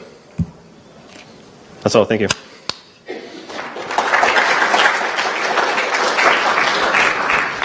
All right, I'll be blunt. Everything in your talk is painfully obvious to everybody working in the space. Mm-hmm. Um, the answer is we don't know. We can't, you can't simply increase the block size. The system breaks. So we need a radical re-engineering of the block, blockchain, the answer lies in sharding blockchain, splitting it into pieces so one node doesn't hold the whole blockchain. No one knows how to do it yet. We're all working on it. Um, I, I, guess maybe there was, you know, maybe I wasn't clear on one point, but I, I, don't know. There are several proposals to increase the to increase the block size, and they don't they don't actually involve breaking the network in any fundamental way, including I mean the chief scientist on the project team.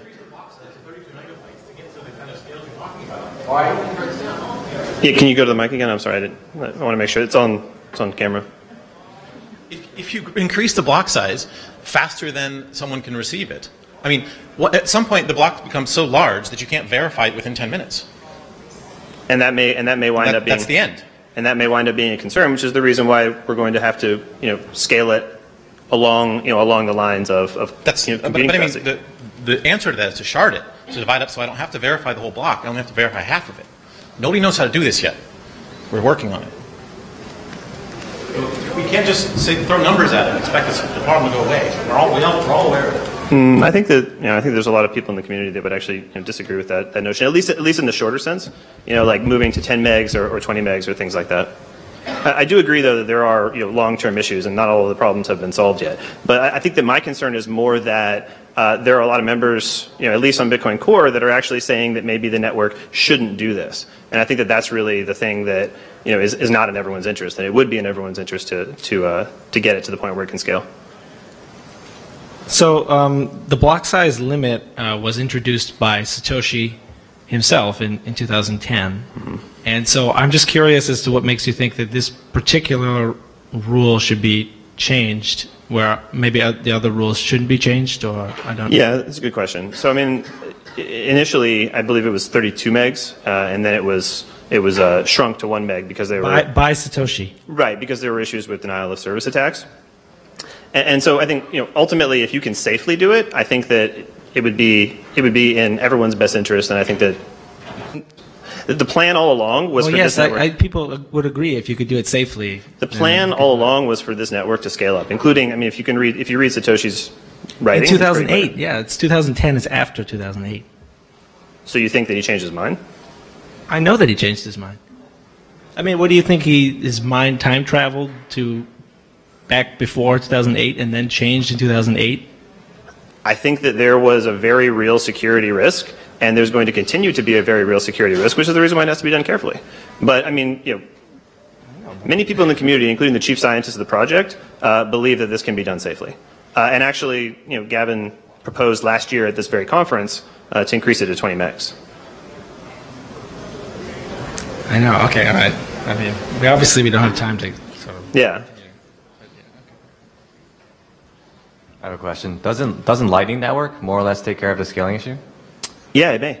Um, but at the same time, that hasn't been released yet. So if it winds up solving the problem, then maybe all of this is moot. But until then, uh, I, I, can't imagine. I can't imagine how it serves the community not to be driving towards scalability answers. You can't wait for a technology. Uh, if the technology solves the problem, then then that that would uh, that would reduce all the conflict. Uh, Pin, Pindar Wong, I'll just sort of um, just point out that there's a data point. There's a, there was a two conferences, one in September last year, and one in December called Scaling Bitcoin, which had a lot of these um, issues discussed over several days. Uh, most of it's on the web, uh, and I would encourage you, if your time permits, to uh, review that literature. Thank you. I have actually, yeah.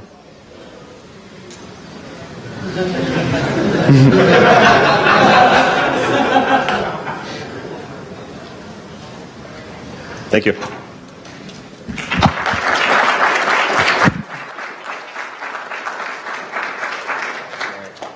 We're going to take a 10 minute break. See you soon.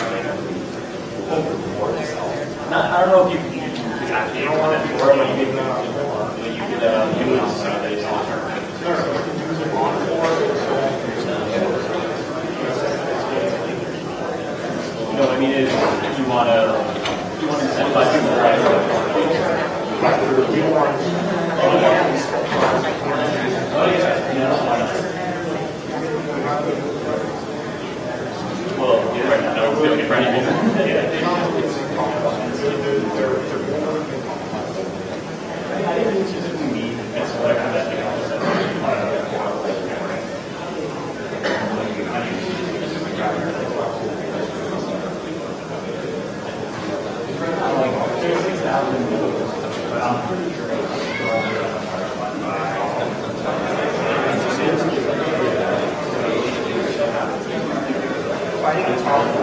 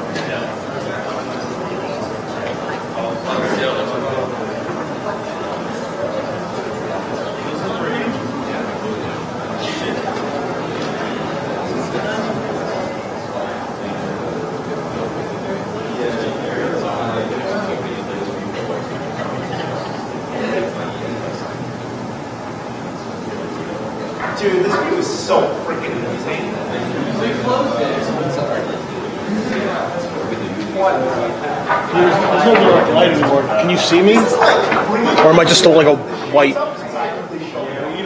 Can, It's like, yo, check this out. Bam. what does it look like on the webcast? Am I just like white, or am I am I actually showing up on camera? All right.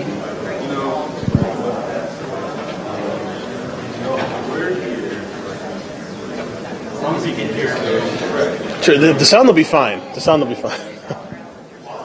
but no one has any no one has any makeup on, so you can't see me. The sunshades.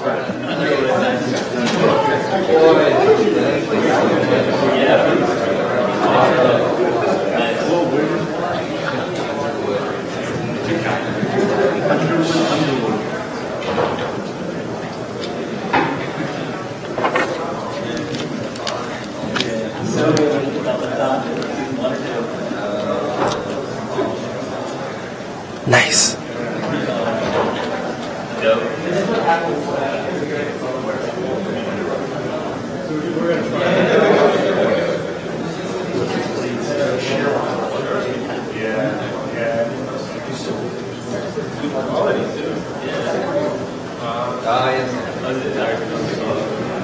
That's good. All right, we'll do the all right. We'll do the, the sheer ones.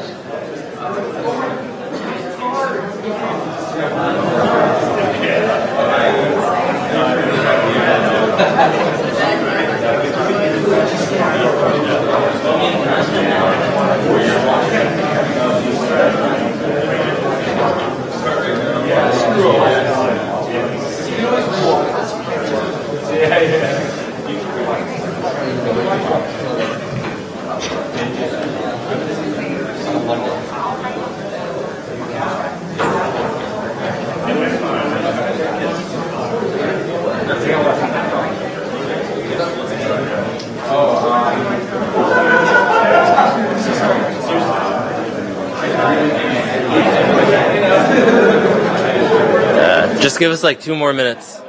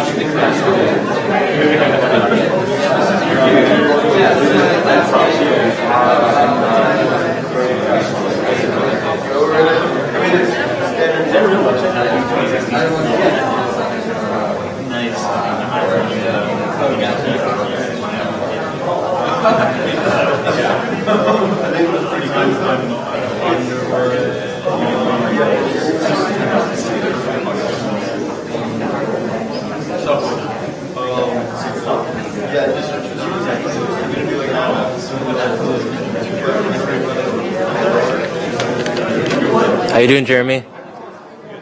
Nice. All right. All right. Hey, everyone. We're back. And so we're going to move into talking about blockchain-based voting. And so Jeremy Clark is an assistant professor at the Concordia Institute in Montreal. And so if you're wondering how to design a secure voting system, and simultaneously use the, like the blockchain thing at the same time. Um, he's done both. Uh, Jeremy?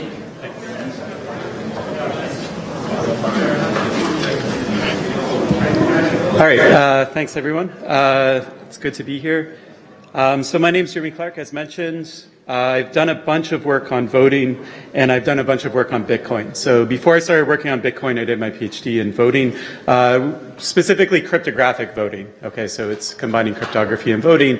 On the Bitcoin side, uh, this is some of the things I've been involved in. Um, uh, people who know me uh, they know my background in voting and, and my current interest in Bitcoin. And so I think over the last year, I constantly get asked about uh, voting in Bitcoin, uh, whether you can combine them, whether you can build a voting system using the blockchain, uh, whatever the case may be. Um, so this is like a hot topic. Um, so I wanted to talk about it. Um, but then something happened. Uh, so two weeks ago, I was in Barbados. Uh, a bunch of people who are here were also there. Uh, we had a really great conference called Financial Cryptography. Uh, I helped run a, a, workshop on the very last day on Bitcoin. And there were a ton of talks, not a ton, but there were enough talks that had the perfect confluence with my thinking in a totally different area. Uh, something that I've actually, I talked to a, a class here at MIT about. Um, and so it was just too good to pass up. So what I'm going to do with, with uh, the forgiveness of the organizers is I'm going to split my talk into two. So I will get to blockchain voting, and I'll talk to that. At, I'll talk about that at the end. Um, but for the first part of the talk, uh, what I'm going to do is I'm going to talk about how we can scale Bitcoin, uh, but I'm thinking in terms of users, uh, not in terms of, of technical scaling, you know, uh, transaction size, UTXO pool size, that kind of thing. Okay. Um, so the main thing that stops us uh, from scaling Bitcoin uh, is usability. Uh, so we were one of the first uh, people on the research side of things to look at Bitcoin uh, from a usability perspective. And since then, there's been a couple interesting works. Uh, so one of them was at this financial cryptography conference. Um, another was uh, is a paper that will be published at CHI, which is like the number one venue for usability research. Uh, and another great talk, uh, even though I wasn't here to see it in person uh, because the live stream, uh, I was able to see it on YouTube uh, last night when I was preparing the slides, was the Fidelity talk, the first half of it in particular. Um, so the question I want to answer uh, or the question that this research gives us some sort of, uh, it sheds light on, is uh, who are Bitcoin non-users, right? We know who the Bitcoin users are. There's a room full of Bitcoin users, okay? Uh, who are the non-users? What do they think? Why, why don't they use Bitcoin? So to think about who they are, um, I should note that uh, this, in this case particular, but, but for all the next slides, uh, you can question the ecological validity of the data that was used to generate uh, in all of these cases. It's built, some are surveys, they're really small sample size, some of them, you know, they're volunteers. But anyways, I'm just presenting this. You can take it with a grain of salt. Uh, you can look at the papers to, to, to see their full methodology, okay? The average Bitcoin user, according to a demographic study, is male, 95%. Uh, average age is 32. Uh, country of, of uh, that they live in, uh, residence uh, is uh, the United States. political views are libertarian. Okay, now this is obviously isn't a very reflective uh, it's not reflective of the general population. Uh, so if we want to think about who Bitcoin non-users are, we can think about, well, how do normal human beings, you know, differ from, from this particular group? What do, uh, if you go to a non-user who's heard of Bitcoin uh, but doesn't use it, uh, and you ask them, what do you think of Bitcoin? These are the types of things they'll tell you. Uh, they'll tell you that it's speculative. Uh, they'll tell you it's for black market scales, sales, sorry. Uh, they'll tell you it's, they don't really understand it, it's difficult to use, and it's complicated. Then you can ask them, okay, why don't you use Bitcoin? Uh, and they'll tell you some of the, the things are, are the same. Uh, they don't understand it. Uh, the main issue is they don't have a need for it, right? Uh, current uh, financial, you know, credit cards, uh, debit cards, that type of thing, it serves their needs. there's some misconceptions, like they think that, that you have to mine, you have to turn your computer on to mine in order to get Bitcoin. You can't go to an exchange, for example, and get Bitcoin. Uh, and they don't know anyone who accepts it. So once they have the Bitcoin, they don't know how to spend it. Now, non-users have opinions also about uh, what would make a better financial system. Okay, and some of this stuff, I, I, mean, you can read Bitcoin into it, and some of it maybe not. Uh, they they're interested in faster transactions. Um, they're interested in, in a system that prevents them from making mistakes, you know, sending money to the wrong person, or if they make a mistake, there's some way to recover it. You know, Bitcoin, maybe that's not its, its best-selling uh, feature. Um, they're interested in lower fees, uh, which, which you can do with Bitcoin. Uh, they're interested in cross-device portability. Uh, so depending on how we, we, how we put our Bitcoin keys into a wallet, uh, this may or may not be easy and we'll, we'll talk about the different wallet alternatives. By the way, all this data isn't from my own research. I'm, I'm summarizing. I'm mixing some of my own research in uh, with the other papers that I've read. I read them all. You don't have to read them. I'm just giving you the TLDR. Uh, okay, so now, when you, when you take users, uh, non-users, and you turn them into users, uh, a lot of the concerns that non-users have, they still have. Okay, but there's a bunch of new concerns, and these are concerns that we think, you know, volatility was mentioned a lot. This is something that's sort of exclusively, you know, you have to get into Bitcoin before you start realizing, I guess, uh, that it's volatile, and you stop caring about it. No non-users, you know, didn't they didn't want to not get into Bitcoin because it was volatile. It just didn't seem to be on their radar. Uh, once you get into Bitcoin, then you start worrying about security and a lot of other things. Uh, so this is from the uh, FC paper, if I recall correctly, and it shows you some of the, on the left-hand side, uh, it shows you some of the things that people worry about, and basically you can think of it as a kind of ranked list. Um, so the very first one is, is mark value fluctuation, which is volatility. Uh, then we get into hosted wallet vulnerabilities, theft, malware, mining centralization, key loss from device failure, uh, theft uh, from un unencrypted wallets. Anyways, you can go down. I apologize, it's, uh, the contrast isn't that great on that slide. Okay, so security sort of, uh, it becomes something that once you have Bitcoin and you realize, you know, I got to secure this thing and I'm not sure what to do. You know, do I leave my key, uh, do I use Bitcoin Core and, and leave my key on my computer? What if malware gets it? What if my hard drive dies? Um, you know, what if someone sits down at my computer? What if I get hacked? Uh, these are things that you don't, it seems, it doesn't seem to register with people until uh, they get into the ecosystem. Uh, some statistics from another survey where they, they talked to a thousand people, 46% uh, use a hosted wallet. Um, so that's almost half. Uh, of the specific uh, types of wallets, uh, Coinbase had the most users. Uh, but then if you looked at the value that was being stored and added up the total value that was being stored, you saw that Bitcoin Core and Armory uh, are the winners in that category. So sort of per capita, uh, it, it, has more users. no one, none of a thousand people use an air gap. so that technology is, is, it was interesting when it was proposed, but it, it has like basically no uptake. Uh, and of this group, 22% of them had had an experience where they lost some Bitcoin.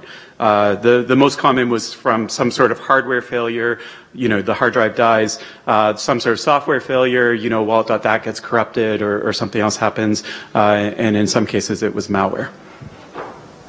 Now, if we think about, I know this room is sort of a mix of people. I mean, we have people who run uh, hosted wallet services. Uh, we have developers who hate hosted wallets. Uh, and so I'm sort of, you know, when I talk to my other researchers, you know, we sort of believe in the principles of Bitcoin, and uh, the the attitude is sort of that Bitcoin Core is superior, or like doing something where you're managing the keys uh, by yourself. So I'm going to push back a little bit on that. Uh, but first, we should consider just what's wrong uh, with what what are the difficulties if you decide to manage your keys yourself. Um, so the main things are, you know, they get lost. Uh, so the, you're out of luck. There's no way to reset it. Uh, they get stolen. In this case, you have full liability. Uh, all the money is, is gone. Uh, and in terms of use, there's this sort of trade-off where you can protect your keys very well, the better you protect it, the less available they are uh, to, to actually make transactions. Um, so it's difficult to resolve that. Now, if you think about the banking system, by contrast, uh, if you lose your banking PIN, it doesn't matter. Uh, you can go to a branch and reset it. Uh, if the money's stolen out of your account because you lost your banking password, guess what? The bank is uh, going to cover, at least in the United States and in Canada, where I'm from, uh, you have you have no liability, or you might have fifty dollars worth of liability or something like that. Okay, uh, so basically, the money you're going to get it back. So we can put all these technologies together in a chart and sort of compare them, come up with some criteria uh, to think about uh, which are better, which are worse from a usability perspective. You know, I stared at this chart for an hour or two, and so I, I can, you don't have to stare at it at an hour or two. Uh, I can just give you the, the, the highlights. Uh, the first is, as economists like to say, there's no, there's no solutions, only trade-offs. Okay? So pretty much everything that you might do, you know, it's better in some regards, uh, but it's not uh, good in other regards. The other thing, if you look at this chart, and in particular if you compare uh, to the baseline, which is uh, cash and online banking, those are the bottom two in the row, you'll find that hosted wallets are definitely the closest experience uh, that a novice user could have uh, to, to, uh, to, to a traditional banking experience. Okay, so that sort of prompted me to, to write a kind of manifesto. And once again, this isn't necessarily geared at all the people in this room. It's more geared at us as researchers. Um, you know, security people, you know, they don't like hosted wallets. You know, they consider a sin against Satoshi Nakamoto to give a third, trusted third party uh, your keys, especially when so much work went into uh, decentralizing uh, Bitcoin and the blockchain. Um, you know, so, so they, they sort of contrast with the underlying principles. But the fact of the matter is that they offer us our best shot at user scalability. If we want to scale up uh, the number of users, uh, this is the way to go. Okay, so the manifesto part is maybe we need to stop shaming people for using uh, online wallets, and we got to start thinking about, especially as researchers, uh, if there's anything we can do to make them better, if there's anything we can do to um, sort of resolve the issues uh, that we have with them uh, in terms of, uh, you know, the, the sort of blind trust of a third party or whatever other issues you might have. Okay. Uh, by the way, i am going to tie this back to voting, or I'll switch gears to voting, but uh, let me insert one voting thing. This is kind of like internet voting. Uh, everyone wants internet voting. It will never be secure. Uh, as a community, you know, we fought internet voting tooth and nail. There's still people who fight it. Now our attitude is it's coming. People want it. They're going to do it anyways, even if security people say don't do it. Uh, and so we might as well try and make it as secure as possible. So I'll give you some quick ideas about how to improve hosted wallets, and then I'll I'll switch gears back uh, to, to, voting. Um, so one, one piece of research that uh, I worked on, uh, and this was an idea that was proposed by Greg Maxwell. We don't take credit for the original idea, but we threw a bunch of zero knowledge proofs and crypto at the problem, is you can actually have a hosted wallet or an exchange, uh, which acts as a hosted wallet. Most people use them uh, sort of as a hosted wallet. Uh, you can have it so that it can prove cryptographically to you uh, that it's solvent, that its assets are, are equal to or greater than its liabilities. Okay, so it gives you this sort of privacy preserving proof. Privacy in the sense that uh, the exchange does not have to tell you anything about how much money it has. It doesn't tell you who its users are. Uh, you know, the, the, the, privacy is preserved on both sides of the equation. Okay, uh, so this is great. The problem with it, the main problem is it doesn't prevent someone, it doesn't prevent the Mount Gox experience, right? It doesn't prevent someone from breaking into an exchange and stealing the money or and or uh, the people who run the exchange from, from walking away with all the money. Okay, uh, so it gives you a sort of snapshot in time. So you can say, yes, right now, this second, uh, this, this wallet or this exchange is solvent. Uh, that doesn't say anything about the future. Now, another really cool paper uh, that was at our workshop uh, is called Bitcoin Covenants. And I'm not going to go into all the technical details. Um, this is kind of science fiction in the sense that it requires an opcode extension. So you can't do this today. Uh, but the, the highlight of it, and they weren't proposing it also for hosted wallets. They were proposing it for user managed. They, they use the word vaults. Um, but it was interested sort of have two keys. One functions as a normal Bitcoin key. You keep it as your, your sort of recovery key. And then you can make a kind of valet key, right? So the person can drive the car, but they can't joy they can remove money uh, from your vault, uh, but there, there's a velocity limit on it. Uh, they can't remove it faster than some, some parameter that you set. Okay, so what this can do is it can slow theft down our idea of solvency. Uh, so you have a picture sort of like this where, you know, provisions, we work really hard to make it so that you could run it once a day if you were an exchange. Um, so imagine doing a proof of solvency every day. Once that first proof of solvency comes back and some money's been stolen, it doesn't matter. It can be as small as 1%, a fraction of 1%. That proof will not go through. Okay, you'll notice it. Um, and so if we, in between uh, the proofs of solvency, we have uh, something like Bitcoin covenants or some technology to slow down uh, the amount uh, of money that can be withdrawn, uh, then we effectively have uh, a form of limited liability. Okay, it doesn't stop theft anymore, but it does a pretty good job of sort of narrowing the exposure of hosted wallets to theft. Now, the greatest solution to this would be to just kill off liability entirely uh, and move to a banking type of system. Exchange gets hacked into, uh, all the money's gone, then the consumer's not on the hook uh, for it. And it's hard to see how we can do that when most exchanges and Bitcoin uh, hosted wallets are companies whose sole business is, you know, exchanges and hosted wallets. Uh, they're companies that aren't any older than Bitcoin itself. But if we could get the legacy companies in, you know, established banks, uh, particular, the particular feature of banks is, besides the fact that people have trusted the same bank for over 100 years, uh, is that they're also diversified. So if their sort of Bitcoin experiment goes south, um, they can subsidize that. They'll never do Bitcoin again, right? Uh, but they can at least subsidize it with profits in other areas of, of the bank.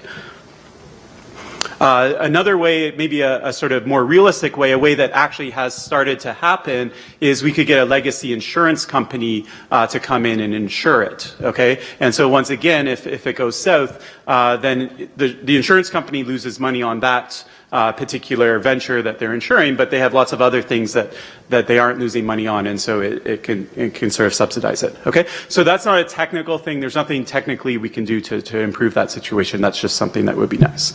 Okay, so that was uh, the part one. Now I'll, I'll talk about what you came here uh, to hear me talk about, uh, which is voting. Uh, so I've worked on voting uh, for a long time. I worked on cryptographic voting. These are systems that prove that uh, your ballot is included and unmodified in the final tally. Uh, one system we worked on is called Scantegrity. this was a large team. It included people from MIT, Ron Rivest, Emily Shen, who was a student here. David Chaum worked on it, who was the inventor of digital cash, which led to Bitcoin. Um, so it was a, a pretty big uh, project. And I'll, I'll, talk a bit about how we actually use Bitcoin. A lot of people don't realize it, but we did use Bitcoin uh, in the in the context of that project.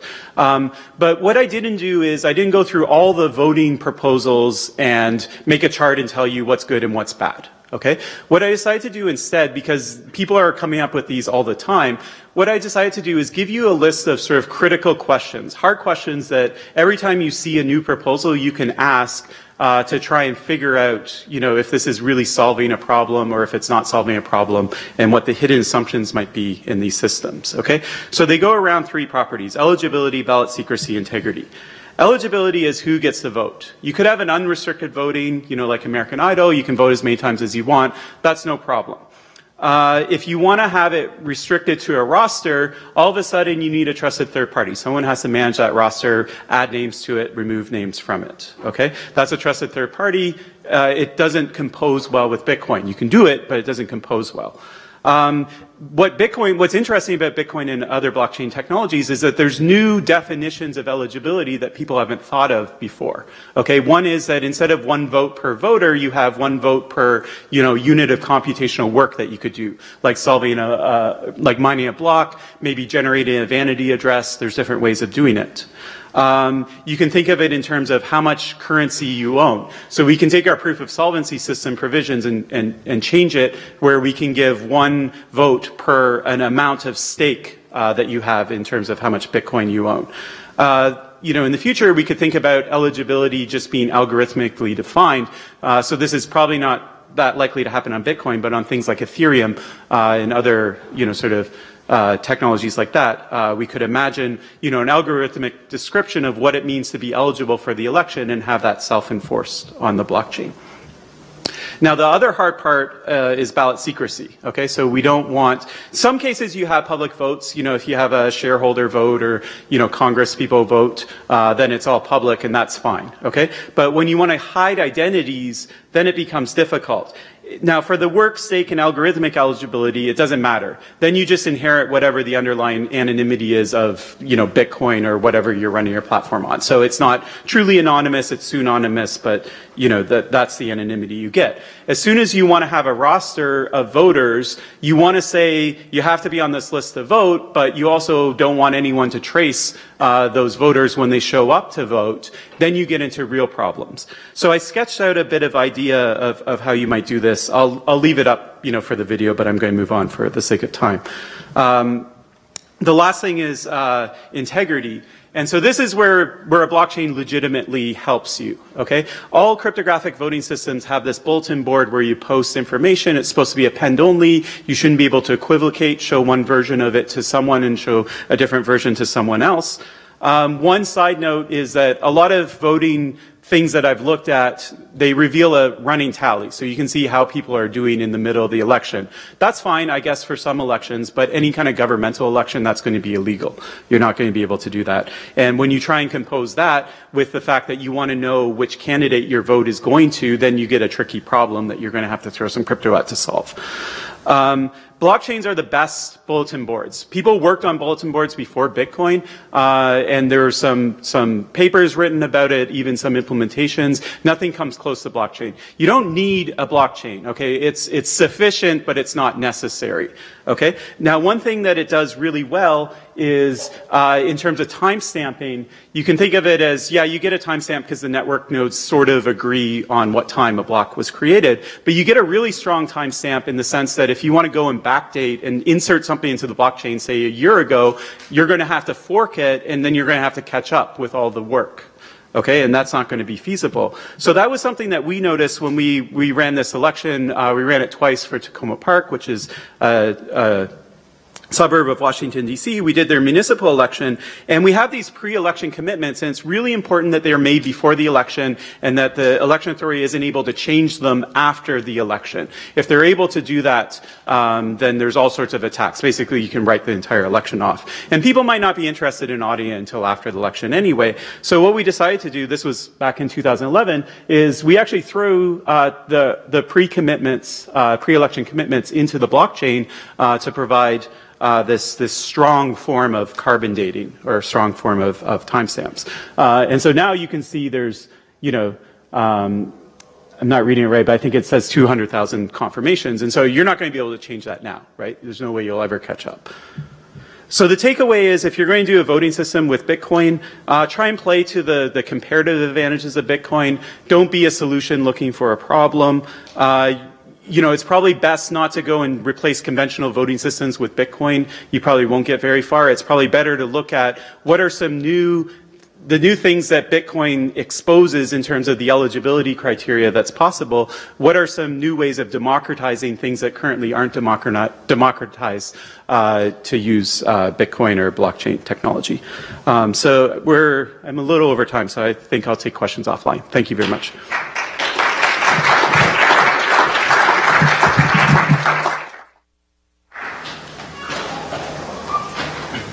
Thanks, Jeremy. So identity, like governance, uh, attribution are all very interesting and complex topics, which is why we have three different talks about it. And so up next is Justin Newton. And so he has specially crafted his talk to be different from um, the one that Christian Lundkvist gave yesterday. And so he's CEO of Netki, and their product is linking the random gibberish that you get as your Bitcoin Ethereum address to uh, like a human readable name. Thanks.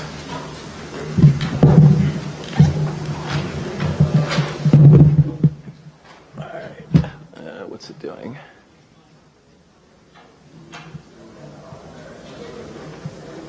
Not really how I want to do it.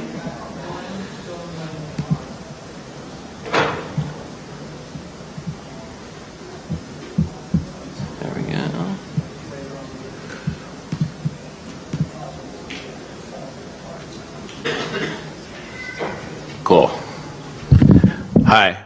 So, uh, hi everybody. I'm uh, Justin. I'm the CEO of Netki.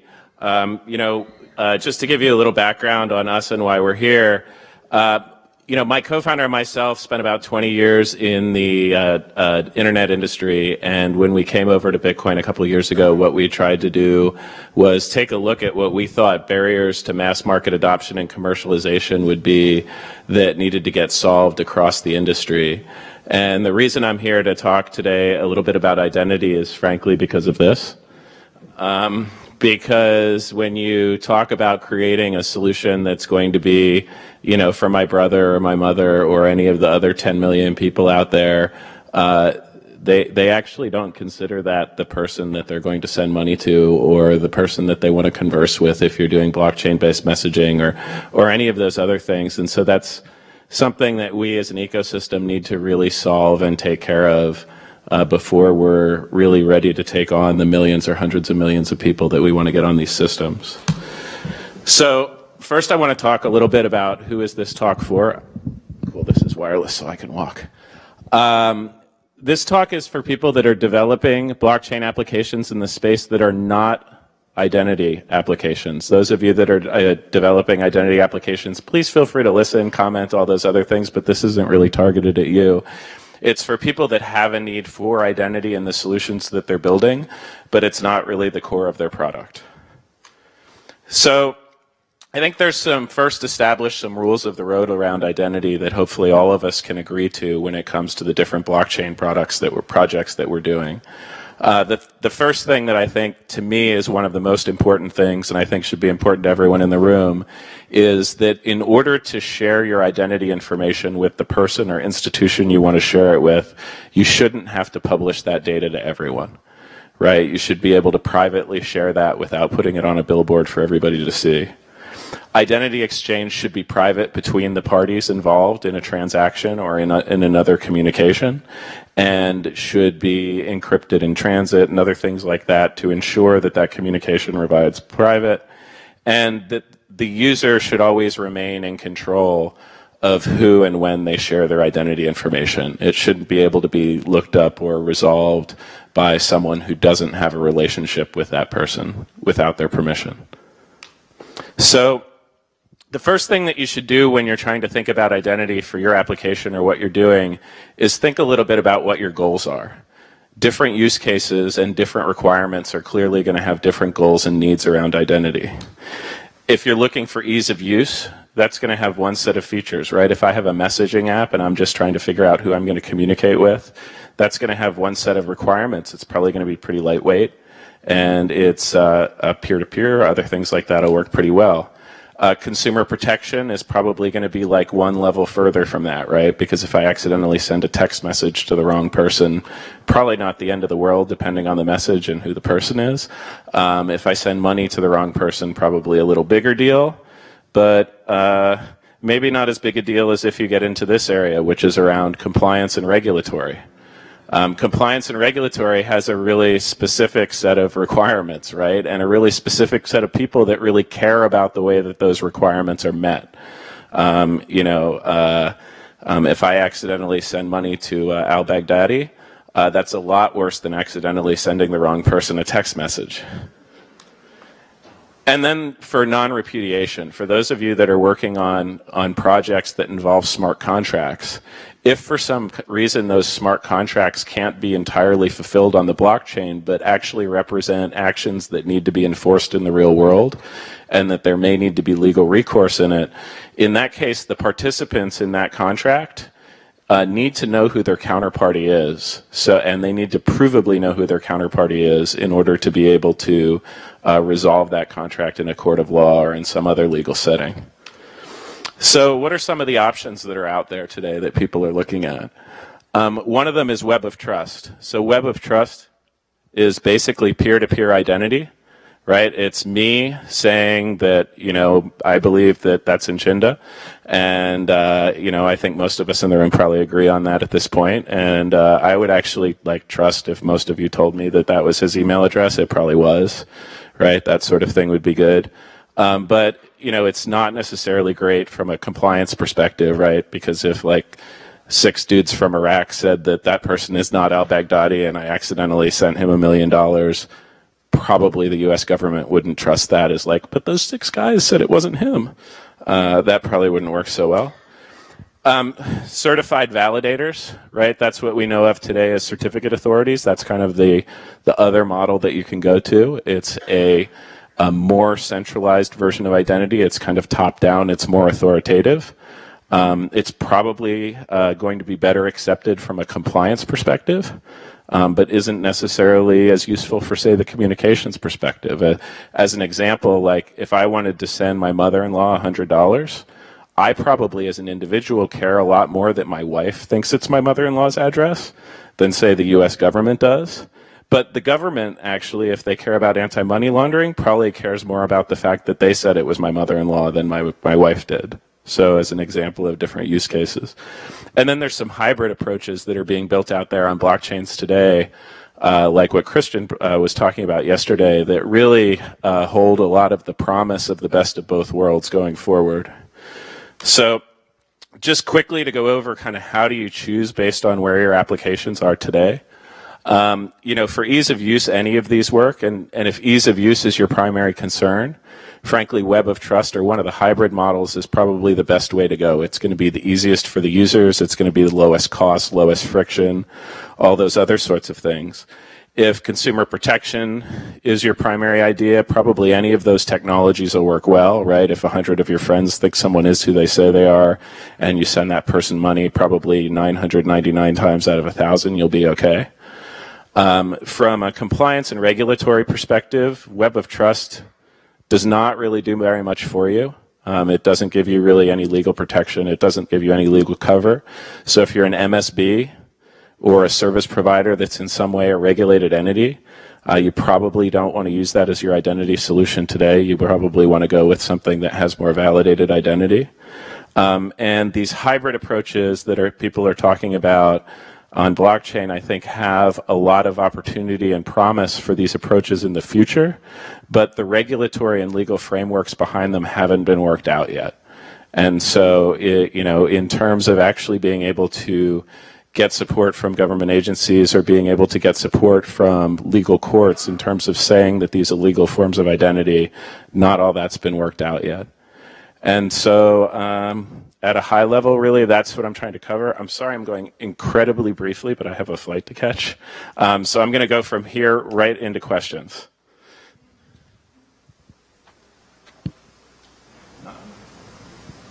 Wow. I went, did a lot really fast. Can you step up to a mic?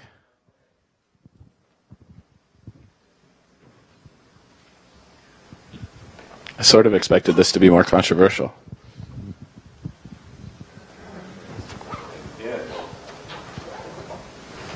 Okay, since no one else has a question. Um, I, I, was experimenting with um, IPFS and IPNS lately for an identity solution. Uh, for an, do you know? Have you heard of that? I'm not familiar with either of those okay. solutions. I'm sorry. I'm reluctant to say what the acronym stands for because it sounds ridiculous. But interplanetary file um, uh, okay. system. Uh, it's a distributed file system with yeah. And um, I was just wondering if you looked at. I mean, everything that you said there sounds like my take on identity too, and I've sort of done most a lot of my careers in identity systems until I started looking at this specific protocol. So I'd say, like, take a look at it. And, uh, and for me, I thought the promise was for having uh, the potential decoupling, like the, like the account or the identifier, um, from basically a hierarchical, like, source, um, like whether it's a state government and a, or whether it's an employer or anything that's sort of a directory service like X500 thing in the background, yeah. which everything else kind of is. Yeah. This seemed like it actually could have the authoritative source of an account kind of reside with a person, like flipping the pyramid, and then have it be associated with you know enterprises and other systems from time to time. So I, I, think over time there's actually a huge amount of promise in that area, and I'm actually very excited by a lot of the development that's going on in that area. Uh, you know, the the thing that today is uh, that that still needs to be built, in my view, for that. Uh, you know, from what I've been looking at, is that it's very difficult if you're a regulated entity yeah. to understand whose validation you can trust if there's not some tree that you can follow yeah. To know that you're you're inside of a path of accepted validators. Uh-huh. And so, you know, what you end up having to do in the absence of you know having a tree of of validators is each people that are accepting identity in the space have to uniquely determine who else's validation they'll accept or don't accept. And to me, that's like that's an area where I haven't seen a solution that's come out yet that actually will work well at scale. Um, I think it's an area that's being worked on very hard, and I believe that there will be solutions in that space. But I, I haven't seen one yet that is a combination of ready and has any kind of case law or similar kinds of things behind it to give people confidence that that will be supportable in a court of law if something comes up. Do, do you know the Attribute Exchange Network? Oh, sorry. I do not. So check that out because it's it kind of maybe might fit the criteria you said. I'll take a look. Thank you. So hi, Justin. Perfect. Uh, uh, I wonder, in, in your experience, the the regulatory requirements are they um, uh, very specific about what kind of like uh, it has to be an X509 certificate with with this kind of, uh, or or are they more broad?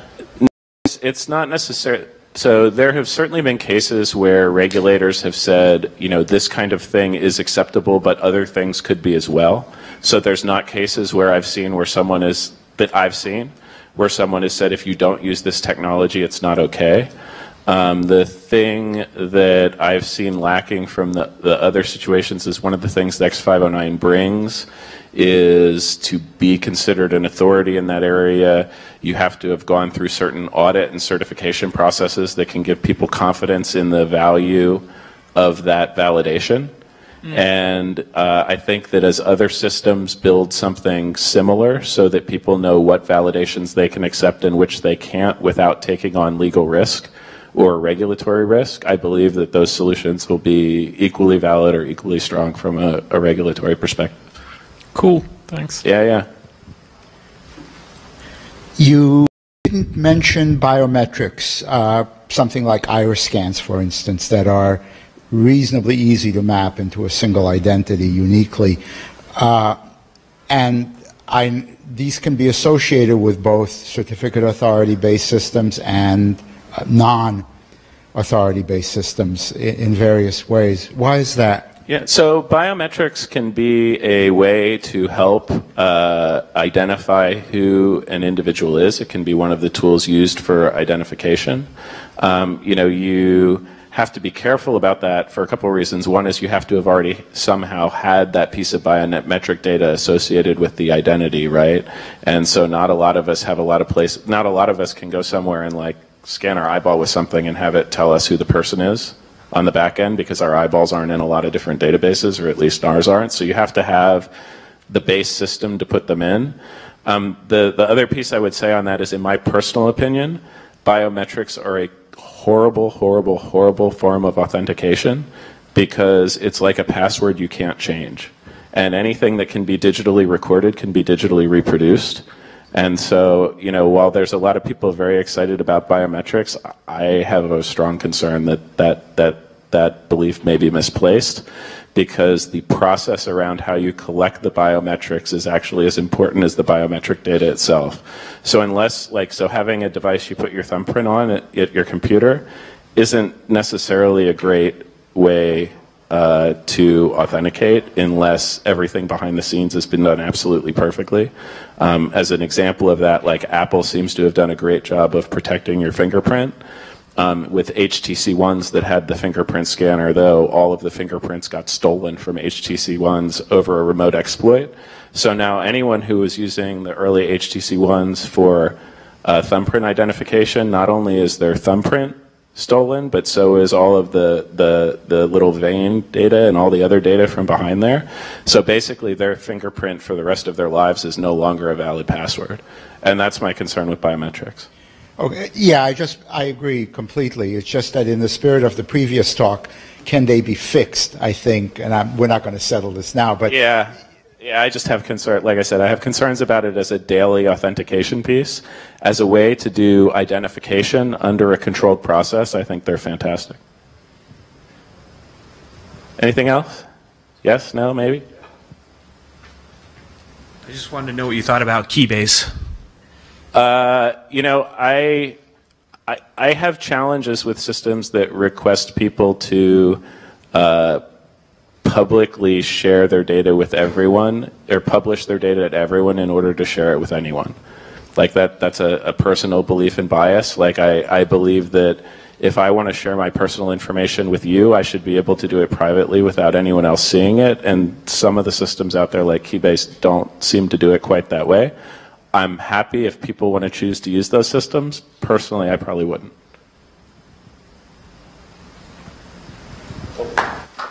Thanks, everyone.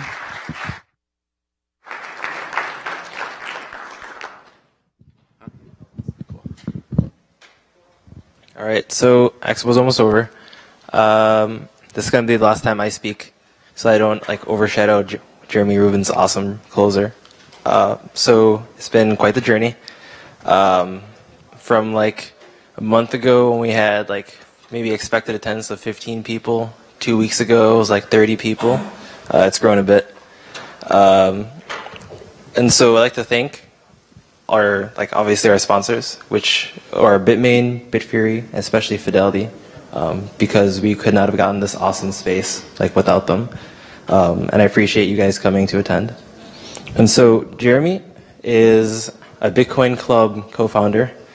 He's he's had his fingers in like most of the Bitcoin-led initiatives at MIT. Um, he co-organized the first Bitcoin Expo with Dan Elitzer. He was a project lead um, for organizing Scaling Bitcoin Montreal. Um, he co-founded the MIT Digital Currency Initiative. And so now he thinks he can just up and graduate and leave us. Uh, so he, he gave me one word to describe his closer, which is competition. And so I turn over to Jeremy.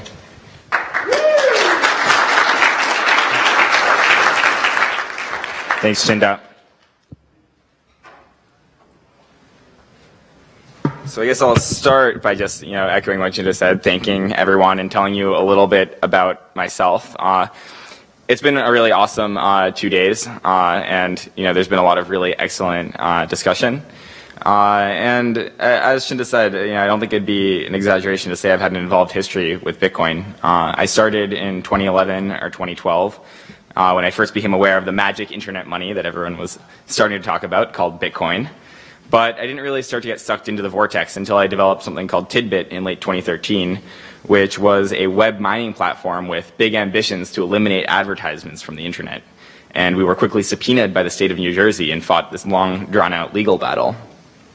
And after that, I kind of, you know, looked at my options and I decided to double down on Bitcoin because I thought it was so important. And I launched the MIT Bitcoin project, which gave every MIT undergraduate $100 of Bitcoin. And more recently, I served as program chair for Scaling Bitcoin Montreal, the first Scaling Bitcoin, and co-founded the MIT Digital Currency Initiative. And while the Digital Currency Initiative is not the focus of my talk today, I think a lot of people want to know more about it, so I'm just going to give a little short brief of what's going on. The goal of the MIT DCI is to take a longer term view on research in the future of cryptocurrency. We're not here to serve as like a governance structure for Bitcoin or even necessarily to weigh in on the day to day technical details and short term disputes, although we do deeply care internally and personally about all these issues. Simply put, we're a group of researchers, developers, and students whose passions align on Bitcoin and decentralized technology, and the DCI is our common ground. As Neha, who's back there, she's our technical director, says, uh, like asking what the DCI thinks about like block size is a little bit like asking the Massachusetts Institute of Technology if they're supporting Donald Trump. It doesn't really make sense. We're we're a group of researchers and people. We're not like a, a policy a tank, think tank or something. Um, and uh, so there's a lot more to say about the DCI, uh, but hopefully we'll be communicating much more transparently soon, and there should be some stuff available uh, shortly. And so there's just one more historical note I'd like to share, as Jinder brought up. Uh, two years ago, Dan Elitzer, who's now running the IDEO uh, Futures Bits and Block Lab uh, in California, uh, we launched the MIT Bitcoin Expo. And it's really just a privilege to be here on the you know third one and to, to see how it's evolved and you know be able to close it at the end of my time at MIT as well. Unfortunately, I'm you know watching my P sets turn in so that Chinda's not like taking them out, so I fail a class or something like that. Um, So I, I was sharing my short list not to, to brag, but to kind of add context to the words that I'm about to share with you. Uh, I've had kind of like a unique set of experiences in the community as a developer, an undergrad, a master's student, the target of a state investigation, an open source community organizer, a Mt. Gox creditor, uh, and throughout it all, someone who has deeply cared about the mission and goals of Bitcoin. So I've kind of been, been able to see Bitcoin from all these different angles and, you know, understood it from all these different sides. And watching the last year of Bitcoin, uh, I think for a lot of us has just been painful, to say the least. Uh, there's been so much acrimony among our you know, brothers and sisters in arms. It's just felt highly toxic to almost everyone. Everyone I've spoken with. And the, the result is that like many Bitcoin vets that I'll talk to, they just don't have the same glint in their eyes as they used to. Uh, and, and, how could you even blame them for that? Uh, you know, personally, for myself, uh, you know, I'm outing myself as a Bitcoin hipster. Bitcoin doesn't have the same appeal and charming character that my inner ideologue had when, when I started getting into it four years ago. It's not the same. But that's not necessarily a bad thing. I mean, in the last four years, the Bitcoin community has matured tremendously. Uh, it's been awesome to see the engineering efforts being rolled out every day. Uh, you know, just to name a few uh, in recognition, we have, you know, libsecp, SegWit, Lightning, zero knowledge contingent payments, probabilistic payments, IBLT, libdtcnet, and there's all these great, amazing developments that really show how the community has matured in its ability to, to produce like real world code that, that you know is not going to uh, you know not going to crash and is more stable than anything else. But I think I know that we can do significantly better. So I'm going to delve into a little bit of economic theory. Uh, I think a lot of Bitcoiners are familiar, at least, with the name Hayek. Uh, Bitcoin's often called by the moniker Hayek money. Uh, but I don't think people know the exact link between Hayek and Bitcoin. So Hayek was this very influential economist. He won the Nobel Prize. Uh, you know, for the record, Keynes did not get a Nobel Prize. Uh, so he painted a picture of free markets creating a you know, maximum wealth for society. Uh, and, and, he thought that the promotion of open competition was a crucial uh, precursor for free and wealthy society because centralized structures wrongfully assume they know how to efficiently allocate resources, rather than let efficient resource allocation evolve through competitive processes. Structures that promote open competition was viewed by Hayek as ideal. Most people, in my opinion, wrongfully attribute Bitcoin's economic magic due to its monetary fixed supply, which is free of central issuance control. However, where I really see the meaning of Hayek money to Bitcoin and to cryptocurrencies is that it offers a platform for competing currencies to launch and to, to experiment. And uh, this decentralized community maintenance structure, uh, which limits the power of a state uh, actor coercion, it, it's coercion resistant. And to me, that's really where the power comes from. That's why it's Hayek money. And so in Bitcoin, you've probably seen a bit of competition lately. Uh, you know, there, you've got block size, you've got core, XT, classic, unlimited, and you know, all the others. And while I think that this competition is generally good, uh, I don't think it's been very healthy. Uh, and the reason that I think it hasn't been particularly healthy is that there's been an overemphasis on winning. Uh, in Bitcoin, this is a problem because for consensus, you need an inherent monopoly on what consensus critical software actually executes. And I think that making execution of new ideas on the main network the goal of development efforts seems horrendously short sighted. So the meaning of the word compete is pretty nuanced, and I'll have to thank Pindar for, for explaining this to me. that uh, it comes from the Latin for com, meaning together, and petere, to seek. So it's not about trying to best one another, but rather a noble pursuit to elevate the excellence of all involved. And that's really important. We can't lose sight of that. At Scaling Bitcoin Montreal, uh, Matsuo-san, who's over there, uh, gave what I thought was one of the most important and critical and enlightening talks. He discussed the processes that were behind the SHA-3 competition and how the open contest created an excellent environment for technological achievement. This was no happy accident. For a while, I'd been thinking about the potential for a contest process in Bitcoin, and as program chair, I made sure to encourage Matsuo to attend and share what he had learned. At the interactive session following, there was some agreement that Bitcoin could also benefit greatly from such a process, but no agreement on what it would be. There's a rich history of competitive processes used for technical progression aside from SHA-3, uh, which had its flaws. Joi Ito recently told me about the history of the RoboCup contests, which were originally in Japan in 1997. So the way that these contests work is that innovation was put into a very tight loop. Teams did not talk to one another. They were very competitive. However, at the end of each year, they had to share their knowledge, had to share what they learned. because they weren't focused on winning permanently, they were focused on winning overall. And after sharing in the next year, you had to beat last year's team to qualify. And so this tight loop of innovation is really something to behold. You can go on YouTube and search for a compilation that will show you the opening round each year. And they start with these little square robots that are like sad to watch. And then they become these amazing robots that are like actually, you know, skilled soccer players in only, you know, 10 years. And I think that that's like a really important lesson for us to kind of internalize. And, and I think that scalability uh, as, as an issue, it's a funny thing for the Bitcoin community to be in such a frenzy over. There are just like so many ways that Bitcoin is already kind of broken. We've talked about some of them uh, at this conference already. Uh, and I've talked about them, you know, last June when the scalability was just starting to rise as kind of a crescendo and people were getting really frenzied and going, you know, this is going to be the end of Bitcoin. Like, well, actually, we've got all these other problems that will also probably be the end of Bitcoin. So maybe half of us can focus on those ones too. Uh, so I guess what I'm kind of proposing overall is that we take a competitive structure and we apply some, uh, some of our hardest problems in Bitcoin. Uh, and we don't treat it like a battle to win, but rather as a contest to have and to you know, take glory in the act of competing itself. And I'll admit that there's a fair criticism uh, for this model that like many things in the Bitcoin space are just deterministic, essentially. Like, you don't want to have like two versions of libsecp. Like, there's kind of one right way to make a cryptographic library like that. But there are a lot of things that are on like a two to five year time horizon that are much more freeform or could have much more freeform innovation in the direction we go. So I want to uh, step, step back and paint a little bit of a vision of what I think this could look like and why I think this could be a really big success for the Bitcoin community. So imagine the issue of privacy. Uh, it's a chief concern among many Bitcoin users, and there aren't many concrete proposals and implementations which increase the privacy of Bitcoin without large trade-offs. So imagine a contest where we ask the community to come up with uh, areas ripe for improvement and forward-thinking strategies to build prototypes demonstrating the potential of new technology and to refine said prototypes into deployable solutions. Imagine that there are teams of developers and academics working in concert on ambitious ideas, not afraid that their code might seem, be seen politically, not overly concerned with soft forks or hard forks. Imagine teams with sponsorships from the major Bitcoin companies, not because they're being told what to work on, but because our startups are led by entrepreneurs who celebrate the technical diversity and brilliance of our Bitcoin researchers. Imagine a team at every university in the blockchain education network. MIT students in the audience, I think there are still some, you know, I'd want to see at least several teams coming, for, you know, from, from our school. But I think we could see, you know, anywhere, any school could participate in, in, in a contest like this.